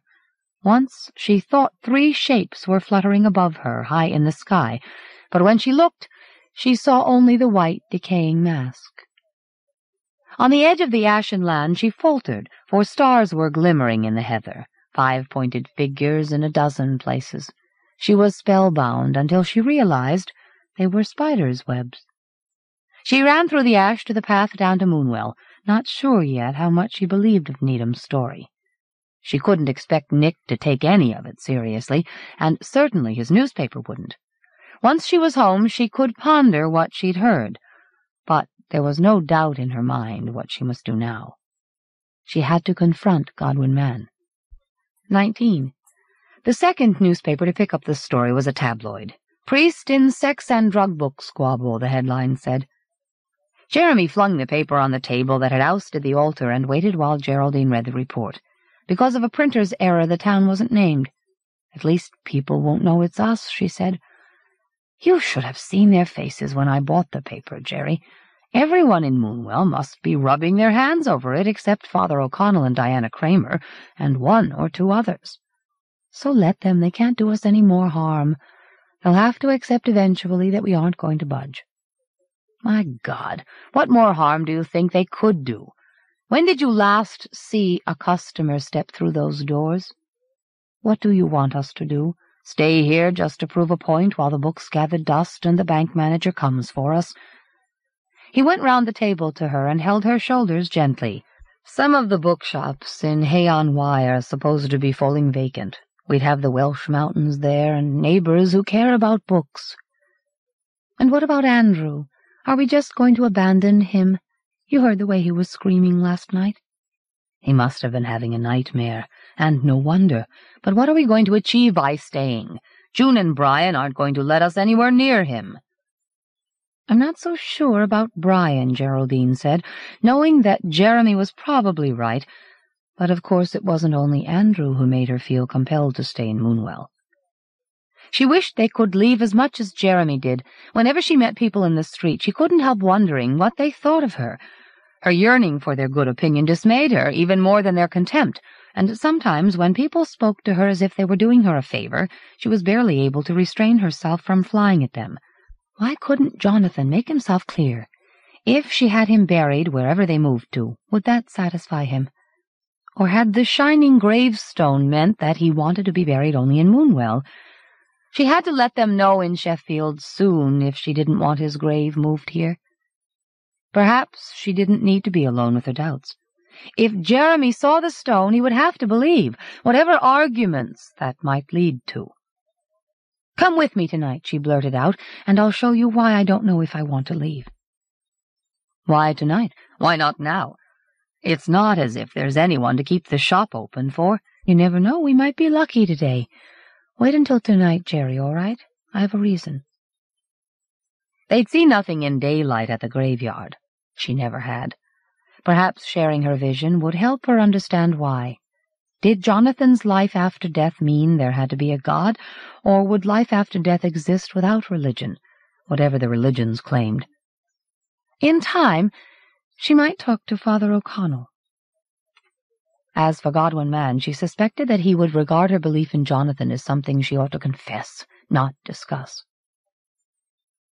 Nobody came to the shop that day. She wondered if Mann's followers were putting off potential customers. Jeremy tried to conceal his impatience with having been made to wait. The thought of feeling trapped in the shop until dark didn't appeal to her either. Let's go out and I'll buy you dinner, she said, remembering that she'd said that the first time they'd gone for a meal. They drove to the Snake Inn, all by itself in the pines on the Manchester Road. After dinner they sat outside watching mountains glow in the twilight and grow dim, and Geraldine realized how peaceful she felt now that she was out of Moonwell. Suppose Moonwell was where Jonathan wants to be, and Mann and his followers were driving him out. She could imagine how their children would treat him if he were alive, the child of the disreputable Booths. She felt as if Mann couldn't even leave him alone where he was.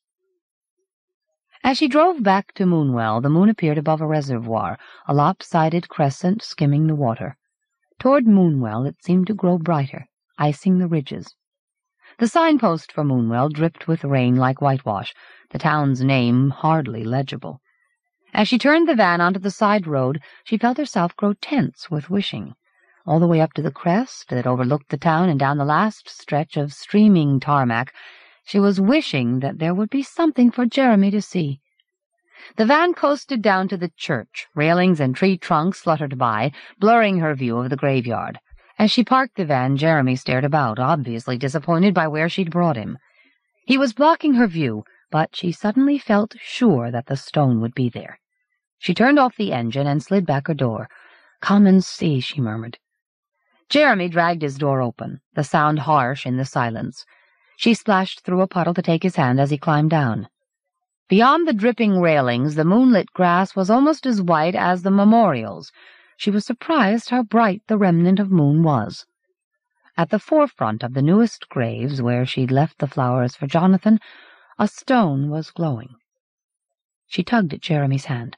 Look, she said urgently, and pushed open the gate that was beaded with rain. Under their feet, the soaked gravel made a sound halfway between a squeak and a squelch. She stepped onto the soggy lawn, and then she missed a step. Not all the stone was there. It was certainly Jonathan's, for she could read most of his name. Nathan, it said. But would that be enough for Jeremy? Why wasn't it all there? The stone was mottled now as though it were aging. The marks reminded her of the markings of the moon, and she had an odd momentary notion that the stone was incomplete because the moon was waning. Come on, she whispered, pulling Jeremy onto the grass, but this time it was he who made her falter. He was staring at the flowers she'd left where the stone was. In the moonlight they were moving perceptibly, opening. What's that? Jeremy demanded in a small, choked voice. He peered at the flowers, stumbled forward. Look at the stone, Geraldine urged him. Under the mottling it showed not only the year of Jonathan's stillbirth, but also, very faintly, the month and the day. The stone, Jeremy, she cried, just as the moonlight vanished. She moaned in frustration and dismay. Clouds that would go on for minutes had closed over the moon, and the stone was no longer glowing. It was barely visible in the barred light through the railings. Jeremy was stooping to the flowers, reaching for them, and then his hand flinched back. My God, they've taken root. They're growing. It doesn't matter. Jeremy, read the stone. She wanted to fling herself at him, hold his head so that he had to see. How might Jonathan be feeling because his father wouldn't look? But Jeremy was tugging at the flowers, one of which tore free of the wreath, spattering the headstone with moist earth. She stepped toward him, and then headlights swept into the graveyard and pinned them both. Jeremy leaped up, almost falling. Geraldine glanced at the stone and saw that now it was blank. Beyond the headlight, the sliding door slammed open. In the name of God! What are you doing there? Benedict Eddings cried.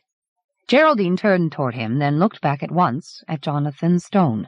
But there was no stone, only bare grass and her flowers, which were curling up, withering. It's this place, Jeremy said hoarsely. There's something wrong with it things growing that shouldn't be growing. What business is it of yours? Nobody of yours is laid to rest in there. Benedict flung open the gate with a clang that dislodged a shower from the railings. Come out of there at once. Haven't you committed enough sacrilege? You'd stoop to desecrating graves, would you? Windows lit in the cottages behind him. A sash slid up. Jeremy lurched toward him as if to manhandle him into the graveyard. I told you. Something's happened to the flowers. Take a look for yourself. Benedict retreated hurriedly. Have you been taking drugs as well as selling books about them? Leave our graveyard this instant, or I'll call the police. You'll call the fucking police, will you? Maybe I should call them to you and your shoddy workmanship, you pious little hypocritical bastard. Jeremy took another step then burst out laughing mirthlessly as Benedict retreated further. He grabbed Geraldine's arm so hard she almost cried out. For Christ's sake, let's get home, he muttered. Faces peered out of windows opposite the church as Jeremy started the van. When he swung the vehicle away from the pavement, she realized he was shaking. What did you see? she said, as gently as she could. Did you see the stone? I don't know what I saw, and I don't want to know. He slowed the van and clenched his hands on the wheel as if that would quiet him. But I'll tell you one thing. I wouldn't have a child of mine buried there if it was the last graveyard on earth. 20. June was full of righteous anger when she came back from the Christian shop. Hazel didn't want to say much, but I got it out of her. He found them dancing on the graves and throwing the wreaths about. Either they thought they could get their own back on the town that way, or they were high on drugs. I've never heard anything so pathetic. Brian blinked at her from where he sat hunched behind the counter. I hear they're planning to move. Good riddance. They'd better not try to say goodbye to Andrew. She glanced around the shop. Why are you sitting dreaming in the gloom like I don't know what? You'll have people thinking we're shut. When she switched on the fluorescent tubes, the interior of the shop jerked forward, closed around him as the street under the padded sky fell back. Sitting in the dark like an old spider, she said, and brushed away a star-shaped web between two stoves in the window. What's been wrong with you these past few days? Some kind of summer germ, I expect. Maybe I need more fresh air. You can collect the boy from school, then. He was saying you don't any more, just yesterday. Take him for a walk if you like, while I've time off from the other shop. And if you don't feel any better, go to the doctor. Even Godwin does. Brian closed his eyes, but her voice probed the nervous orange dimness where he was trying to hide. You'd tell me if there was anything else, wouldn't you? Godwin says we mustn't keep things to ourselves. Bring them out into the open where they can be dealt with. That's what we're supposed to do. I know what he says, Brian mumbled, feeling as if she kept dragging him out of a long, dim tunnel that was himself. If only he could go all the way down there, he might stop remembering for at least a little while. You aren't blaming me, are you? I know you must be frustrated. It's only that I'm afraid Andrew might hear us, and I still think he's backward because God was punishing us for what we used to do. The shop bell rang. Brian's eyes twitched open. A young woman wearing a loose overall with a crucifix stitched on the front was striding up to the counter. Mr. Bevan, Godwin says, would you come and see him now, if you don't mind? Brian thought of hiding in the tunnel of himself, of hunching himself up so tightly that they wouldn't be able to ferret him out. Once they went for help, he could make a run for it, on to the moors. But June was watching him, not knowing whether to be proud of him or nervous, and it seemed he could only do what he was told. He followed the young woman into the street. Her overalls sketched her body, and he felt his groin stirring until the sun broke through the clouds. He had almost to close his eyes as she led him to the hotel. He could feel his skin stinging wherever it wasn't covered. The relative dimness of the hotel felt like ointment on his skin soothed his eyes. The young woman announced them at the reception desk, then took him up to Mann's room. At the moment when he had to leave the rickety lift, Brian's steps grew heavier as he remembered all that he'd done and felt, and would have to confess. Okay, Mann called when the young woman knocked at his door. She stood aside for Brian, who stumbled into the room more quickly than he meant to. It must be one of the smallest bedrooms in the hotel, just a single bed and a sink under a mirror bolted to the wall. The bareness made him think of an interrogation room. Mann was sitting on the bed. His angular face looked thinner than ever, tight and ready as a fist. He sat forward, blue eyes gleaming. Close the door, Brian. I'd appreciate your help. This was so unexpected that Brian had to lean against the door. What can I do? I need rope all you have. Better still, rope ladders. You'd be better off with the mountain rescue people. They'd be able to see you were safe as well. They don't want me to do what I have to do. They say it's too dangerous. Seems like they don't trust in God as much as they should. Won't you do this for God? I'll pay for everything you provide. Brian wanted to help, yearned to if that would relieve him of his guilt. But it wasn't that simple. I haven't any ladders at the shop. I'd have to order them. I'd need them early next week. I could drive over to Sheffield. If Mann trusted him so much, perhaps he wasn't as guilty as he thought he was. Would you do that? I'd be most grateful, and you don't need me to tell you God would be. He glanced down at his clasped hands, then at Brian. I want to ask you one more favor. Don't tell anyone what you'll be doing for me, okay? I don't want our enemies to learn of it and try to stop me. Stop you doing what? Mann gazed at him until Brian wished he hadn't asked, felt as if he'd betrayed himself by asking. But Mann was only deliberating, apparently. I mean to take God down into the cave, he said, almost to himself. Whatever is there is no match for God. His eyes focused sharply on Brian. I told you that because you'd agreed not to say anything. I'll see you Sunday at the rally, he said, with the hint of a warning in his voice. Or before then, if you get to Sheffield first. Here, let me give you a hundred pounds, and if you spend more, just show me the cheque. Brian stuffed the notes deep into his pocket. Mann was already sinking back on the bed, folding his hands on his chest, his face relaxing a little, perhaps as much as it ever did. Brian closed the door quietly and strolled along the corridor, the wad of notes brushing repetitively against his thigh. It seemed a token that he could redeem himself, or even that he'd been judged and found worthy. Surely Mann could tell if anyone could.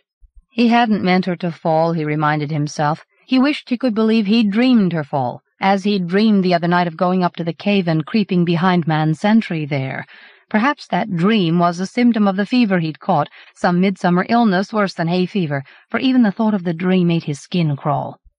He still felt in danger of confessing if he didn't keep tight control of himself, and if he confessed to making the young woman fall, he was sure he'd be suspected of far worse. At least there would be only one more rally before Mann went down the cave. Clouds had closed over Moonwell again. The subdued light allowed him to step confidently into the square. He'd take Andrew for a walk on the moors. He waited by the main door of the school while the children swarmed out. The last few came out by themselves, their faces sullen, or smiling at a secret, or bright with faith. Brian kept glancing up in case the clouds were about to break, and so he didn't notice Andrew until the boy had walked past him to Katy at the gate. Katy spent most of her time at the Christian shop now, perhaps atoning for having stolen from the Bevans. Her presence at the school made Brian feel as if June didn't trust him. "Here, Andrew," he called. "It's your dad. Here I am." Andrew turned clumsily, his school bag bumping one scabby knee. "It's all right, Katy," Brian said. "I'll take him. Mrs. Bevan said I were to bring him home.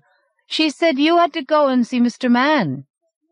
He needed my help, Brian said defensively, and reminded himself that he wasn't supposed to tell. You can say to my wife I took the lad. We're going for a walk. You'd like that, wouldn't you, son? Andrew nodded so feebly that Brian could almost have hit him for making Katy think he didn't like to be with his father. The rescue man said it were going to be misty on the moor, Katy said. I didn't say we were going there, did I? Brian felt found out, as if he were the criminal, not her. All right, then, he muttered at Andrew. We'll go home. I'd better come, Katy said. She must be afraid that June would think she wasn't to be trusted even to collect Andrew, but it seemed to Brian that she was making sure he didn't go on the moors with Andrew. What business was it of hers? The boy had to do what his father told him. Brian was tempted to take him up anyway, except that she would only go telling tales to June, upsetting her. He walked faster instead, making Katy pant and stumble to keep up as he dragged Andrew along by one hand. Thanks anyway, Katy, June said. I'm sorry I didn't realize. She sounded to Brian as if she were apologizing for him. I'll be going to Sheffield tomorrow, if you're interested. What are you going there for? On Godwin's behalf. He'd expected that to drive her doubts away, but she was still trying not to frown. Why? I'll tell you later, he said, and thought of another way to justify himself to Katy. Listen, Andrew, you tell your new teacher that if she wants a bit more room than she's got at Mrs. Scragg's, we'd be happy to have her. The moment June nodded, he realized that would give them even less opportunity for sex. He felt as if he'd tricked himself. At least June's doubts should vanish once she knew what Mann had asked of him, but when he told her after Andrew was in bed, she still looked dubious. She must be worried on Mann's behalf, not suspicious of Brian's story. He was glad to go to bed, to hide in his sleep for a while, until he woke shaking uncontrollably because of what he'd seen. The moon's new face, hatching. It was more than a full moon. It was swollen and trembling, almost filling the sky and touching the moor. It had more than one face. It had three, one of which vanished before he could glimpse it as the white globe began to turn. It wasn't just trembling. It was cracking open, hatching three shapes the color of the moon, shapes that unfurled their wings and glowed brighter as they flapped away across the moor. He could still see the new face as they burst forth from it, the face that had been hidden until the familiar markings turned away. The new face was his own. Of course, it was the dream that was making him shiver, not the frosty light of the remnant of moon outside the window. All the same, he felt as if the light were making his body uncontrollable, hardly recognizable. He was tempted to go to the mirror to prove to himself that he didn't have the moon's face, however unfamiliar it felt, but he would be bound to wake June. Here on the edge of nightmare he felt vulnerable again, at the mercy of whoever might find out about him. If Mann found the hiker's body, he would never be able to keep from confessing. But Mann needn't find the body. At least, he needn't be able to tell anyone about it. His safety would be in Brian's hands. 21. It's summery today, isn't it? Too bloody summery by half, and there'll be more of it before the year's over. Look at them all grinning like idiots. You'd think the sun was shining just for them. Or like they think it's shining out of Godwin Mann's arse. One of them won't be grinning when we've finished with them. Are you ready then, Mr. Gloom? Let's join the happy throng, Mr. Despondency. Eustace stepped out of his cottage when he saw that the crowd was thinning. A few stragglers hurried along the high street on their way to the cave.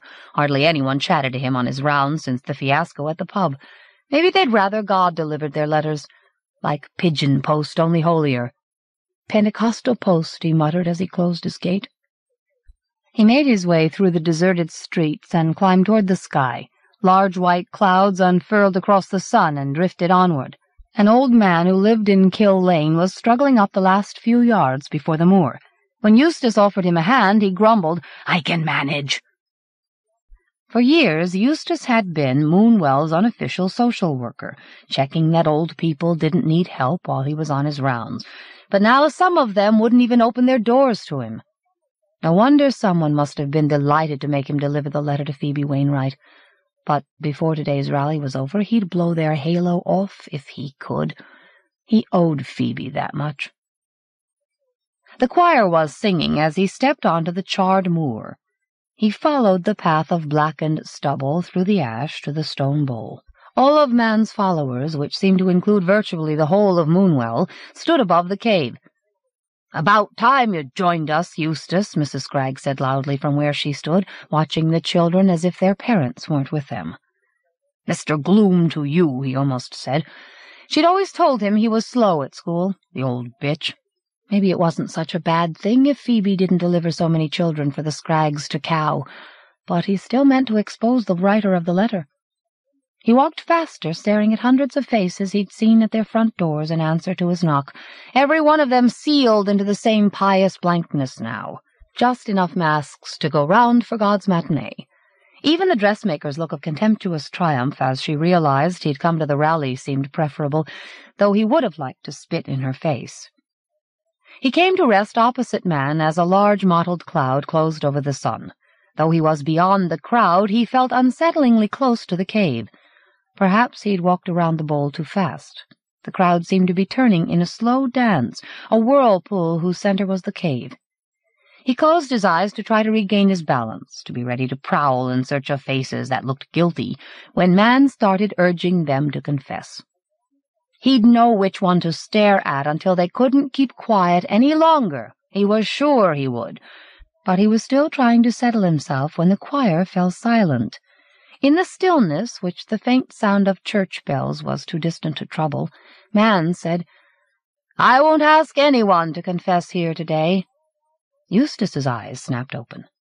I know you're all here because you believe, the evangelist was saying. God's love is in every one of us now, and we've only to try our best to be worthy of it.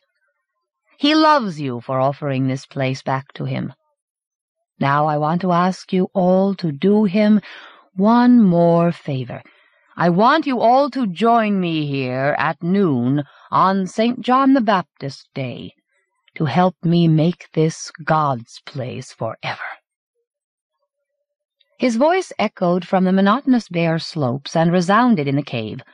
I know that ordinarily it would be a day for trading, but I want to ask you, as you love God, to close your shops that day and join me here. All you'll have to do is pray. I'll do the rest. My faith tells me I can.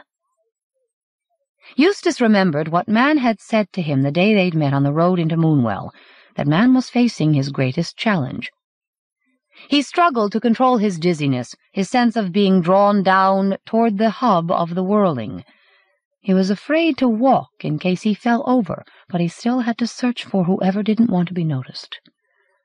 I guess there are still a few people in Moonwell who aren't with us, Mann said. A very few.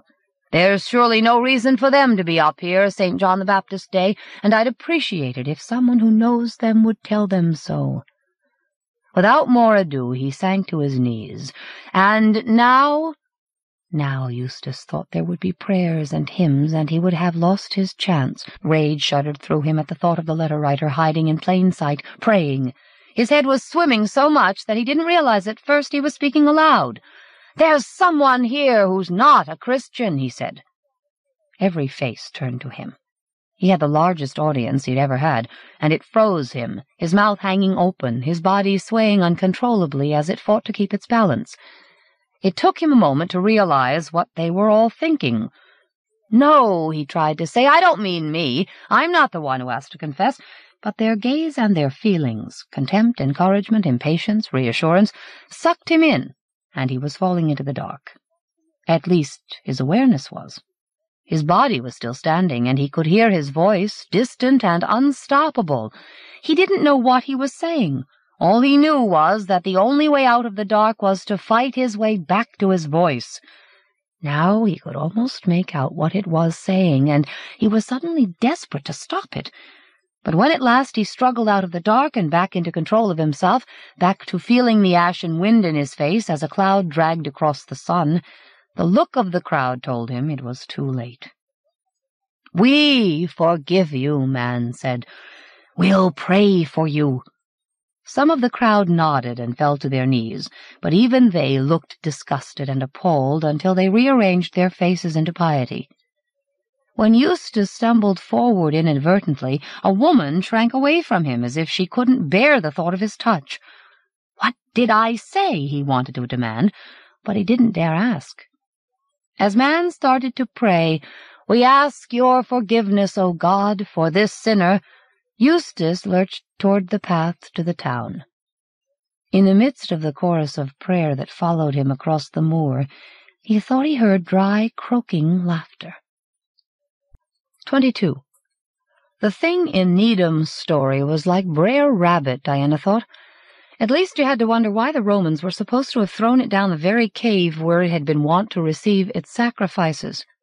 You might suspect that it had influenced them to do so, like a subtler version of Brer Rabbit's pretense that he didn't want to be thrown into the briar patch.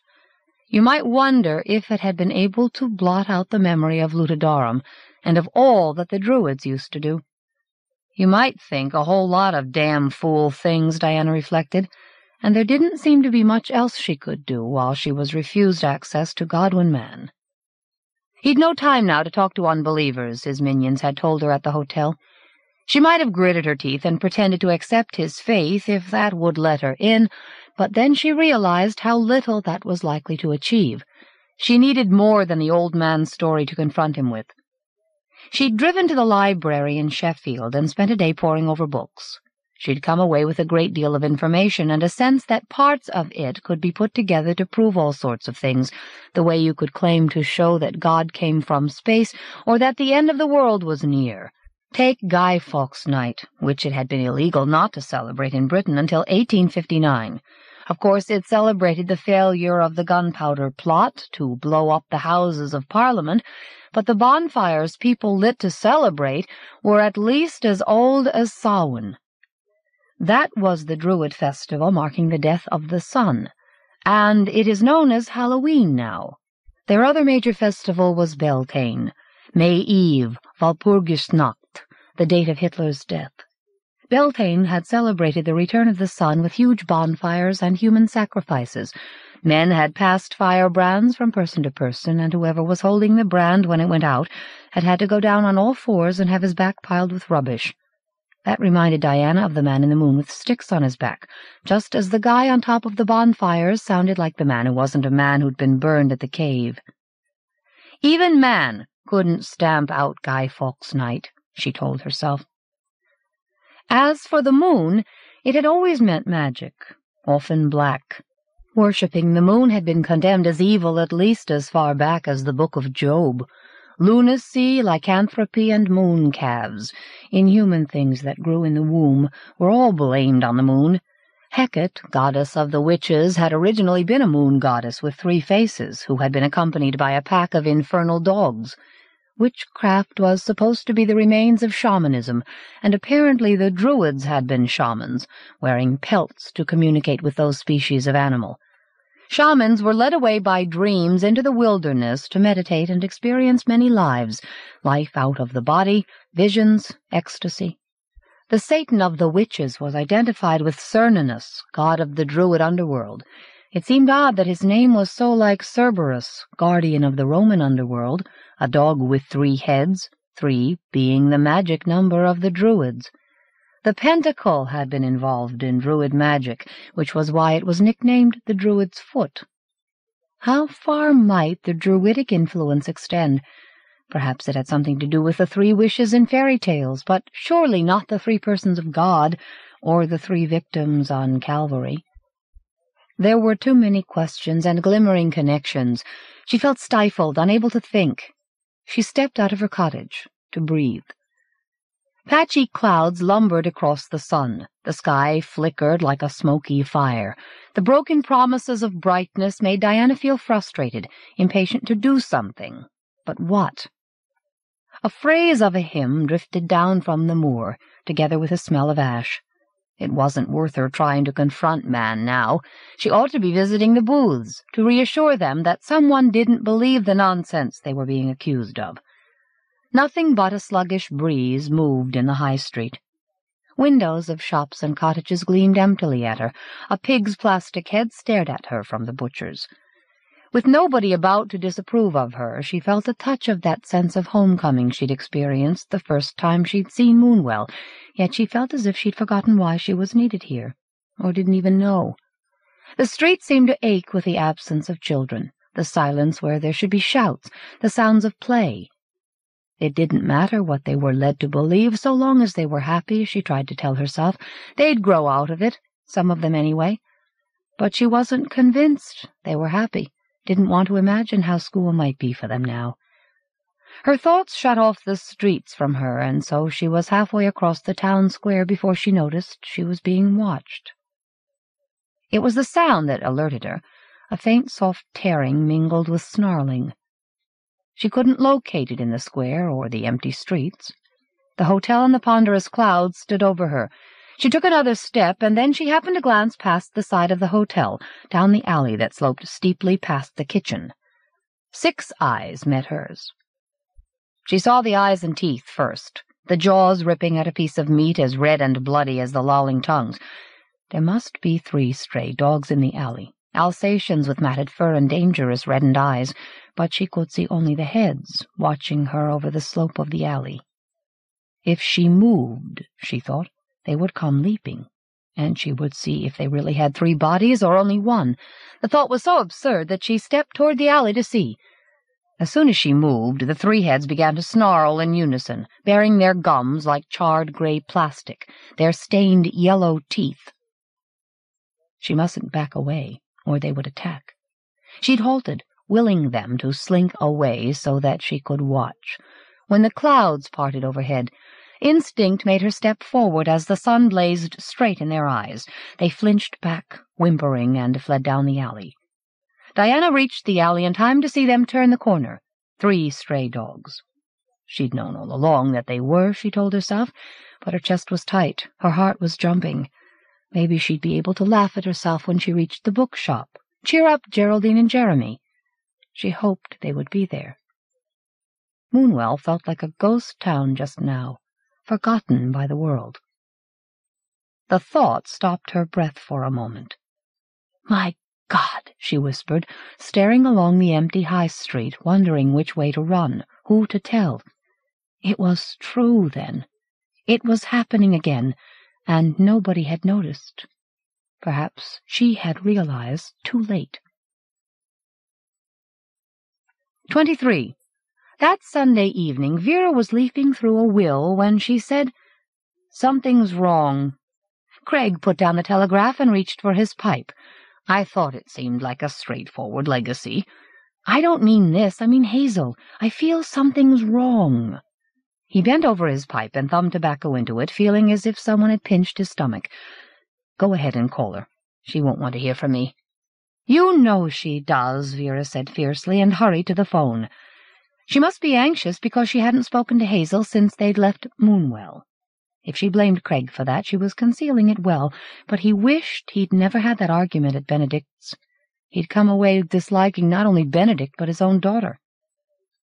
At breakfast on his last day in Moonwell, Hazel had turned on Craig, accusing him of leading Benedict to expect a loan and then letting him down, of doing so because he didn't care for Benedict and his faith. Faith that will bail him out, you mean? Faith that people won't have heard about his shoddy workmanship? Craig had managed not to say, but the sight of Benedict looking injured yet forgiving had proved too much for him. Hazel was just looking for a substitute father, wasn't that so?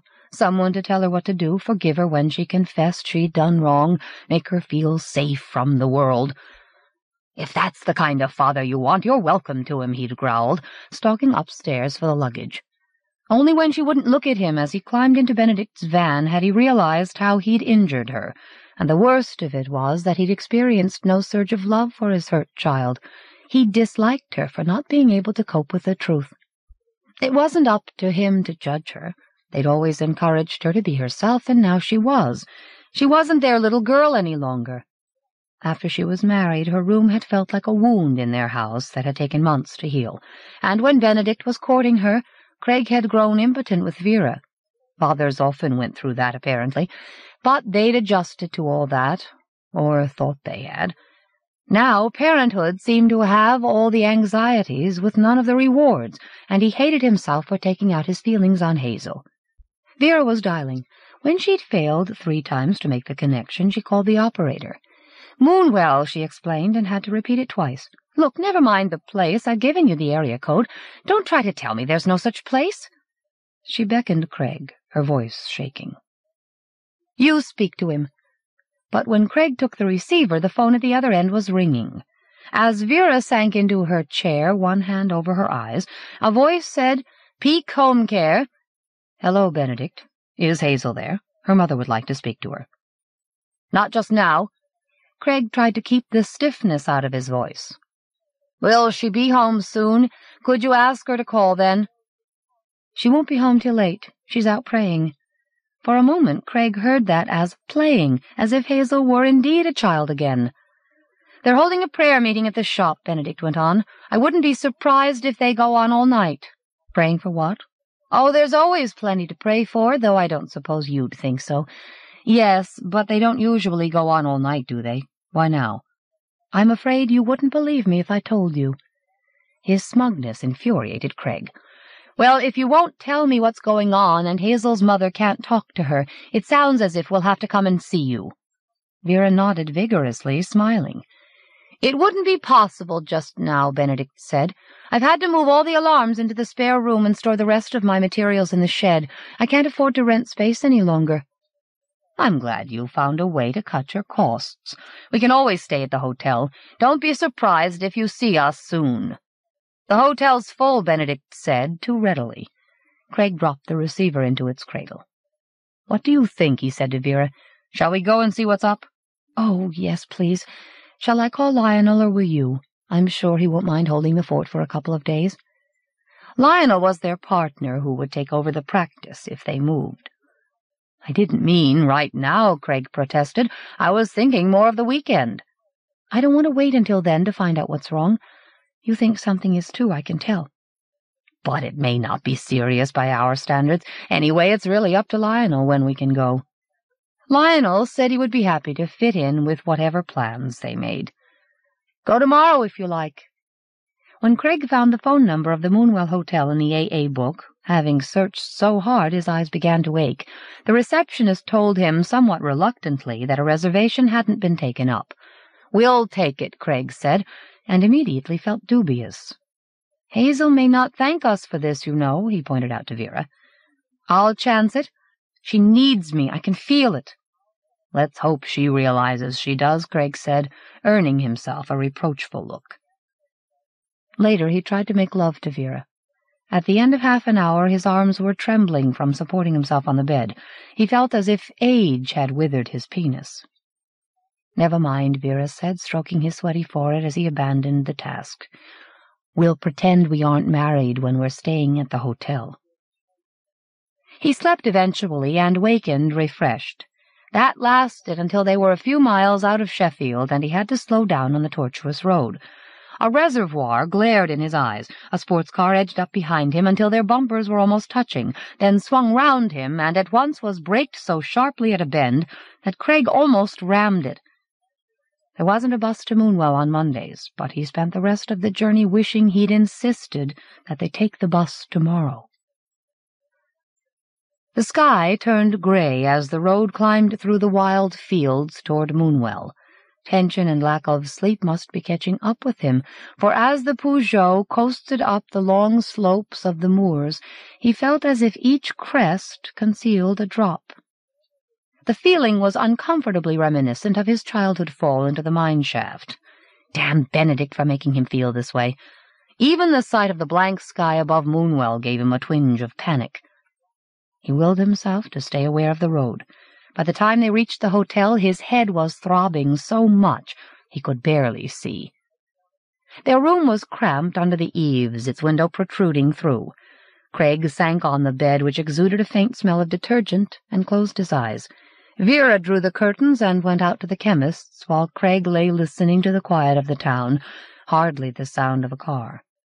When Vera came back, she gave him a glass of water and a brace of paracetamol tablets. Then she said, of all the people I could have done without, I bumped into Mel and Ursula.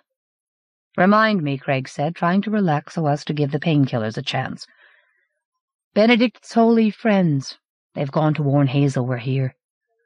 Five minutes later, the lift came creaking to the top of the hotel, and Hazel knocked at their door. Oh, Mummy, why have you come back now? I'm sorry we did, if that's how you feel. I thought you might even have been glad, but I obviously don't know much. Mummy, I am glad. I never would have wanted us to part the way we did, but Godwin's called a special rally for tomorrow, and I'll be busied until then. What you mean is unbelievers aren't welcome. I just mean you'll have the town almost to yourselves and nothing to do, Hazel said unconvincingly. We'll be going nowhere while I feel like this, Craig growled, resting one arm on his closed eyes. What's wrong with Daddy? He doesn't like driving on these roads, that's all. Just leave him alone and he'll be all right. We'll be in the bar, she told him, and when Hazel demurred, I want a drink, even if you don't. We've got to talk. Craig heard their voices, swallowed by the creaking of the lift. Then the hush closed round him. He took two more pills as soon as he dared and reached for the controls of the bedside radio. He'd forgotten the evangelical station, but in fact even that wasn't coming through. All he could hear until he turned off the radio and lay back was static that sounded unpleasantly like dry, inhuman laughter. 24. Monday was half over before Diana managed to contact Nick. He sounded delighted to hear from her. Are you in town? Free for dinner? How are things in that town of yours with a strange name? What name is that? she said, trying to sound casual. To tell you the truth, I can't remember. Blame last night's heavy drinking. I remember you, though. I was sorry you had to dash off last time. So was I, Nick. But listen, you asked how were things here. I'm afraid they're getting worse. In what way? She closed her eyes and took a breath and willed him not to be incredulous. Moonwell's supposed to be a tourist town, a center for hikers, right? But the only visitors the town has had for months are the people who Godwin Mann sent ahead and what worries me even more is that nobody seems to have noticed. Moonwell, that's the name, of course. So are you saying this is Mann's fault somehow? What else could she claim that he might even consider trying to slip into print? It sounds that way, doesn't it? Even I didn't notice until yesterday. Whatever's happening is getting to me, too. Some kind of mass hypnosis, religious hysteria, that kind of thing, you mean? If you're being affected by it, you should get out straight away. I can put you up if you like. He was making a play for her. In other circumstances, she might have responded. I can't just leave all those children in the midst of it, with nobody to care how it may be affecting them, she said, and suppressed the thought, which would neither define itself nor go away, that she was here for another purpose entirely. If she left, she might forget the town just as Nick had forgotten the name. She mustn't brood about staying and being forgotten. I have to see what happens tomorrow. Mann's going to do what he came to do, she said. Let me know what happens, or if you change your mind about leaving, he said, and she realized he was more anxious about her than eager for a story. I wish I could promise you some coverage. Aren't you still in touch with that radio station? They closed it down last week. He was silent. Then he said, If you're as worried as you sound and won't leave, I should at least come and take a look. Oh, would you? Perhaps he'd notice the effect that had on him. When? I'll have to let you know. Not for a few days, but soon. It's your turn to buy dinner, he said. And more seriously, remember, call me any time you feel you need to. At least someone else knew now, she told herself, even if she'd had to blame Mann in order to convince him. Being alone in her knowledge had dismayed her, especially when the Booths had told her they were moving to Wales. If only she could talk to someone less skeptical than Nick. And then, slapping herself on the forehead, she realized that she could. She went out at once to the church. Sunlight flickered on the thick walls and seemed to shrink the gargoyles. Mistletoe gleamed like scales on the trunk of an oak among the headstones. Father O'Connell was praying silently in front of the altar. When he stood up, dusting the knees of his cassock, she went along the aisle to him. Why, it's Diana, he said, and took her hands. Have you come to swell my dwindling flock? Not exactly, Father O'Connell, I'm afraid. I just wanted a word with you. Always glad to see you. And listen, call me Bob, so you don't have to put on such a glum, respectful face. Come with me now, and we'll have ourselves a pot of the Earl Grey you like so much. He ushered her across the high street to the presbytery, a cottage where an Alsatian dozed on the hall carpet, and pricked up her ears as the door opened. Are fewer people coming to church, then? Diana said. Fewer of my congregation since I told them what I thought of what happened at the bookshop. Some of Mann's flocks stray in now and again, but they always seem to find it wanting. He patted the dog absent-mindedly. Good girl, Kelly. Still, if I'm to tell the truth, maybe they've reason to have their doubts about the church. Seems as if it may have a bit of a Celtic fort in its foundations. I thought you believed taking over traditions was one of the strengths of your church. Yes, but there's traditions and traditions. I found out that when they built the fort, they may have buried a child in the foundations supposed to make it impregnable, you see. But you don't want to hear such things about children. Go in the front now and sit down, and when I've made tea, we'll talk. Diana sat in the front room and glanced about at Irish landscapes, a family album on a table next to the electric fire, a Morris West novel sprawled on a chair. Kelly patted in and laid her head on Diana's lap, nuzzled her hand until Diana stroked her. By the time the priest wheeled in the trolley, Diana was impatient to talk. I've been looking into our traditions, too, she said.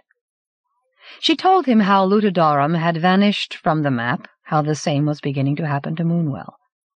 When I first came here, the streets were full of hikers and tourists like myself. But where are they this year? The streets are full of new faces, and maybe that's one reason we didn't notice. But they aren't tourists. His eyes were telling her to go on, and so she said, I think Godwin Mann has stirred it up whatever's making the outside world forget about us. And another thing it can do is prevent us from noticing. Well, he said, and the doorbell rang. Excuse me a minute, he said. She could have wept for having been interrupted when she was almost sure he'd been sympathetic. He came back along the hall with someone and put his head round the door. You can stay a few more minutes, can't you? I'd like to hear what else you have to say. She'd said all she could. Presumably he'd gone up to his study to counsel one of his parishioners, and what she'd told him might fade from his mind. Quite soon, however, she heard him and his visitor on the stairs again. They halted outside the front door, and Father O'Connell pushed the door open. Diana, I think you ought to hear this. His visitor, a thin, pale, awkward man in his thirties, sidled timidly past him into the room. Diana had seen him before. In the lobby of the hotel, she realized. He looked on the edge of fleeing, even when the priest said, Miss Kramer shares your doubts. I'd like you to tell her what you just told me. The pinched man only stared at her. Delbert here has been watching over the cave on Godwin Mann's behalf, the priest explained. I think you meant to say, Delbert, that he's more worried about what he's up against than he lets on. I didn't mean to say that. Delbert dragged his chapped fingers through his graying hair.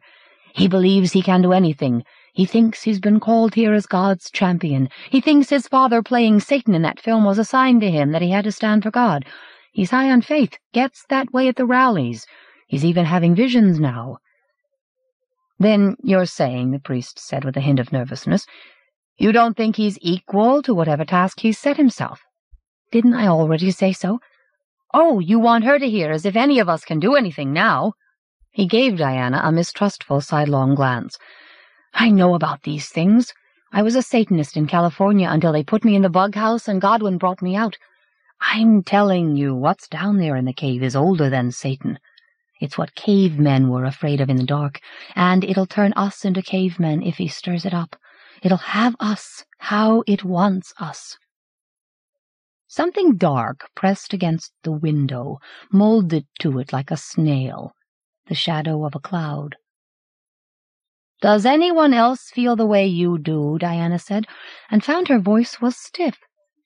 They'd rather believe Godwin will save us all, but I'm telling you, I looked down into that cave last night, and I heard something laughing. It's ready for him. It's eager to meet him. Maybe it even put the thought in his head to come here in the first place. I told them what I heard down there, and he figured Satan was making me tell him to try to faze him. So now he's even more set on going down there tomorrow. If people could be convinced in time that it's dangerous— Delbert interrupted her. The more opposition he runs into now, the more he'll be convinced he's right. I told you, there's not a thing anyone can do. Deep down she felt he was wrong, but that wasn't reassuring either. You said he'd had a vision, Father O'Connell prompted. That's the worst part. He believes everything's a sign he's going to win on God's behalf. He glared out at the clouds looming behind clouds, and muttered, He told me he dreams every night of a calendar with a devil's face, a calendar for June. And after tomorrow's date, the calendar is dead blank.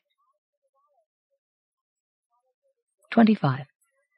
Someone was knocking at the front door. Brian forced his sticky eyes open and threw off the humid sheets. It must be the police, and all he felt was relief that they'd found out what he'd done to Godwin and the hiker. He swung himself out of bed and stumbled, blinking, to the window. He pulled the curtains open and levered up the sash with the heels of his hands. As the sunlight struck his hands, they felt as if they were shrinking. He leaned out of the window, his shoulders bumping the sash. The two people on the path weren't policemen. They were Godwin's messengers. June was closing the front door. The rattle of the sash made the messengers look up. Nearly time, they called to Brian, smiling brightly, and trotted to the next house to spread the good news. Godwin wasn't dead then. Brian had only dreamed of disguising the flaw in one of the ropes he'd brought back from Sheffield, and you couldn't be held responsible for dreams. In the bathroom he bathed and shaved, cutting himself twice because the light over the mirror stung his eyes and skin. Surely it was guilt that made him feel like this, gave him a feverish impression that his body was no longer quite his. Perhaps Godwin wouldn't find the hiker. Perhaps she'd fallen farther than Godwin could climb. It wouldn't be fair if helping God and Godwin caused Brian to be found out, to betray himself. When he was dressed, he ventured downstairs, nervous of encountering Miss Ingham, Andrew's teacher, who was lodging with him now but she'd gone ahead to help at the cave, leaving June flapping her duster at corners of the front room. He'd never known such a spidery summer, nor had he ever seen five-pointed webs before. June half turned toward him as he came into the room. How are you feeling? We were going to let you sleep. What do you mean? There's nothing much wrong with me, as I know of. You were tossing and turning half the night. Once I woke up and you weren't even in bed. I'd have come looking for you, but you'd got me so exhausted I just went back to sleep. I must have gone to the toilet, he said hastily, rather than admit that he couldn't remember getting out of bed at all. That's where you'd better go now, Andrew, and then we'll be off. June went back to peering into corners of the room. Her back to Brian, she murmured, You seem very eager to go. Shouldn't I be? She couldn't know about the cave. There wasn't much to know. I thought you'd be glad I'm helping Godwin. Of course I'm glad. But then she looked straight at him. I just wonder why you're suddenly so anxious to please him. Who says I'm anxious? I didn't ask to help, you know. He asked me. Thank God here was Andrew to save him from further awkwardness. Hurry up, son. You're going to see Godwin Mann climb down the cave. You're not to go anywhere near Andrew, do you hear? You just keep hold of my hand while we're up there, son, Brian said with a touch of defiance, and took one clammy hand, thrusting his fingers between Andrew's, so that the boy's ragged, bitten fingernails couldn't scratch his skin. The high street was crowded with people converging on the paths up to the moor. June caught up with Hazel as they climbed the nearest path, the limestone houses huddling together as the town fell away. Hazel chatted brightly, though she seemed preoccupied, while Benedict wondered aloud if Brian might like a security check at the house or the shop. God had enough to look after without keeping burglars away. He had to raise his voice to be heard over the sound of hammering ahead, and he fell silent as they stepped over the edge of the stone bowl. Several of Mann's followers were standing just above the cave, by two pitons driven into the rock. Mann was going to abseil down, Brian thought and felt proud of himself for having helped. He smiled at the sky masked by clouds. He'd already told the police about the hiker, he reminded himself to quell his waves of nervousness. Whatever Godwin found down there, surely it needn't trouble Brian. All the same, Brian flinched as the crowd in the bowl began cheering. Godwin had arrived. He stood for a few moments on the edge of the stone bowl, hands spread on either side of him. Perhaps they were meant to deprecate the cheers, but they gave him the look of Christ blessing a multitude. Some of the older people in the gathering dabbed at their eyes. The cheering intensified as he came down into the bowl, the gold cross stitched on the front of his overall catching the muffled sunlight, a whistle dangling from a string around his neck. In the midst of the cheers, the screech of a bird somewhere on the moors sounded like laughter. The cheering faded as Mann reached the pitons. He knelt above the cave and closed his eyes. A wind stirred the ash on the blackened slopes, setting charred stumps of heather trembling. Sunlight fluttered over the landscape and made the mouth of the cave appear to shift, stone lips working. Brian saw June grip Andrew's hand with both of hers. Mann crossed himself eventually and stood up. I want to thank you all on God's behalf for coming here today. I guess he thinks of you the same way I do. You're a living act of faith. I can feel your faith giving me the strength to do what I was called here to do. Brian willed himself to believe with his entire being. He was sure he could feel what the evangelist felt, the energy of a faith that was urging Godwin to succeed. Brian couldn't be singled out in the midst of that. It couldn't be directed at him to make him speak. Perhaps it was just his restless night that was making him still feel nervous. The wind caught Mann's voice, swelling it like a voice that was being tuned on a radio. You'll pray for me, won't you? I know God wouldn't have sent me here if he didn't think I could do it, but right now, deep down, I'm scared. I know I won't be scared if I can hear you all praying and singing God's praises while I climb. His voice grew thin as the wind rose. Today God will heal this festering wound in the earth, he said, unfolding one fist toward the cave. And then I believe this whole country will begin to turn away from superstition and the occult back to God when it hears what I'll have to tell. Several of his followers brought him his equipment and helped him put it on. A miner's helmet, a kit bag loaded with rope and metal that clinked, Two of them fixed the ropes for him to abseil.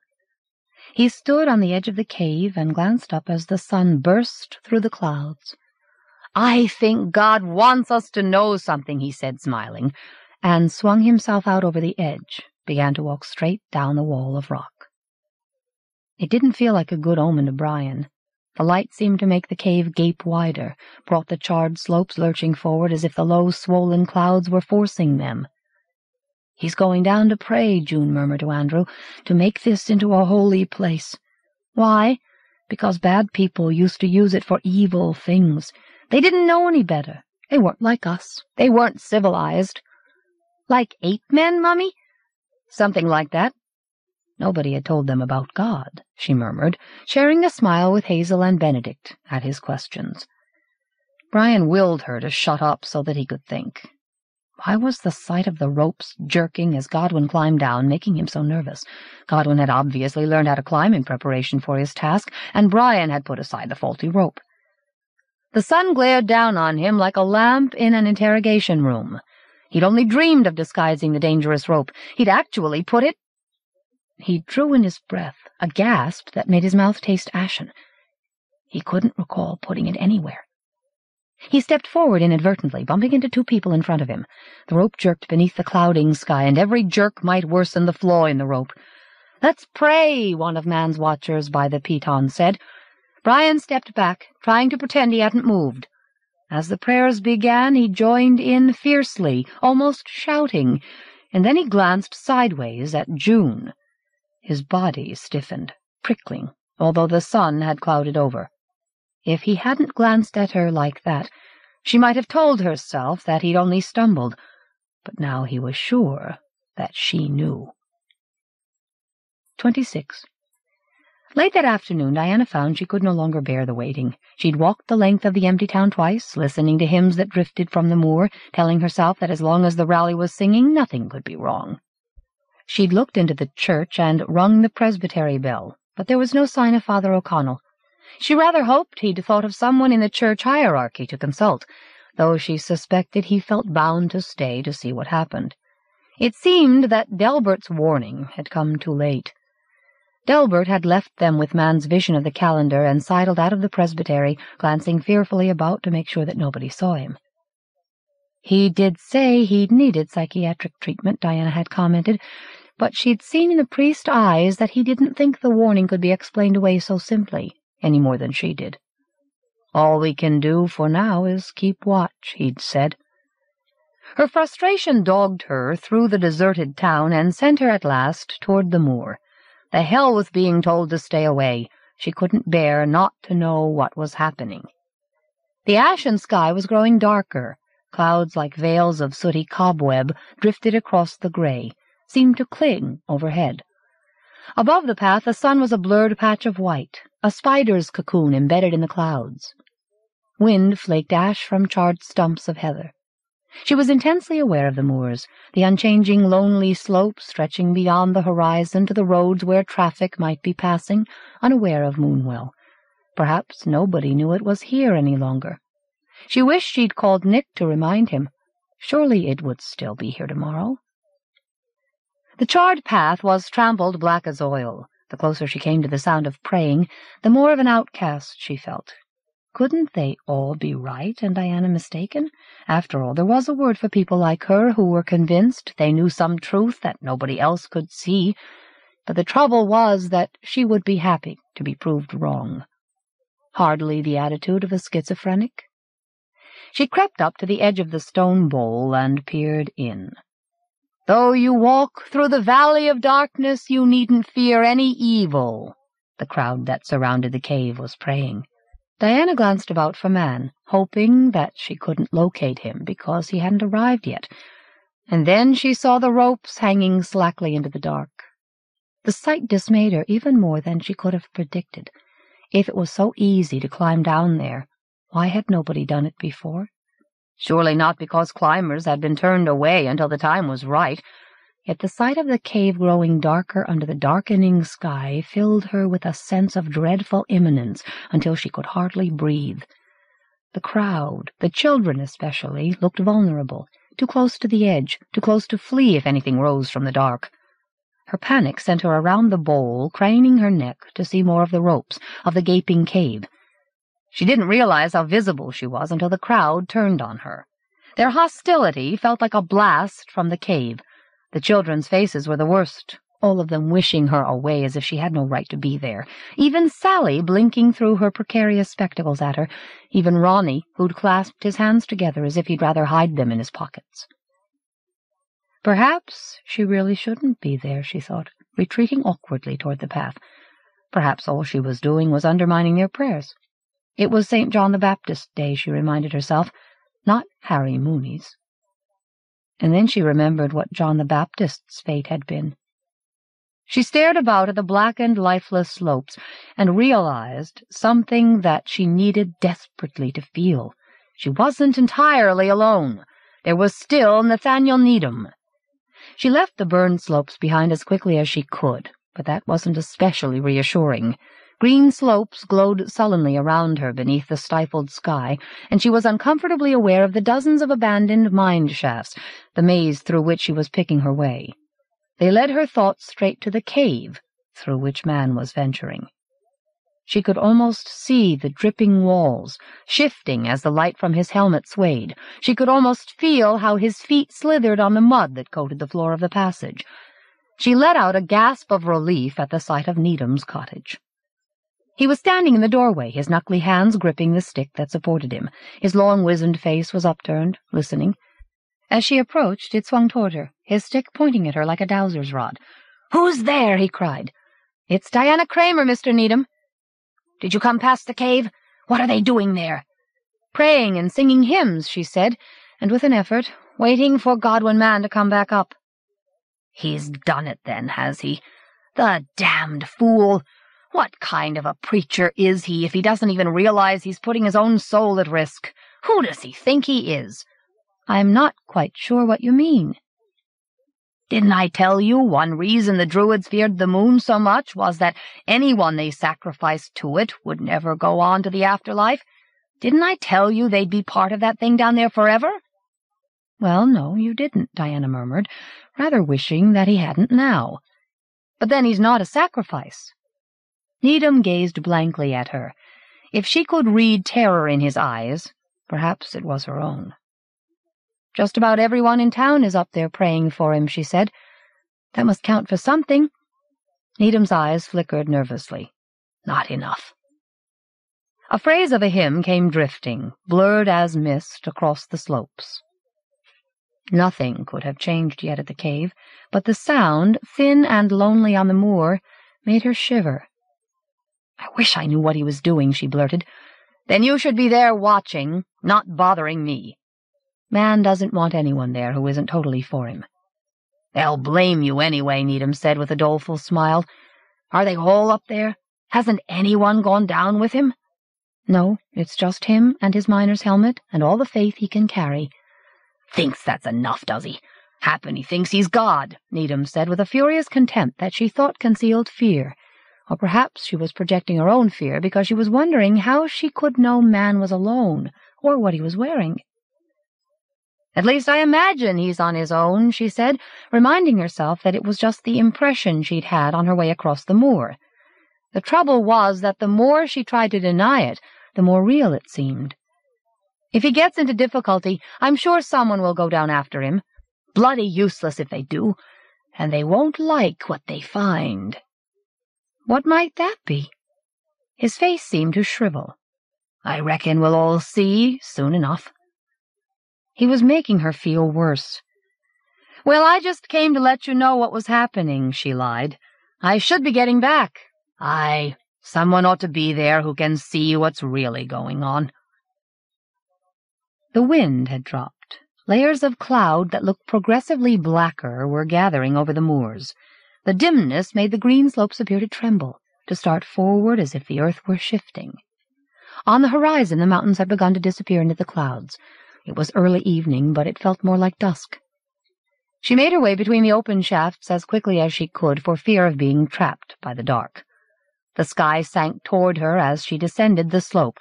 The clouds were so dark now that she couldn't see their movement. The mass of blackness seemed to have stopped overhead, filling the sky. The lurid glow of grass and heather made her eyes ache. The restless mouths of shafts led her thoughts back to Mann. She couldn't help reluctantly admiring him. If she felt so vulnerable in the dark up here, how much worse must it be for him?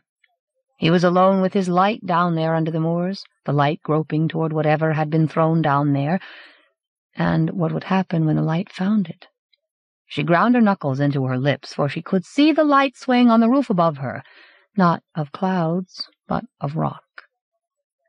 She glared desperately at the dimming slopes. She had to go home, lie down.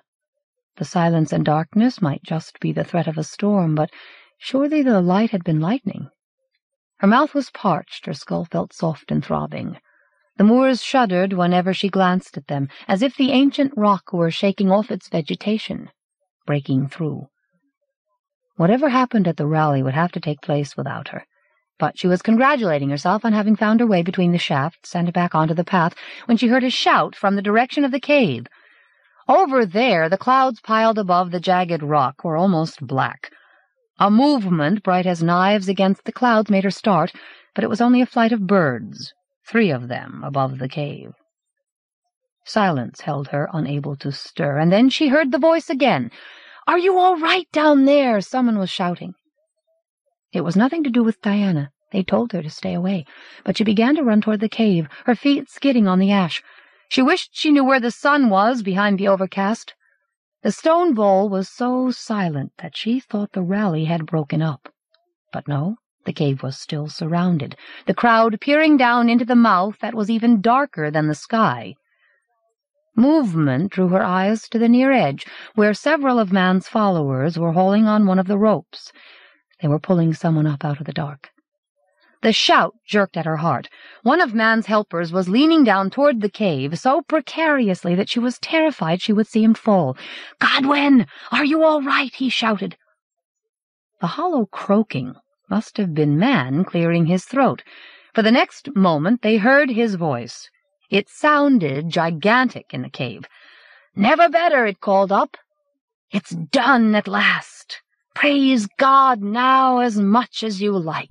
Someone began to sing, Jesus Loves Me, and the crowd took up the hymn.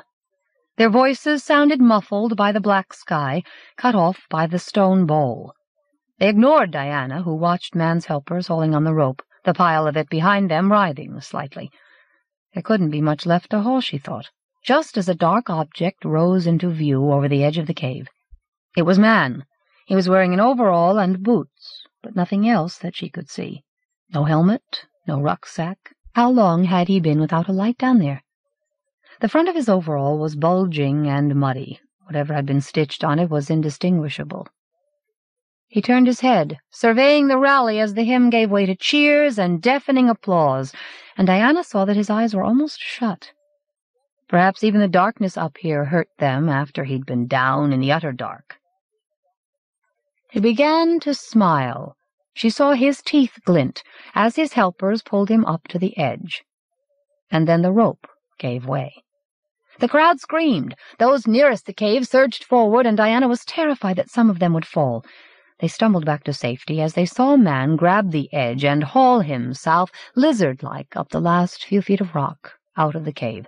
Perhaps he bruised his chest in doing so, for he was clutching it as he stalked away from the edge, gazing across the mouth to that part of the crowd where Andrew and his parents stood. Diana told herself that it was only the growing dark which made his smile look so ominous. The crowd was silent, waiting to be sure he wasn't injured. They began cheering again as soon as he said, Don't you worry about me. I'm back. 27. Some of the oaks below Moonwell were so old they had taken root more than once. Branches thick as Craig's paunch had stooped to the soil and rooted themselves. He and Vera spent the afternoon strolling through the tangled woods. They felt more like a church to him than a church would have, especially since the foliage cut off the sounds of gullibility from the moor. Eventually he sat with Vera on a rock upholstered with moss beside a stream that ran through the roots of oaks. The calls of birds pierced the hushing of leaves.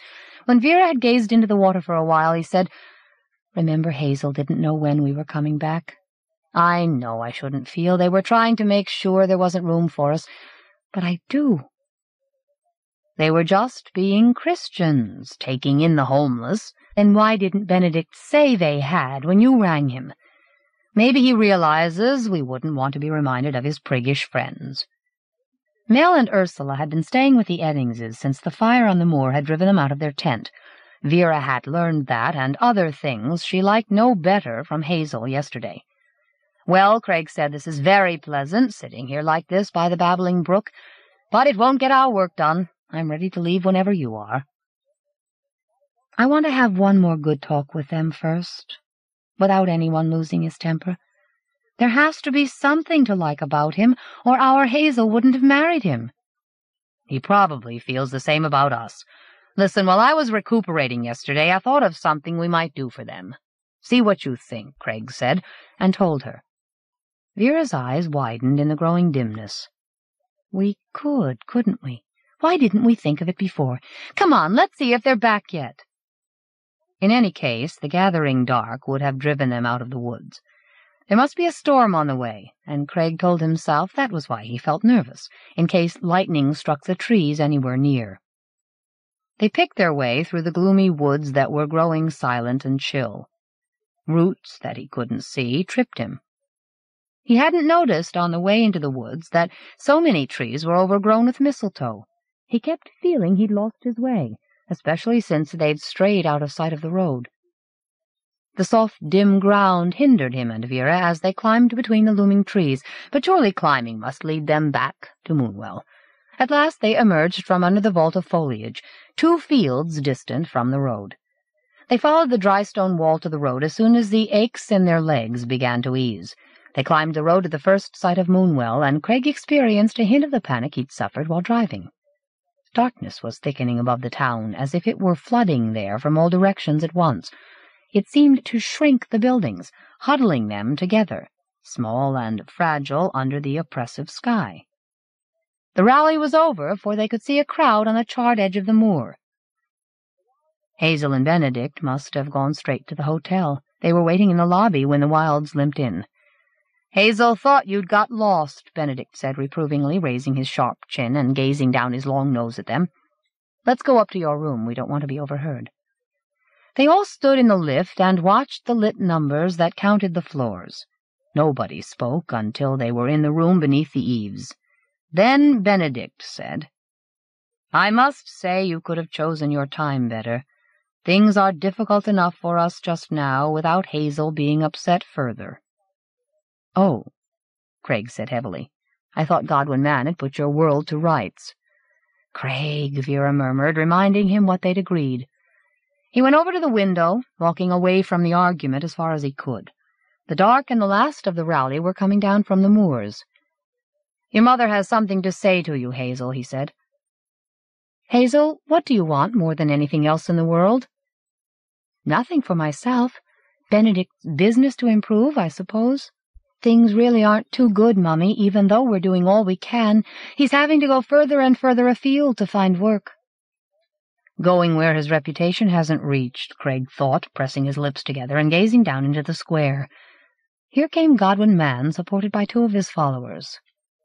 Perhaps you'll benefit from some of the goodwill your evangelist is spreading, Benedict, Vera said. Leaving aside business, Hazel, what do you and Benedict and, let me be honest, your father and I hope you'll have one day? Well, a baby, of course, one day. I knew it, Vera cried. We've been talking it over, and we've decided that's how we want to help you financially. We'll draw up a deed, and we'll buy things for the little one as soon as we know it's on its way. It must be the overall that made Mann look bulkier than his two helpers as they progressed along the line of street lamps which were lit despite the early hour. Craig turned away from the window. We certainly will if you'll let us. What do you say? Will you accept this as our peace offering? You ought to know you don't need to offer us anything except not being angry with us, Hazel said, and pulled him away from the window so that she could hug them both. We're very grateful, Benedict said hastily. Craig disengaged himself from the women and went over to him, shook the man's limp, clammy hand. That's settled, then, Craig said. You must come home tonight and eat with us, Hazel cried. We'd better hurry home and tell Ursula. She's making the dinner. By now her tone was apologetic. I don't think she and Mel will be staying much longer now Godwin's done what he came to do. Craig heard the lift. Here he comes now. He hadn't meant to stop them talking. He wanted to ask what precisely Mann was supposed to have achieved. They listened as the doors of the lift creaked open, as the three came slowly down the carpeted hall past the Wilds' room. Mann's door closed, and his helpers took the lift down. We'll see you in about an hour, Hazel said then. Craig wished there were more lights in the room. The idea that Hazel had been nervous about talking while Mann was in the corridor annoyed him, made him uneasy when, damn it, there was no reason to be. He shaved in front of the mirror above the washbowl, changed his clothes, and lay on the bed, but he couldn't relax. All he could do was resolve to have a good time, for Hazel's and Vera's sakes. He was glad to reach the cottage, even though the cloned Christ was waiting over the hearth.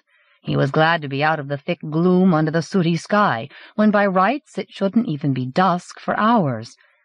He made appreciative noises over Ursula's cooking, spaghetti of various consistencies, heaped with charred or almost raw lumps of indeterminate meat. He managed to smile when Mel clapped his hands at the news that Hazel meant to have a baby, cried another life for Christ, and insisted on leading prayers for the birth. When Craig raised the question of the rally, he couldn't get a satisfactory answer. Godwin was super, just wondrous, Ursula told him, ladling out a second helping of spaghetti despite his protests. He carried God down into the cave, and God drove out the evil. There'll be some changes round here yet, and that can only be good news.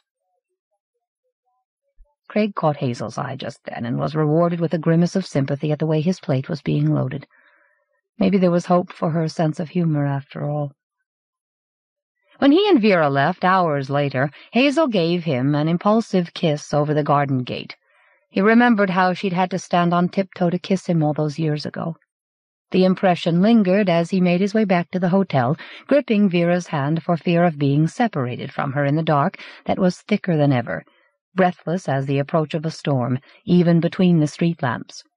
He hoped the storm would break and relieve the sense of imminence that set his skin crawling. He felt a little better once he was in bed with Vera, one arm around her waist as she fell asleep, and yet he had the notion that if he slept, the storm would waken him, or something would. He needed rest before he drove home tomorrow. At least Mann was inaudible. On his trip down the corridor to the bathroom, Craig had passed Mann's room and heard a low sound that must have been the evangelist's voice, no doubt thanking God for the day's work. For a moment Craig had thought the moon had risen, but it had only been the light from Mann's room. 28. The radio alarm wakened Eustace with static. He forced his eyes open and peered into the dark that was hissing at him, and eventually found the clock. Go on, you might as well go wrong, he snarled at it. Everything else has. He was burrowing under the tumbled sheets, away from the panicky sense of not knowing what he'd said on Sunday in front of the crowd, when through the open window he heard the rattle as an awning was pulled out. Someone was opening a shop. He squirmed unenthusiastically out of bed and groped his way to the window. The chilly dark felt heavier than sleep. He pushed the halves of the window wider and craned his neck to see the clock above the assembly rooms. The lit face was dim as a smoldering fire, and he had to strain his eyes to convince himself of what it said. Though the hour felt like four in the morning, the clock out there agreed with his that it was half past six. Stare all you like, he muttered at himself. That won't make it go away. Reality's right and you're wrong. He withdrew his head, feeling like a tortoise, sluggish and crusty, and collided his way across the room to the light switch. The light here and in the bathroom was muffled, brownish. Breakfast could wait. The sooner he finished at the sorting office, the fewer people he'd encounter on his rounds. He shivered as he stepped out of the cottage, for the street felt dank as mist. The unbroken clouds overhead looked like a starless night sky.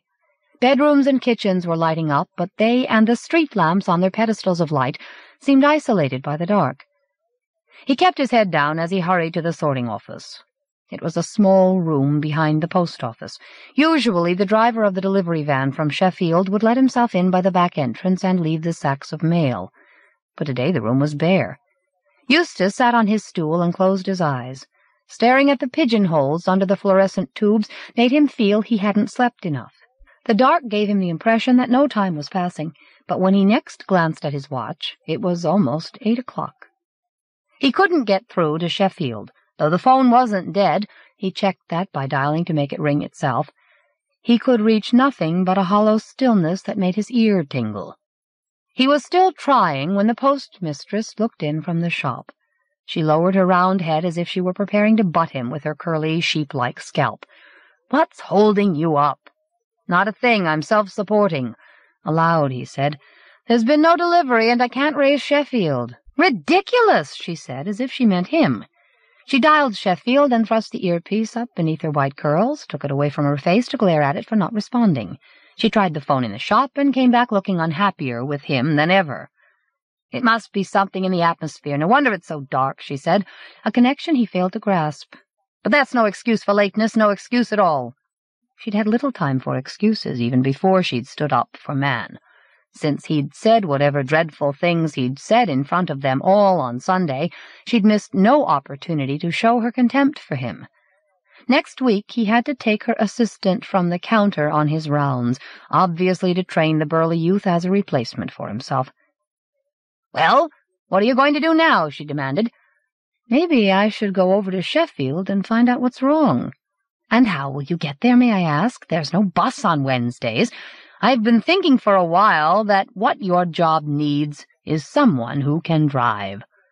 At least I can go down to the main road in case the van's broken down, and maybe he could hitch a lift and never come back. They'd be glad enough of him yesterday when he'd made his rounds instead of going up to the cave, but now they wanted to see the back of him. Maybe that was one prayer of theirs he could make sure was answered. The high street was crowded now, people going to work or to the shops or taking the children to school. Everyone was complaining about the weather. Which damned fool called this midsummer? Eustace heard someone say in a voice like Mr. Gloom's. He rushed himself past Phoebe Wainwright's street, past the thought of telling her he meant to leave, or at least apologizing for having delivered the anonymous letter. He had a sudden panicky notion that whatever he'd said at the rally had been about her. He didn't want to think about that just now. He wanted to be out of Moonwell, out of the town's disapproval, and the dark. Past the bookshop, which was lit but closed, the lamps gave out as the road climbed toward the ridge that overlooked the woods. He hoped that when he reached the ridge he could see sunlight on the horizon. As he made his way upward, keeping to the middle of the dim road, the tiers of street lamps fell away behind and below him, toward the playing field where the goal posts looked like matchsticks now. When he made the ridge, he couldn't help sighing. Behind him, the lights of Moonwell huddled together under the black sky. Around him, the dark extended as far as he could see. He couldn't even distinguish the sky from the edge of the moor. He was seized by a yearning to go back to Moonwell, where at least there was company, however reluctant. He was going to look pretty odd to any drivers on the main road, a hitchhiking postman in uniform. Maybe that was how he should go on stage. Give himself another chance where he might be appreciated. Maybe that's just what I've been looking for. But don't tell anyone, will you? he said loudly, the dark closing in his voice, and stepped down toward the woods. Two steps, and the slope cut off the lights of Moonwell. There was only the dark and the trees, still as fossils. Masses of foliage hung silently over the road, which grew much darker as soon as it led into the woods. The sooner he was through the woods, the sooner he'd be on his way. But he faltered to a standstill as he came abreast of the trees. He had to go on. The other road out of the peaks was miles beyond the town, across the moors. The woods were the same old woods, he told himself. The dark was only another sunless day in the peaks, even if unusually so. But the stillness of the woods made him struggle to breathe, and he could imagine how the road in there must sink into blind dark. What's up? he growled at himself. Afraid of a few falls in the ditch? He lurched forward, but a shudder halted him. Nobody in his right mind would venture in there. Not without a flashlight, anyway. It wouldn't take him long to go back for one. He tried to ignore how relieved he felt as he turned away from the woods, told himself he was only in a hurry to get the flashlight, but he hadn't reached the top of the slope when he heard a car on the road. The dark disoriented him. At first he thought the car was coming through the woods. When the headlights appeared above him, he dodged hastily out of the way, forgetting to stick out his thumb. Nevertheless, the car jolted to a halt. Want a lift? the driver called. He was a man in his sixties with large ears, pouchy eyes, a few strands of gray combed over his skull in memory of his hair. His wife looked younger, jet-black hair, dark eyes, and a face like china, but perhaps she wasn't. We saw you on stage at the pub, she said to Eustace, pushing the passenger seat forward so that he could climb in the back. We liked your act, didn't we, Craig? Definitely, the driver said with a reminiscent laugh. Hop in if you're bound for Sheffield. That'll do me. He ought at least to find out what was hindering the mail. He tripped over the woman's seat belt and almost ripped it out of its housing as he tried to disentangle himself. She and her husband watched with faint, encouraging smiles that seemed to say they appreciated his inventiveness, but would rather savor it under more appropriate circumstances. By the time he managed to tumble himself into the back, he felt like hiding under the seat. The car coasted forward under the cavernous arch of the oaks, and Eustace was disconcerted to find that he didn't feel much more at ease with venturing into the woods this way, trapped in the car, his eyes straining to see beyond the headlight beams as they poked jerkily at the dark. As soon as the beams passed the mouth of the woods, the trees on either side of the opening seemed to lurch forward. The chill of the dark settled into the car, and he saw that the driver was shivering as he craned over the wheel, staring at the rising banks that constricted the road as it grew steeper. Suddenly the car skidded to a halt, slewed across the road. I can't go this way, the driver muttered. We'll take the other road.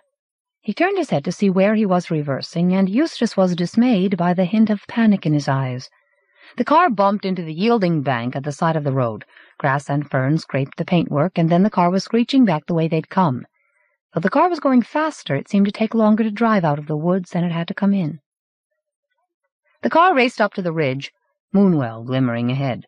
The driver dragged at the handbrake and leaned over the steering wheel, one shaky hand covering his eyes. I'm sorry I get like that sometimes. I thought I'd grown out of it. Sorry. Eventually he straightened up, breathing deeply. You don't mind if we go the long way, do you? I'd like to get a newspaper to see what the weather's up to. His wife massaged his shoulders as he drove down into Moonwell. Eustace might have cracked a joke to cheer them up if he'd been able to think of one. He felt redundant and shyer than ever. At least the driver seemed happier once they reached the lit streets. He parked by the first news agents he saw and hurried in. Moments later he reappeared, frowning. I might as well not have bothered. No papers were delivered anywhere in town today, and nobody knows why. 29. There had been a moment when Craig thought they would never be out of the woods.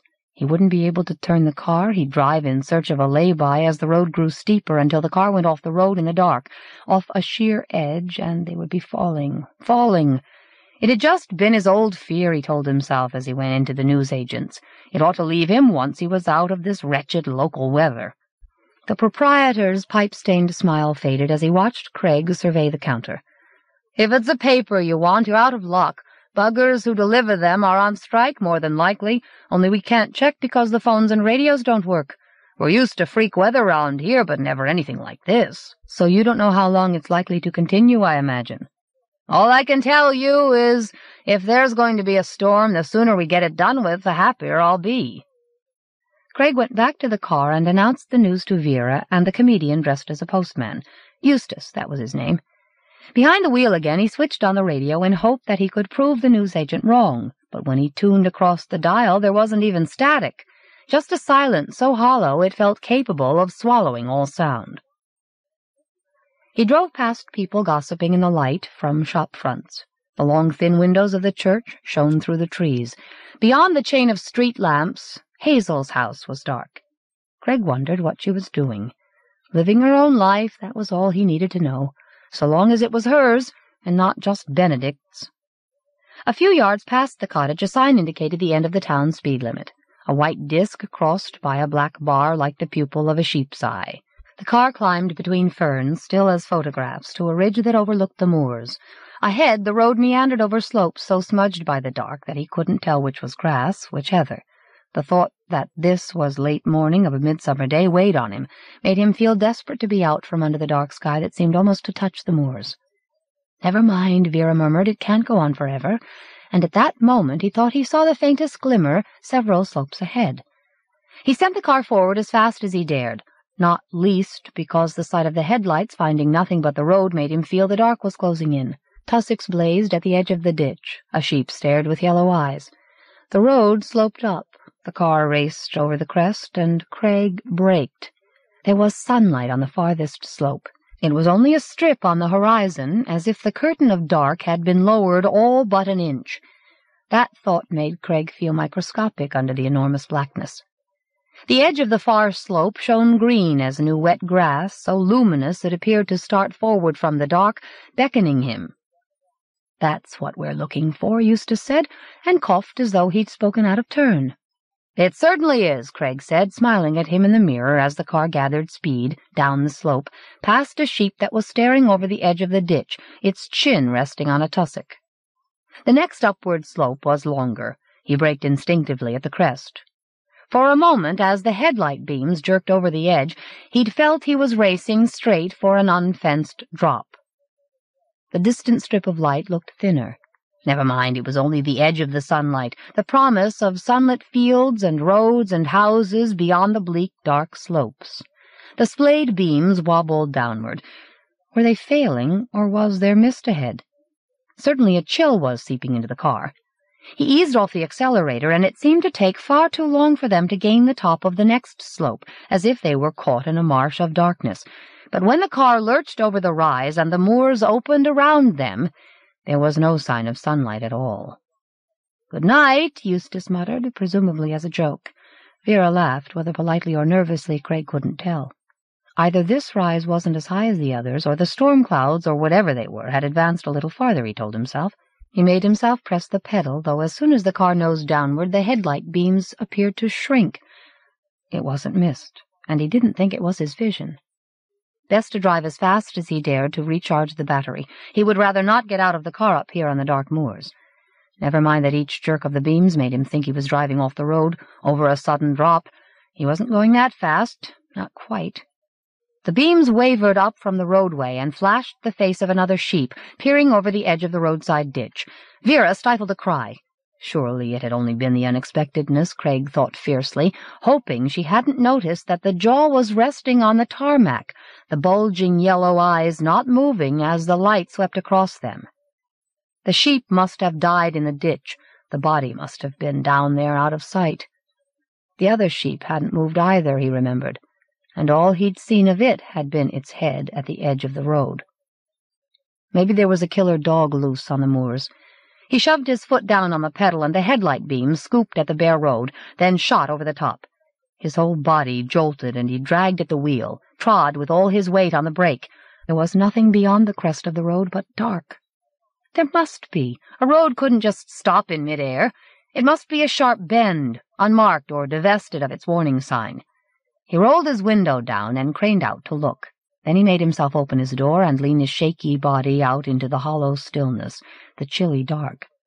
He could still see nothing beyond the small lit patch of road and the dim tussocky banks on either side of it, but darkness that looked solid as black ice. He slammed the door and pressed himself against the driver's seat as if that would make the car more real, make his panic give way to reality. Perhaps if he switched off the headlights, they might be able to see what really lay ahead, he was reaching tremulously for the switch when Vera said in a pinched voice, You're running the battery down. Let's go back. He let the car coast backward down the slope at once, before he tried to turn it. He was dismayed to realize how welcome the excuse was that Vera had offered him. He glanced at her, then he looked over his shoulder while he reversed toward the ditch. As soon as he caught sight of Eustace, his panic flooded back. Eustace was as scared as Craig knew Vera was, as he was himself. This time it wasn't just his childhood fear that he was retreating from. Whatever was out there, they had seen it too. 30. Throughout that morning, Diana felt as if she hadn't woken up. However many lights she switched on in the cottage, it still seemed too dark. The lights could neither drive away the thoughts that had kept her awake half the night, nor clarify them. When she opened the front door, hoping that fresh air would clear her head, the darkness settled over her like a fall of dirty cobwebs. She went back to the percolator in case coffee might free her from her prickly stupor, her sense of being unable to organize her thoughts. The first black gulp seared her throat, but that was all. Perhaps she needed her yoga techniques to help her sleep. The trouble was that when she'd tried them in the early hours, she'd felt on the edge of something much larger than relaxation much larger than the glimpses she'd had of Mann in the cave. Nathaniel Needham had hinted that he'd experienced visions, but could Diana be that Celtic just because of her ancestry? She felt in danger of coming face to face with something she dreaded without knowing what it was. The shrilling of the doorbell almost jerked the mug out of her hand. Jeremy Booth was outside, shading his eyes with one hand as if to ward off the dark. What do you think about this, then? he said, rolling his eyes to indicate the sky. I don't know what to think about it, Diana said, more certain every moment that she did. Time for a coffee? I've been drinking alone all morning. When she brought him a mug in the front room, he was gazing at the children's paintings, months old now. So what will you be doing when the summer's over? he said. She wished the question didn't seem so ominous. I still haven't decided. I want to see how the kids are. You don't mind staying, then. Somebody has to. We would if there were anything to stay for, Jeremy said, obviously feeling rebuked. But between ourselves, I don't like the way things have been affecting Geraldine. It was starting to get through to me as well. In what way? My youthful excesses catching up with me, I think. He gave a token laugh. My psychedelic past. I'd have thought it would have worked itself out of my system by now, but it must have been the pressures we've been under. I started to see things. Do you mind if I ask you what sorts of things? I'd rather not talk about it, Diana. He drained the mug and stood up. Don't think me rude if I scoot away. I don't like leaving her alone while it's like this. It's making her nervous. Were you here for a reason? Well, yes. Jerry tells me you'll be staying for a while, and we both admire you for it. If we leave you the key, would you mind keeping an eye on the shop? We're going up to Wales to look at some new premises. Now? Tomorrow, but I thought I'd better ask you now in case you'd rather not. There's nobody else if I don't, is there? To be honest, I don't think there is. Committing herself to staying on behalf of one more person hardly mattered. She'd already been singled out by her ability to see more than the townsfolk could, and there was no point in resenting having been chosen like that without being asked. Leave me an address where I can get in touch with you if I need to, she said. She watched him as far as the lamplit corner.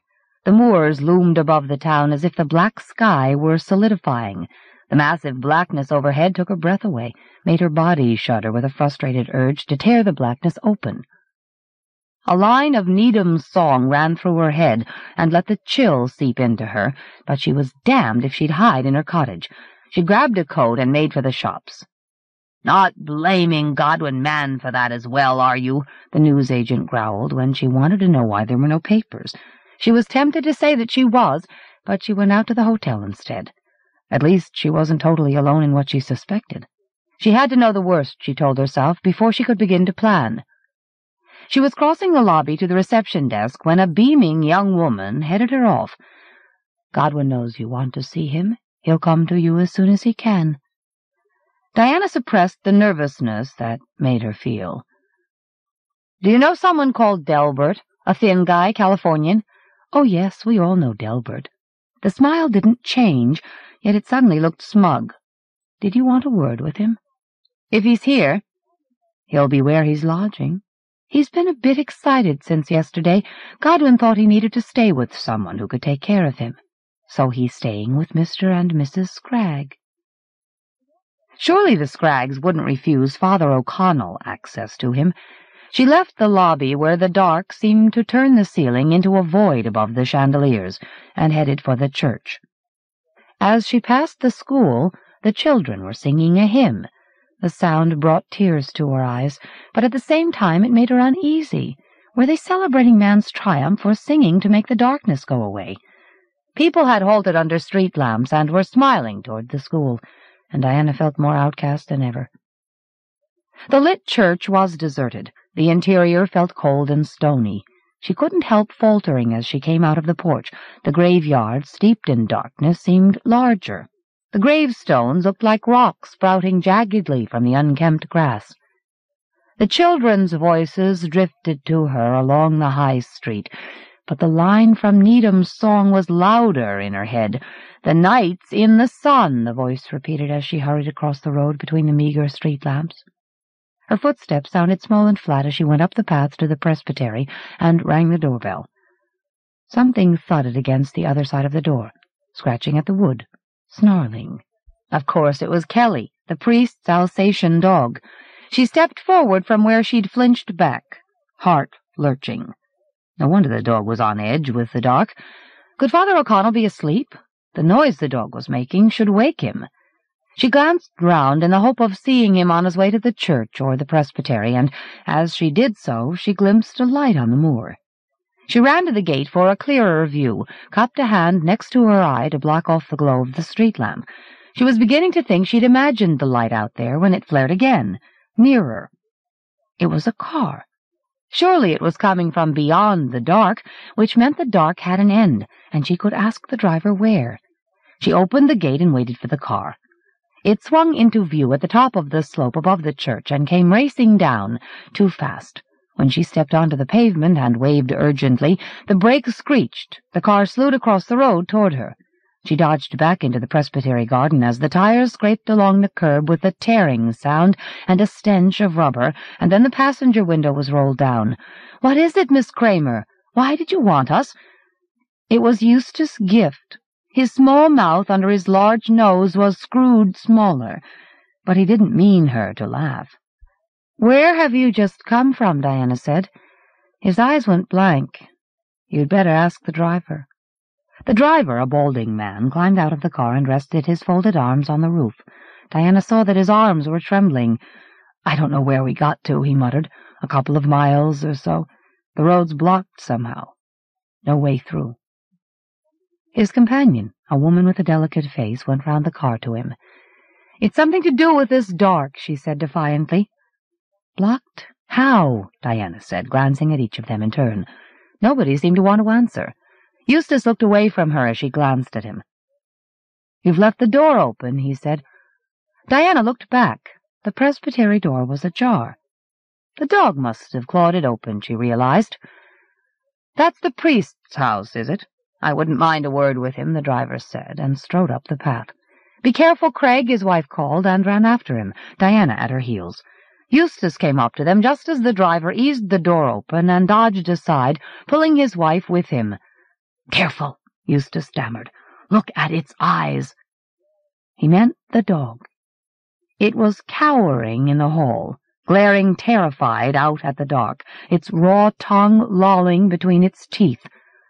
Come on, boy, Craig said, stepping forward minutely, and then the dog leaped past him, fled whimpering along the path as Diana shoved Eustace out of its way.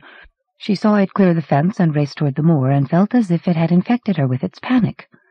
She made for the lit hall of the presbytery so as to be out of the dark.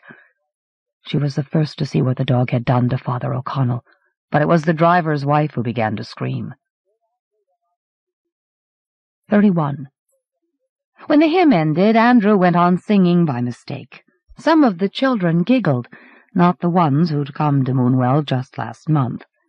Miss Ingham gave him a smile, the one that stayed on her face, whatever she was saying. Let's kneel down now and talk to God, she said. Andrew squeezed his eyes shut until they filled with swelling light and prayed as hard as he could, though not in the words she was using. He prayed so hard he ceased to feel the floorboards bruising his knees. He was praying that his father was cured now that Mr. Mann had made the cave into a holy place. Whatever was wrong with his father, it had something to do with the cave. He'd seen his father creeping up there in the moonlight, He'd felt his father growing tense when Mr. Mann went down the rope. His father must have been asking God to go down with him, to kill the giant or the devil that had hurt Andrew's parents the first time Mr. Mann had called everyone to the cave. If Andrew's mother hadn't spoken up that time, it wouldn't have singled out his father. But Mr. Mann had done what he'd been called to do and come back safe. He'd said so. The trouble was that since then Andrew's father had been more secretly nervous than ever. He mustn't be sure that the demon was dead. Maybe he was afraid to look over the edge of the cave to make sure, or afraid that someone would see him looking and want to know what he was doing. That was why Andrew had to go and look, to make sure it was a holy place now, so that he could tell his father. Please God, he said, for everything to come right, and joined in as the crowded class said, Amen. God see you safely home, Miss Ingham said, which meant they could all go. Andrew thought of joining the others as they swarmed out, of inventing a reason on his way to the cave why he hadn't waited for her. But she was smiling at him, and the only way he could move was toward her big, wide face, her broad shoulders that made her look like a triangle balanced on thin legs. He still wished she were Miss Kramer. Don't forget to say your prayers before bedtime, she called after the children. Remember, God likes to look down and see you on your knees. I don't know how he can see anything with all this dark, Sally murmured to Jane. At least Andrew could ask the teacher one of the questions that were troubling him. As he followed her into the schoolyard, he said, The dark's the bad coming out of the cave, isn't it? Miss Ingham smiled at him with a frown above her eyes. What do you mean, Andrew? Mr. Mann killed the demon in the cave, didn't he? He did what God sent him here to do. Then is the dark all the bad coming out and going into the sky? Do you know, I think maybe it is. Her smile had turned generous. That's why God makes children like they are, because they can see more clearly than us sometimes, she said. And to him, and maybe people aren't praying hard enough. Tomorrow we'll all pray for a wind to blow the dark away. He hadn't quite meant that. Looking up at the black sky, which seemed lower and more solid every time he saw it, he wondered if it could really be that simple. Just a wind and all the cold, dark stillness that made the town feel like a ghost of itself would be swept away. He had a sudden sick feeling that her smile was meant to pretend that everything was all right, the way all the people he saw in the dark street seemed to be pretending. Now God had come into their lives, mustn't it be true, and not a pretense? He wanted to believe that, and perhaps he could once he knew that his father was just his father again. His mother was at the shop, poking a brush at the dim corners of the ceiling. Has Andrew been good today? He's been a credit to you, Mrs. Bevan. The teacher took the orange comb that made Andrew think of a centipede out of her hair, which fell blackly over her shoulders as she dropped the comb into her canvas bag. If you give me the key, I'll take him home and start dinner. You needn't do so much for us, Miss Ingham, really. That's right, Andrew's father said, coming out from peering round the stockroom door. You've been working hard all day. We're glad to have you staying with us. You don't owe us anything. Think nothing of it. I love cooking when I'm using ingredients fresh as God made them. I really do believe it's a way of praising God. I hope it isn't a sin to open a can occasionally, Andrew's mother said, so sweetly that he winced. Oh, I'm sure God understands, the teacher said, smiling. I could show you some recipes one evening, if you'd like. Andrew looked nervously out of the window, for he felt as if they'd forgotten the dark. Maybe they preferred to behave like this so as to distract themselves, or didn't they even realize? He felt all the more nervous when he saw one of Mr. Mann's helpers coming toward the shop. She was looking for Miss Ingham. The pub is going to show that video tonight, the one where Godwin's father plays the devil. You'd think they'd have something better to do, Andrew's father said loudly. Childish, that's all it is, just because they don't agree with Godwin. We want to make sure there'll be plenty of us there to show what we think of it, the woman with the cross on her front said. We'll tell some people to be there, shall we? Andrew's mother suggested. Andrew almost couldn't speak for eagerness. I will. His mother opened her mouth and glanced almost imperceptibly toward Miss Ingham. All right, seeing it's for God. Just tell the people in Roman Row and come straight back. Two streets, Andrew pleaded. She stared at him as if he were showing her up, and he was terrified she'd say he couldn't go at all, ruin his plan. Just Roman Row and kill Lane, then, she said, in a voice that promised she'd have something to say to him later. But don't you dare cross the big road. Why was she anxious that he shouldn't cross the high street when there hadn't been any traffic along it for days, maybe longer? He ran out of the shop and round the corner into Roman Row and dashed from house to house. Every time a door opened, he was already on the next path and ringing the next doorbell. He called his message over the hedge or the fence and raced on. He'd rung Mrs. Wainwright's bell before he realized that she would hardly want to help Mr. Mann. He dodged next door, hoping she wouldn't appear, but her door wavered open as he rang the neighboring bell.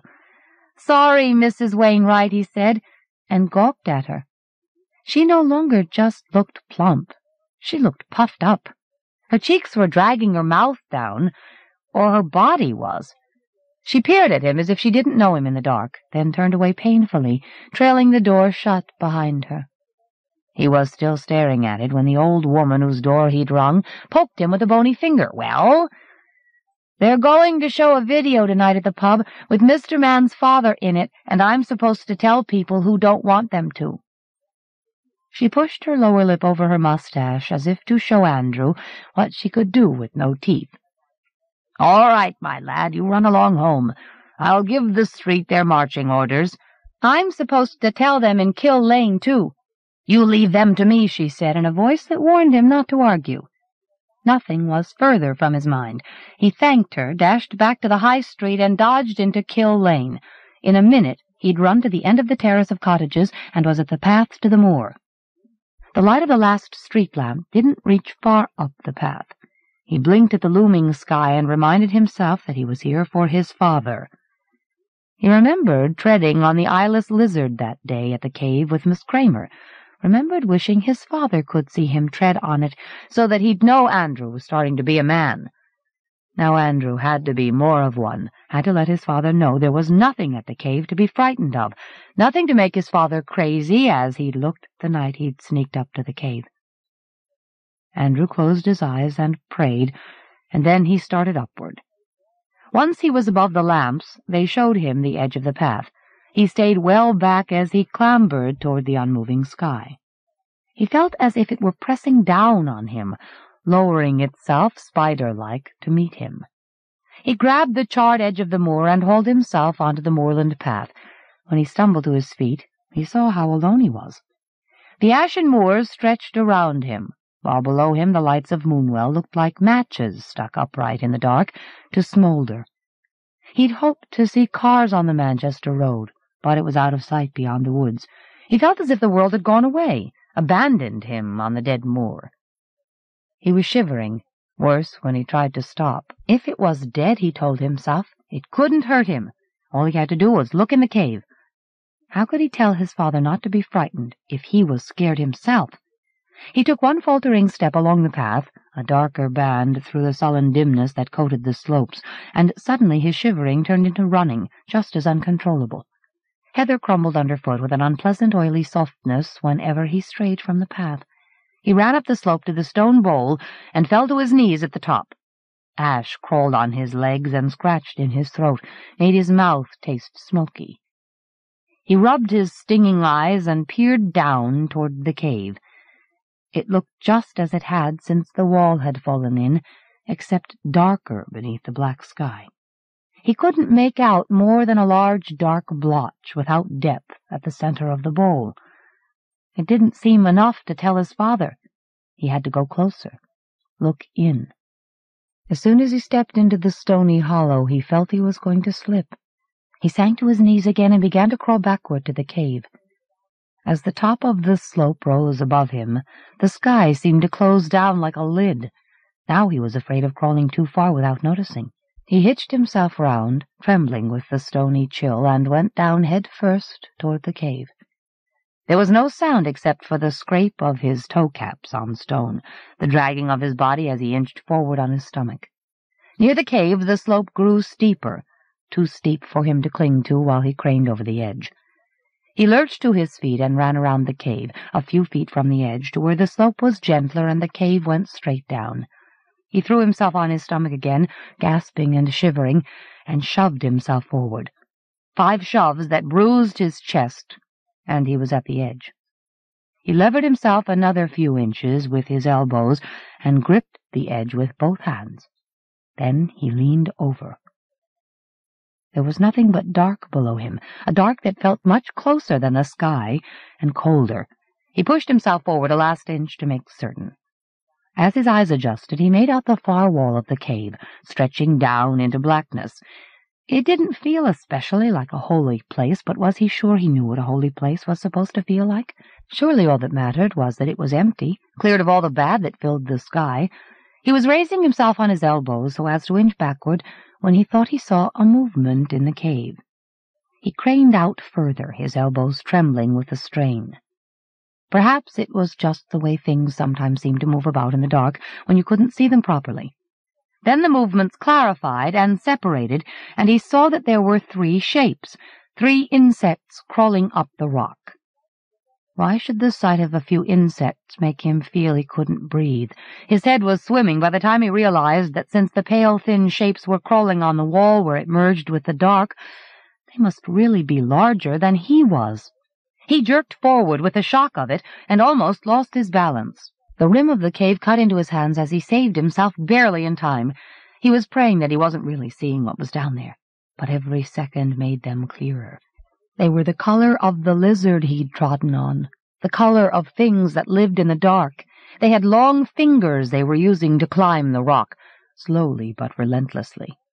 Two of them were raising their smooth heads toward him in a way that made him think they had no eyes, while the one in the middle seemed to have no head. That was the sight that convulsed his body, threw him back from the edge so violently that he had no grip on the stone for a moment, almost slid down the slope and over the rim. He staggered dizzily to his feet and fled sobbing up the stone bowl. All the way along the charred path he kept glancing back in terror of seeing the pale shapes crawling after him over the dead slopes beneath the black sky. He fell several times on the path down from the moors. He had no idea how long he'd been up there, how long his parents might have been waiting for him. He couldn't even tell them what he'd seen, or his mother would want to know why he'd gone up to the cave, and that would make his father worse.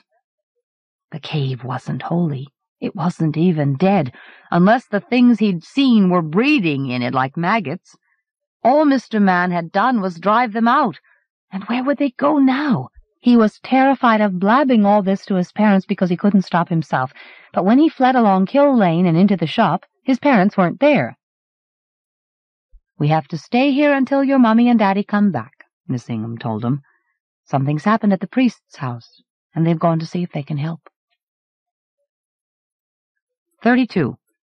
Father O'Connell must have been trying to open the front door. His blood was on it and on the walls and carpet just inside the presbytery.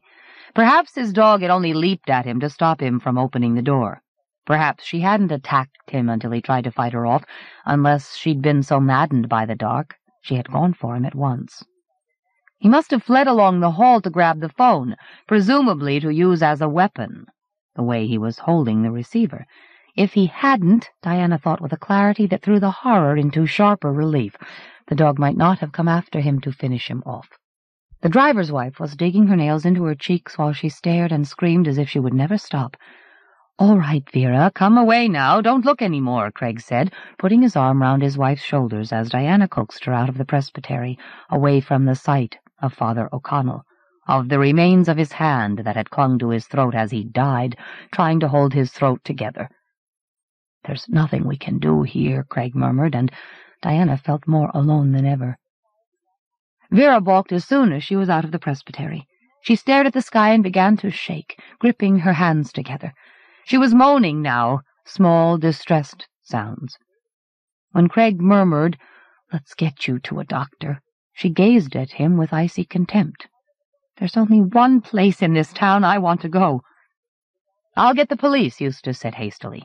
He sidled past the onlookers who were gathering outside the gate, but the dressmaker who lived in his road stepped in front of him.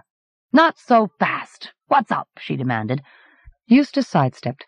Father O'Connell's dead, he threw back. The woman nudged the gate open with her stomach. His dog turned on him, Diana explained, but the woman ignored her until she'd stepped into the presbytery and seen for herself. She swung round, looking grimmer. What's it got to do with you? I found him, Diana said, which was all she intended to say except to the police.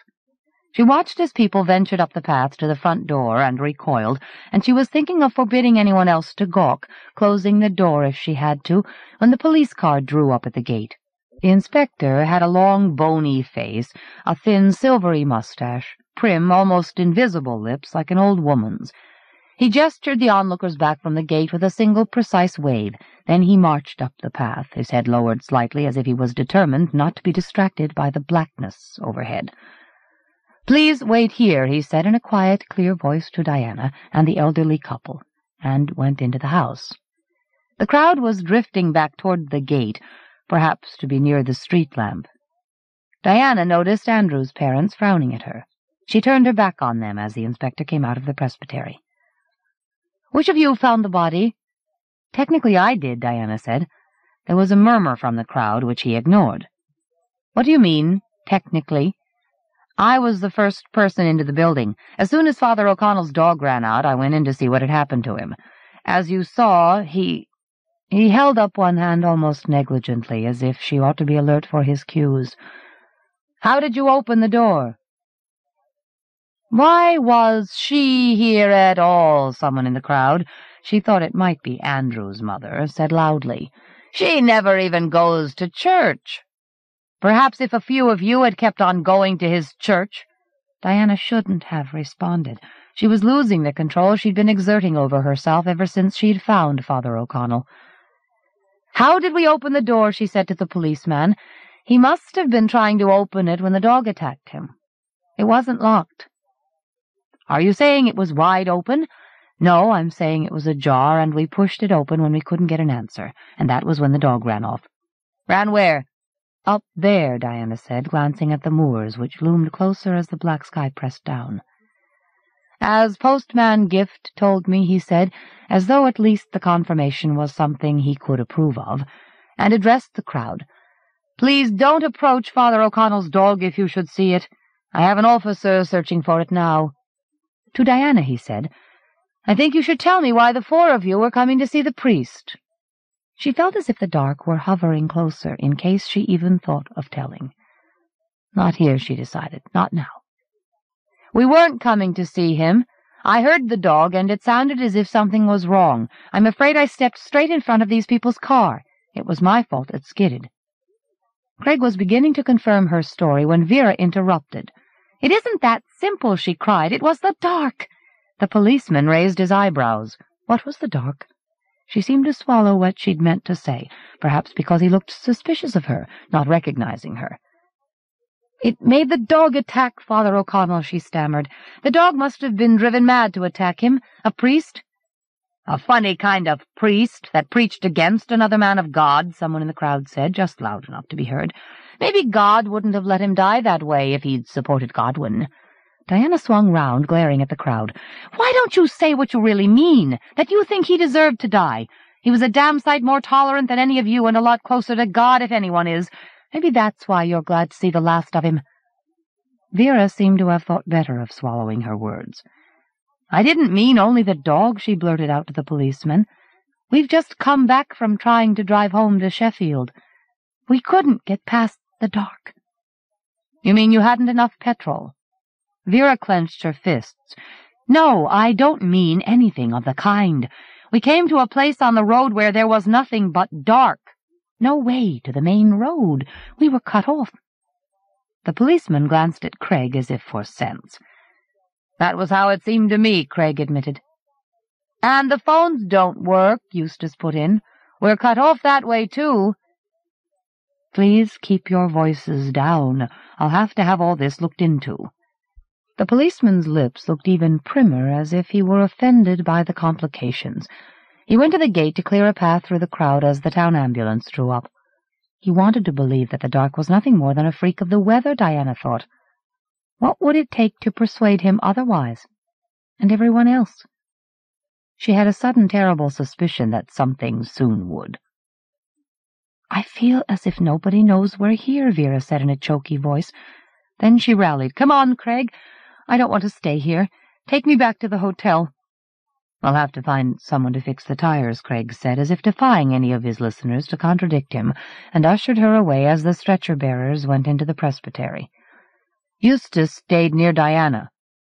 Please let me know if you plan to leave town, in case I need to question you further, the policeman said to her, and she heard her unspoken cry trailing away in the dark inside her skull.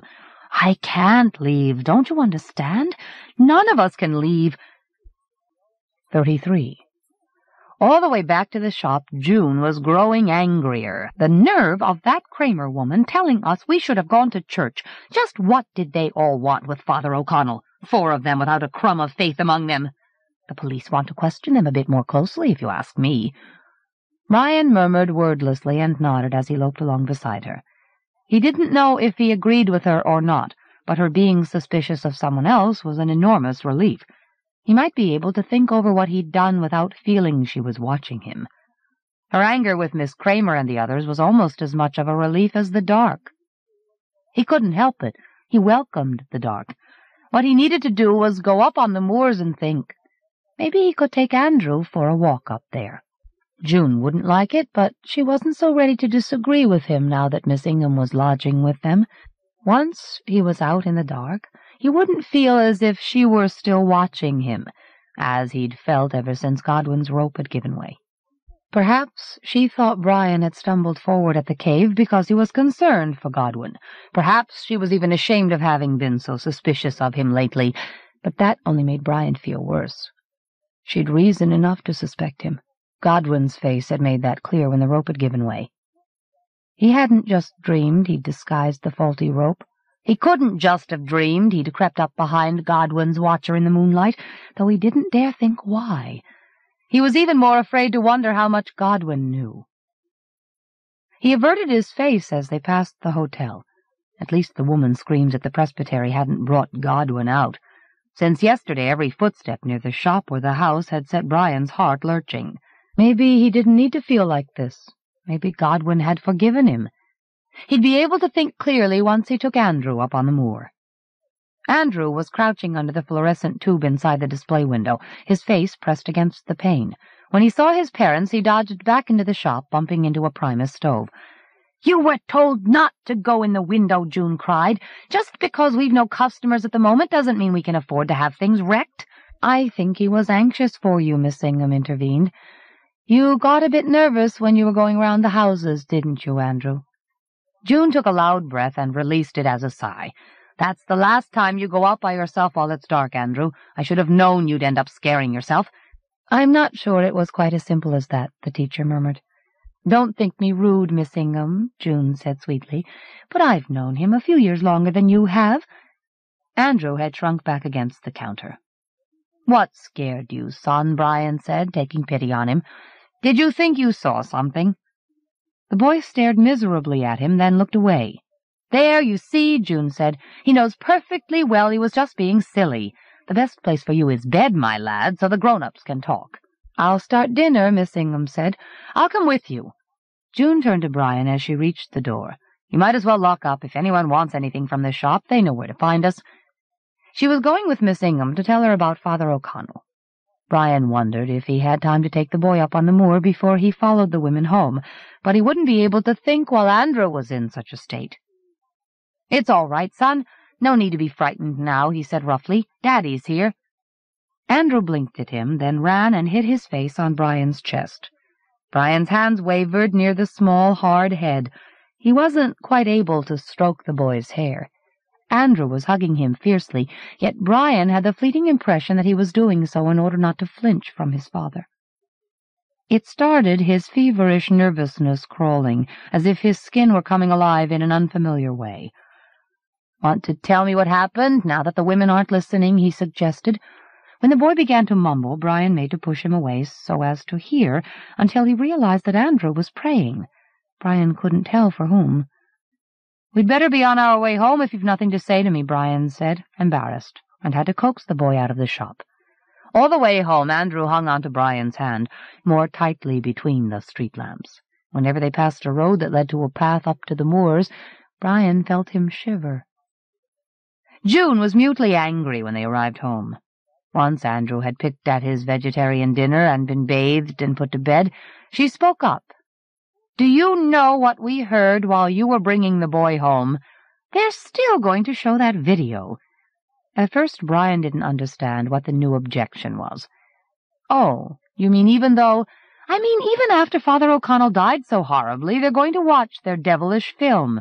They're saying Father O'Connell would want them to show it. He was going to see it himself. I don't believe for a moment that's true, but if it was, it's no wonder his dog went for him. We ought to go and show them we're on Godwin's side, Brian said. You and Miss Ingham go if you like. I'll have to stay with the boy. He won't even let me switch his bedroom light off. Someone needs to stay who won't stand for his nonsense. Could she be secretly jealous because Brian was going to the pub with the teacher? He hadn't thought much about Miss Ingham, except to find her presence in the house inhibiting, but when she came downstairs, wearing perfume and one of her long dresses, he found her unexpectedly pleasing. The way the dress kept hinting at her body warmed his groin. "Call me Letty," she said, and he wondered if she might agree to a stroll after the pub. The one-armed soldier was packed with Godwin's followers. Brian bought Letty an orange juice, a pint of strong ale for himself. "'It's a treat to see you. I thought you were dead,' Eric the landlord remarked in a voice that carried across the room. Brian muttered as neutrally as possible and joined Letty and her friends, who were talking about how Godwin had been resting in his hotel room ever since he'd braved the cave. Letty's face was why he hadn't taken much notice of her before, he realized her large, plain face with its permanent smile. Put a bag over her head, he thought automatically, and was restraining himself from glancing at the outline of her thighs when the teetotalers began demanding to see the film. Whatever you think of it, keep your hands off it, Eric said, slipping the cassette into the player. And don't be shy about coming to the bar. The film was called The Devil's Well. Brian wondered if that had made Godwin think of Moonwell, though it was about an industrialist who drilled for oil where he'd been warned not to. Most of the swarthy actors didn't seem to be mouthing English. From the groans and the shaking of heads around him, Brian gathered that the industrialist was played by Godwin's father. The drill dug deep into the earth, and then oil filled the screen, except it wasn't oil. It was too black, too purposeful. The industrialist turned to the camera, grinning diabolically, and everyone around Brian began to sing a hymn as demons swarmed out of the gushing muck. The dripping demons that looked like men ripped the doors off houses and killed the townsfolk, pulled handfuls out of their throats, held them up screaming, and smashed them against walls. Father O'Connell mightn't have liked this, after all, Brian thought. He wasn't sure he liked it much himself especially when the victims came back to life and went in search of the few survivors. He especially disliked the sight of a young woman dressed in a T-shirt and denim shorts, stumbling through the town in search of her husband, although she no longer had a head. He joined in the hymn so lustily that people glanced at him. His thoughts crowded the hymn out of his head. Of course, the young woman reminded him of the hiker who'd fallen down the cave, but the sight of the headless body on the move recalled to him how he'd felt as he'd watched the hiker on the moor. God help him, he was feeling that now. The spectacle of the headless body was jerking at his groin. He felt sick with self-loathing and at the same time almost uncontrollably excited. He tried to think of June, but couldn't even see her face. Letty Ingham was closer, and he tried to concentrate on her, to distract himself from the flickering screen that was making his eyes seem to swell. He could imagine lifting her long dress, parting her thighs, thrusting himself into her. If it wasn't for that maddening, flat-faced smile of hers. Suddenly he saw the teacher and himself lit by dazzling white light, his hands closing around her head, twisting it, lifting it clear of her shoulders. He had to struggle not to seize his rampant groin under the pub table. He sang louder, almost bawling. Demons and corpses overran the town, and Godwin's father grinned out through a repetition of the title. The audience began to clap in time with their hymn. As Eric pulled the cassette out of the player, he glared at Brian as if he'd let Eric down. Thank you, people said innocently to him as the pub emptied. Brian would have liked to stay for another drink. The pub felt like a refuge from the dark, except that he would feel bound to apologize to Eric. Maybe to explain too much. He followed Letty Ingham, his penis shrinking from the chill and the dark. He couldn't help thinking how satisfying it would be to have the strength he'd glimpsed, dazzled by himself and the white light. It was only a fantasy, he told himself, but it made his skin feel unstable, too alive. He averted his face as he passed the hotel, and then he realized that he couldn't hide it from June. He had even more secrets to keep from her now. Thank God she was in bed, Andrew snuggling against her, where he must have pleaded to go. Brian crawled into Andrew's bed and wondered nervously how long it would be before he betrayed his secrets. He heard Letty humming a hymn downstairs, and all at once he knew that he had things the wrong way round. No wonder he felt like this when he'd somehow managed to forget what Godwin had told them all. There was only one way to get rid of his feelings, however painful it might be. Father O'Connell was gone, but he could still confess to Godwin Mann. 34. On her way home from the presbytery, Diana felt as if the dark had won. Perhaps she was exhausted, but she had the impression of shrinking as the dark grew larger, until she and the town meant nothing at all. She did mean something, she told herself fiercely, but what? Maybe she would know once she'd had a good night's sleep. Something rustled on the hall floor as she unlocked the door of her cottage. Two pieces of paper. They were paintings which she recognized even before she read the children's names on them. Sally's painting showed climbers on a mountain, stick figures with beaky noses, heads the size of dimes. Jane's was of a carnival in which all the rides had to be crammed into the space left by her carousel. Both of them were paintings Diana had put up on the classroom wall. Their teacher must have given the children their paintings to take home, because it was nearly time for the summer vacation, however it looked. Diana imagined the two girls discussing what to do, Sally fiddling with her patched spectacles, Jane agreeing solemnly that they should post the paintings through Diana's letterbox. She felt like weeping. They hadn't forgotten her, but she had nearly forgotten them. No, you don't, damn you, she hissed at the dark. She made black coffee and drank it as hot as she could, walking back and forth through the cottage to try to wake herself up. When she went out, she still felt as if she hadn't wakened, as if she needed to waken so as to understand what she could do about the dark. Finding out from Mann what had happened at the cave must be a first step, she told herself. At least now she had an excuse to go into the hotel. The large, dim lobby under the dusty chandeliers was a relief after the streets, the dark lurking between the street lamps leading to the sunless moors. She went to the reception desk where the manager stood looking harassed, his oval forehead gleaming through what remained of his red hair. Are the couple who were in a car accident here just now? Craig and Vera, somebody? Mr. and Mrs. Wilde. He glanced about for a receptionist, then peered at the board where the keys hung. Yes, they're here. Three fifteen. I'll go up, shall I? You may as well, he said, sweeping back his sparse hair with both hands in a despairing gesture. Top floor. When she stepped into the elevator, the doors closed, but she had to press the button twice before the lobby fell away. The elevator faltered at each level, giving her a view of deserted corridors through the small square window. At the top, the doors staggered open with a muffled squeaking. Either the central heating didn't reach up here, or it was turned off. Perhaps it was the chilly stillness that put her in mind of a cave, for the gloomy floor with its eighteen bedrooms felt larger than it should. She went quickly along the right-hand corridor and knocked on the door of 315. Craig opened the door and smiled rather shakily at her. Miss Kramer, it's good of you to look in. If you're blaming yourself for the accident, please don't. It was entirely my fault. Me and my neuroses. I thought you showed a whole lot of presence of mind. Is your wife okay now? I'm sorry, I didn't mean to be rude. Please do come in and say hello to her. We're just making coffee if you'd like some. Vera turned from staring at the electric kettle as if at some vitally important task. Miss Kramer, I don't know what you must think of me after all that fuss I made. I might have behaved that way if I'd been through all you'd been through, Diana said, probing gently. Oh, I think we just let this dark get on top of us, Vera said, with an awkward laugh. I don't like it, I won't pretend I do, but that's no excuse for my carrying on that way, as if that poor policeman hadn't enough to do. I don't mind telling you, Miss Kramer, I'm ashamed of myself.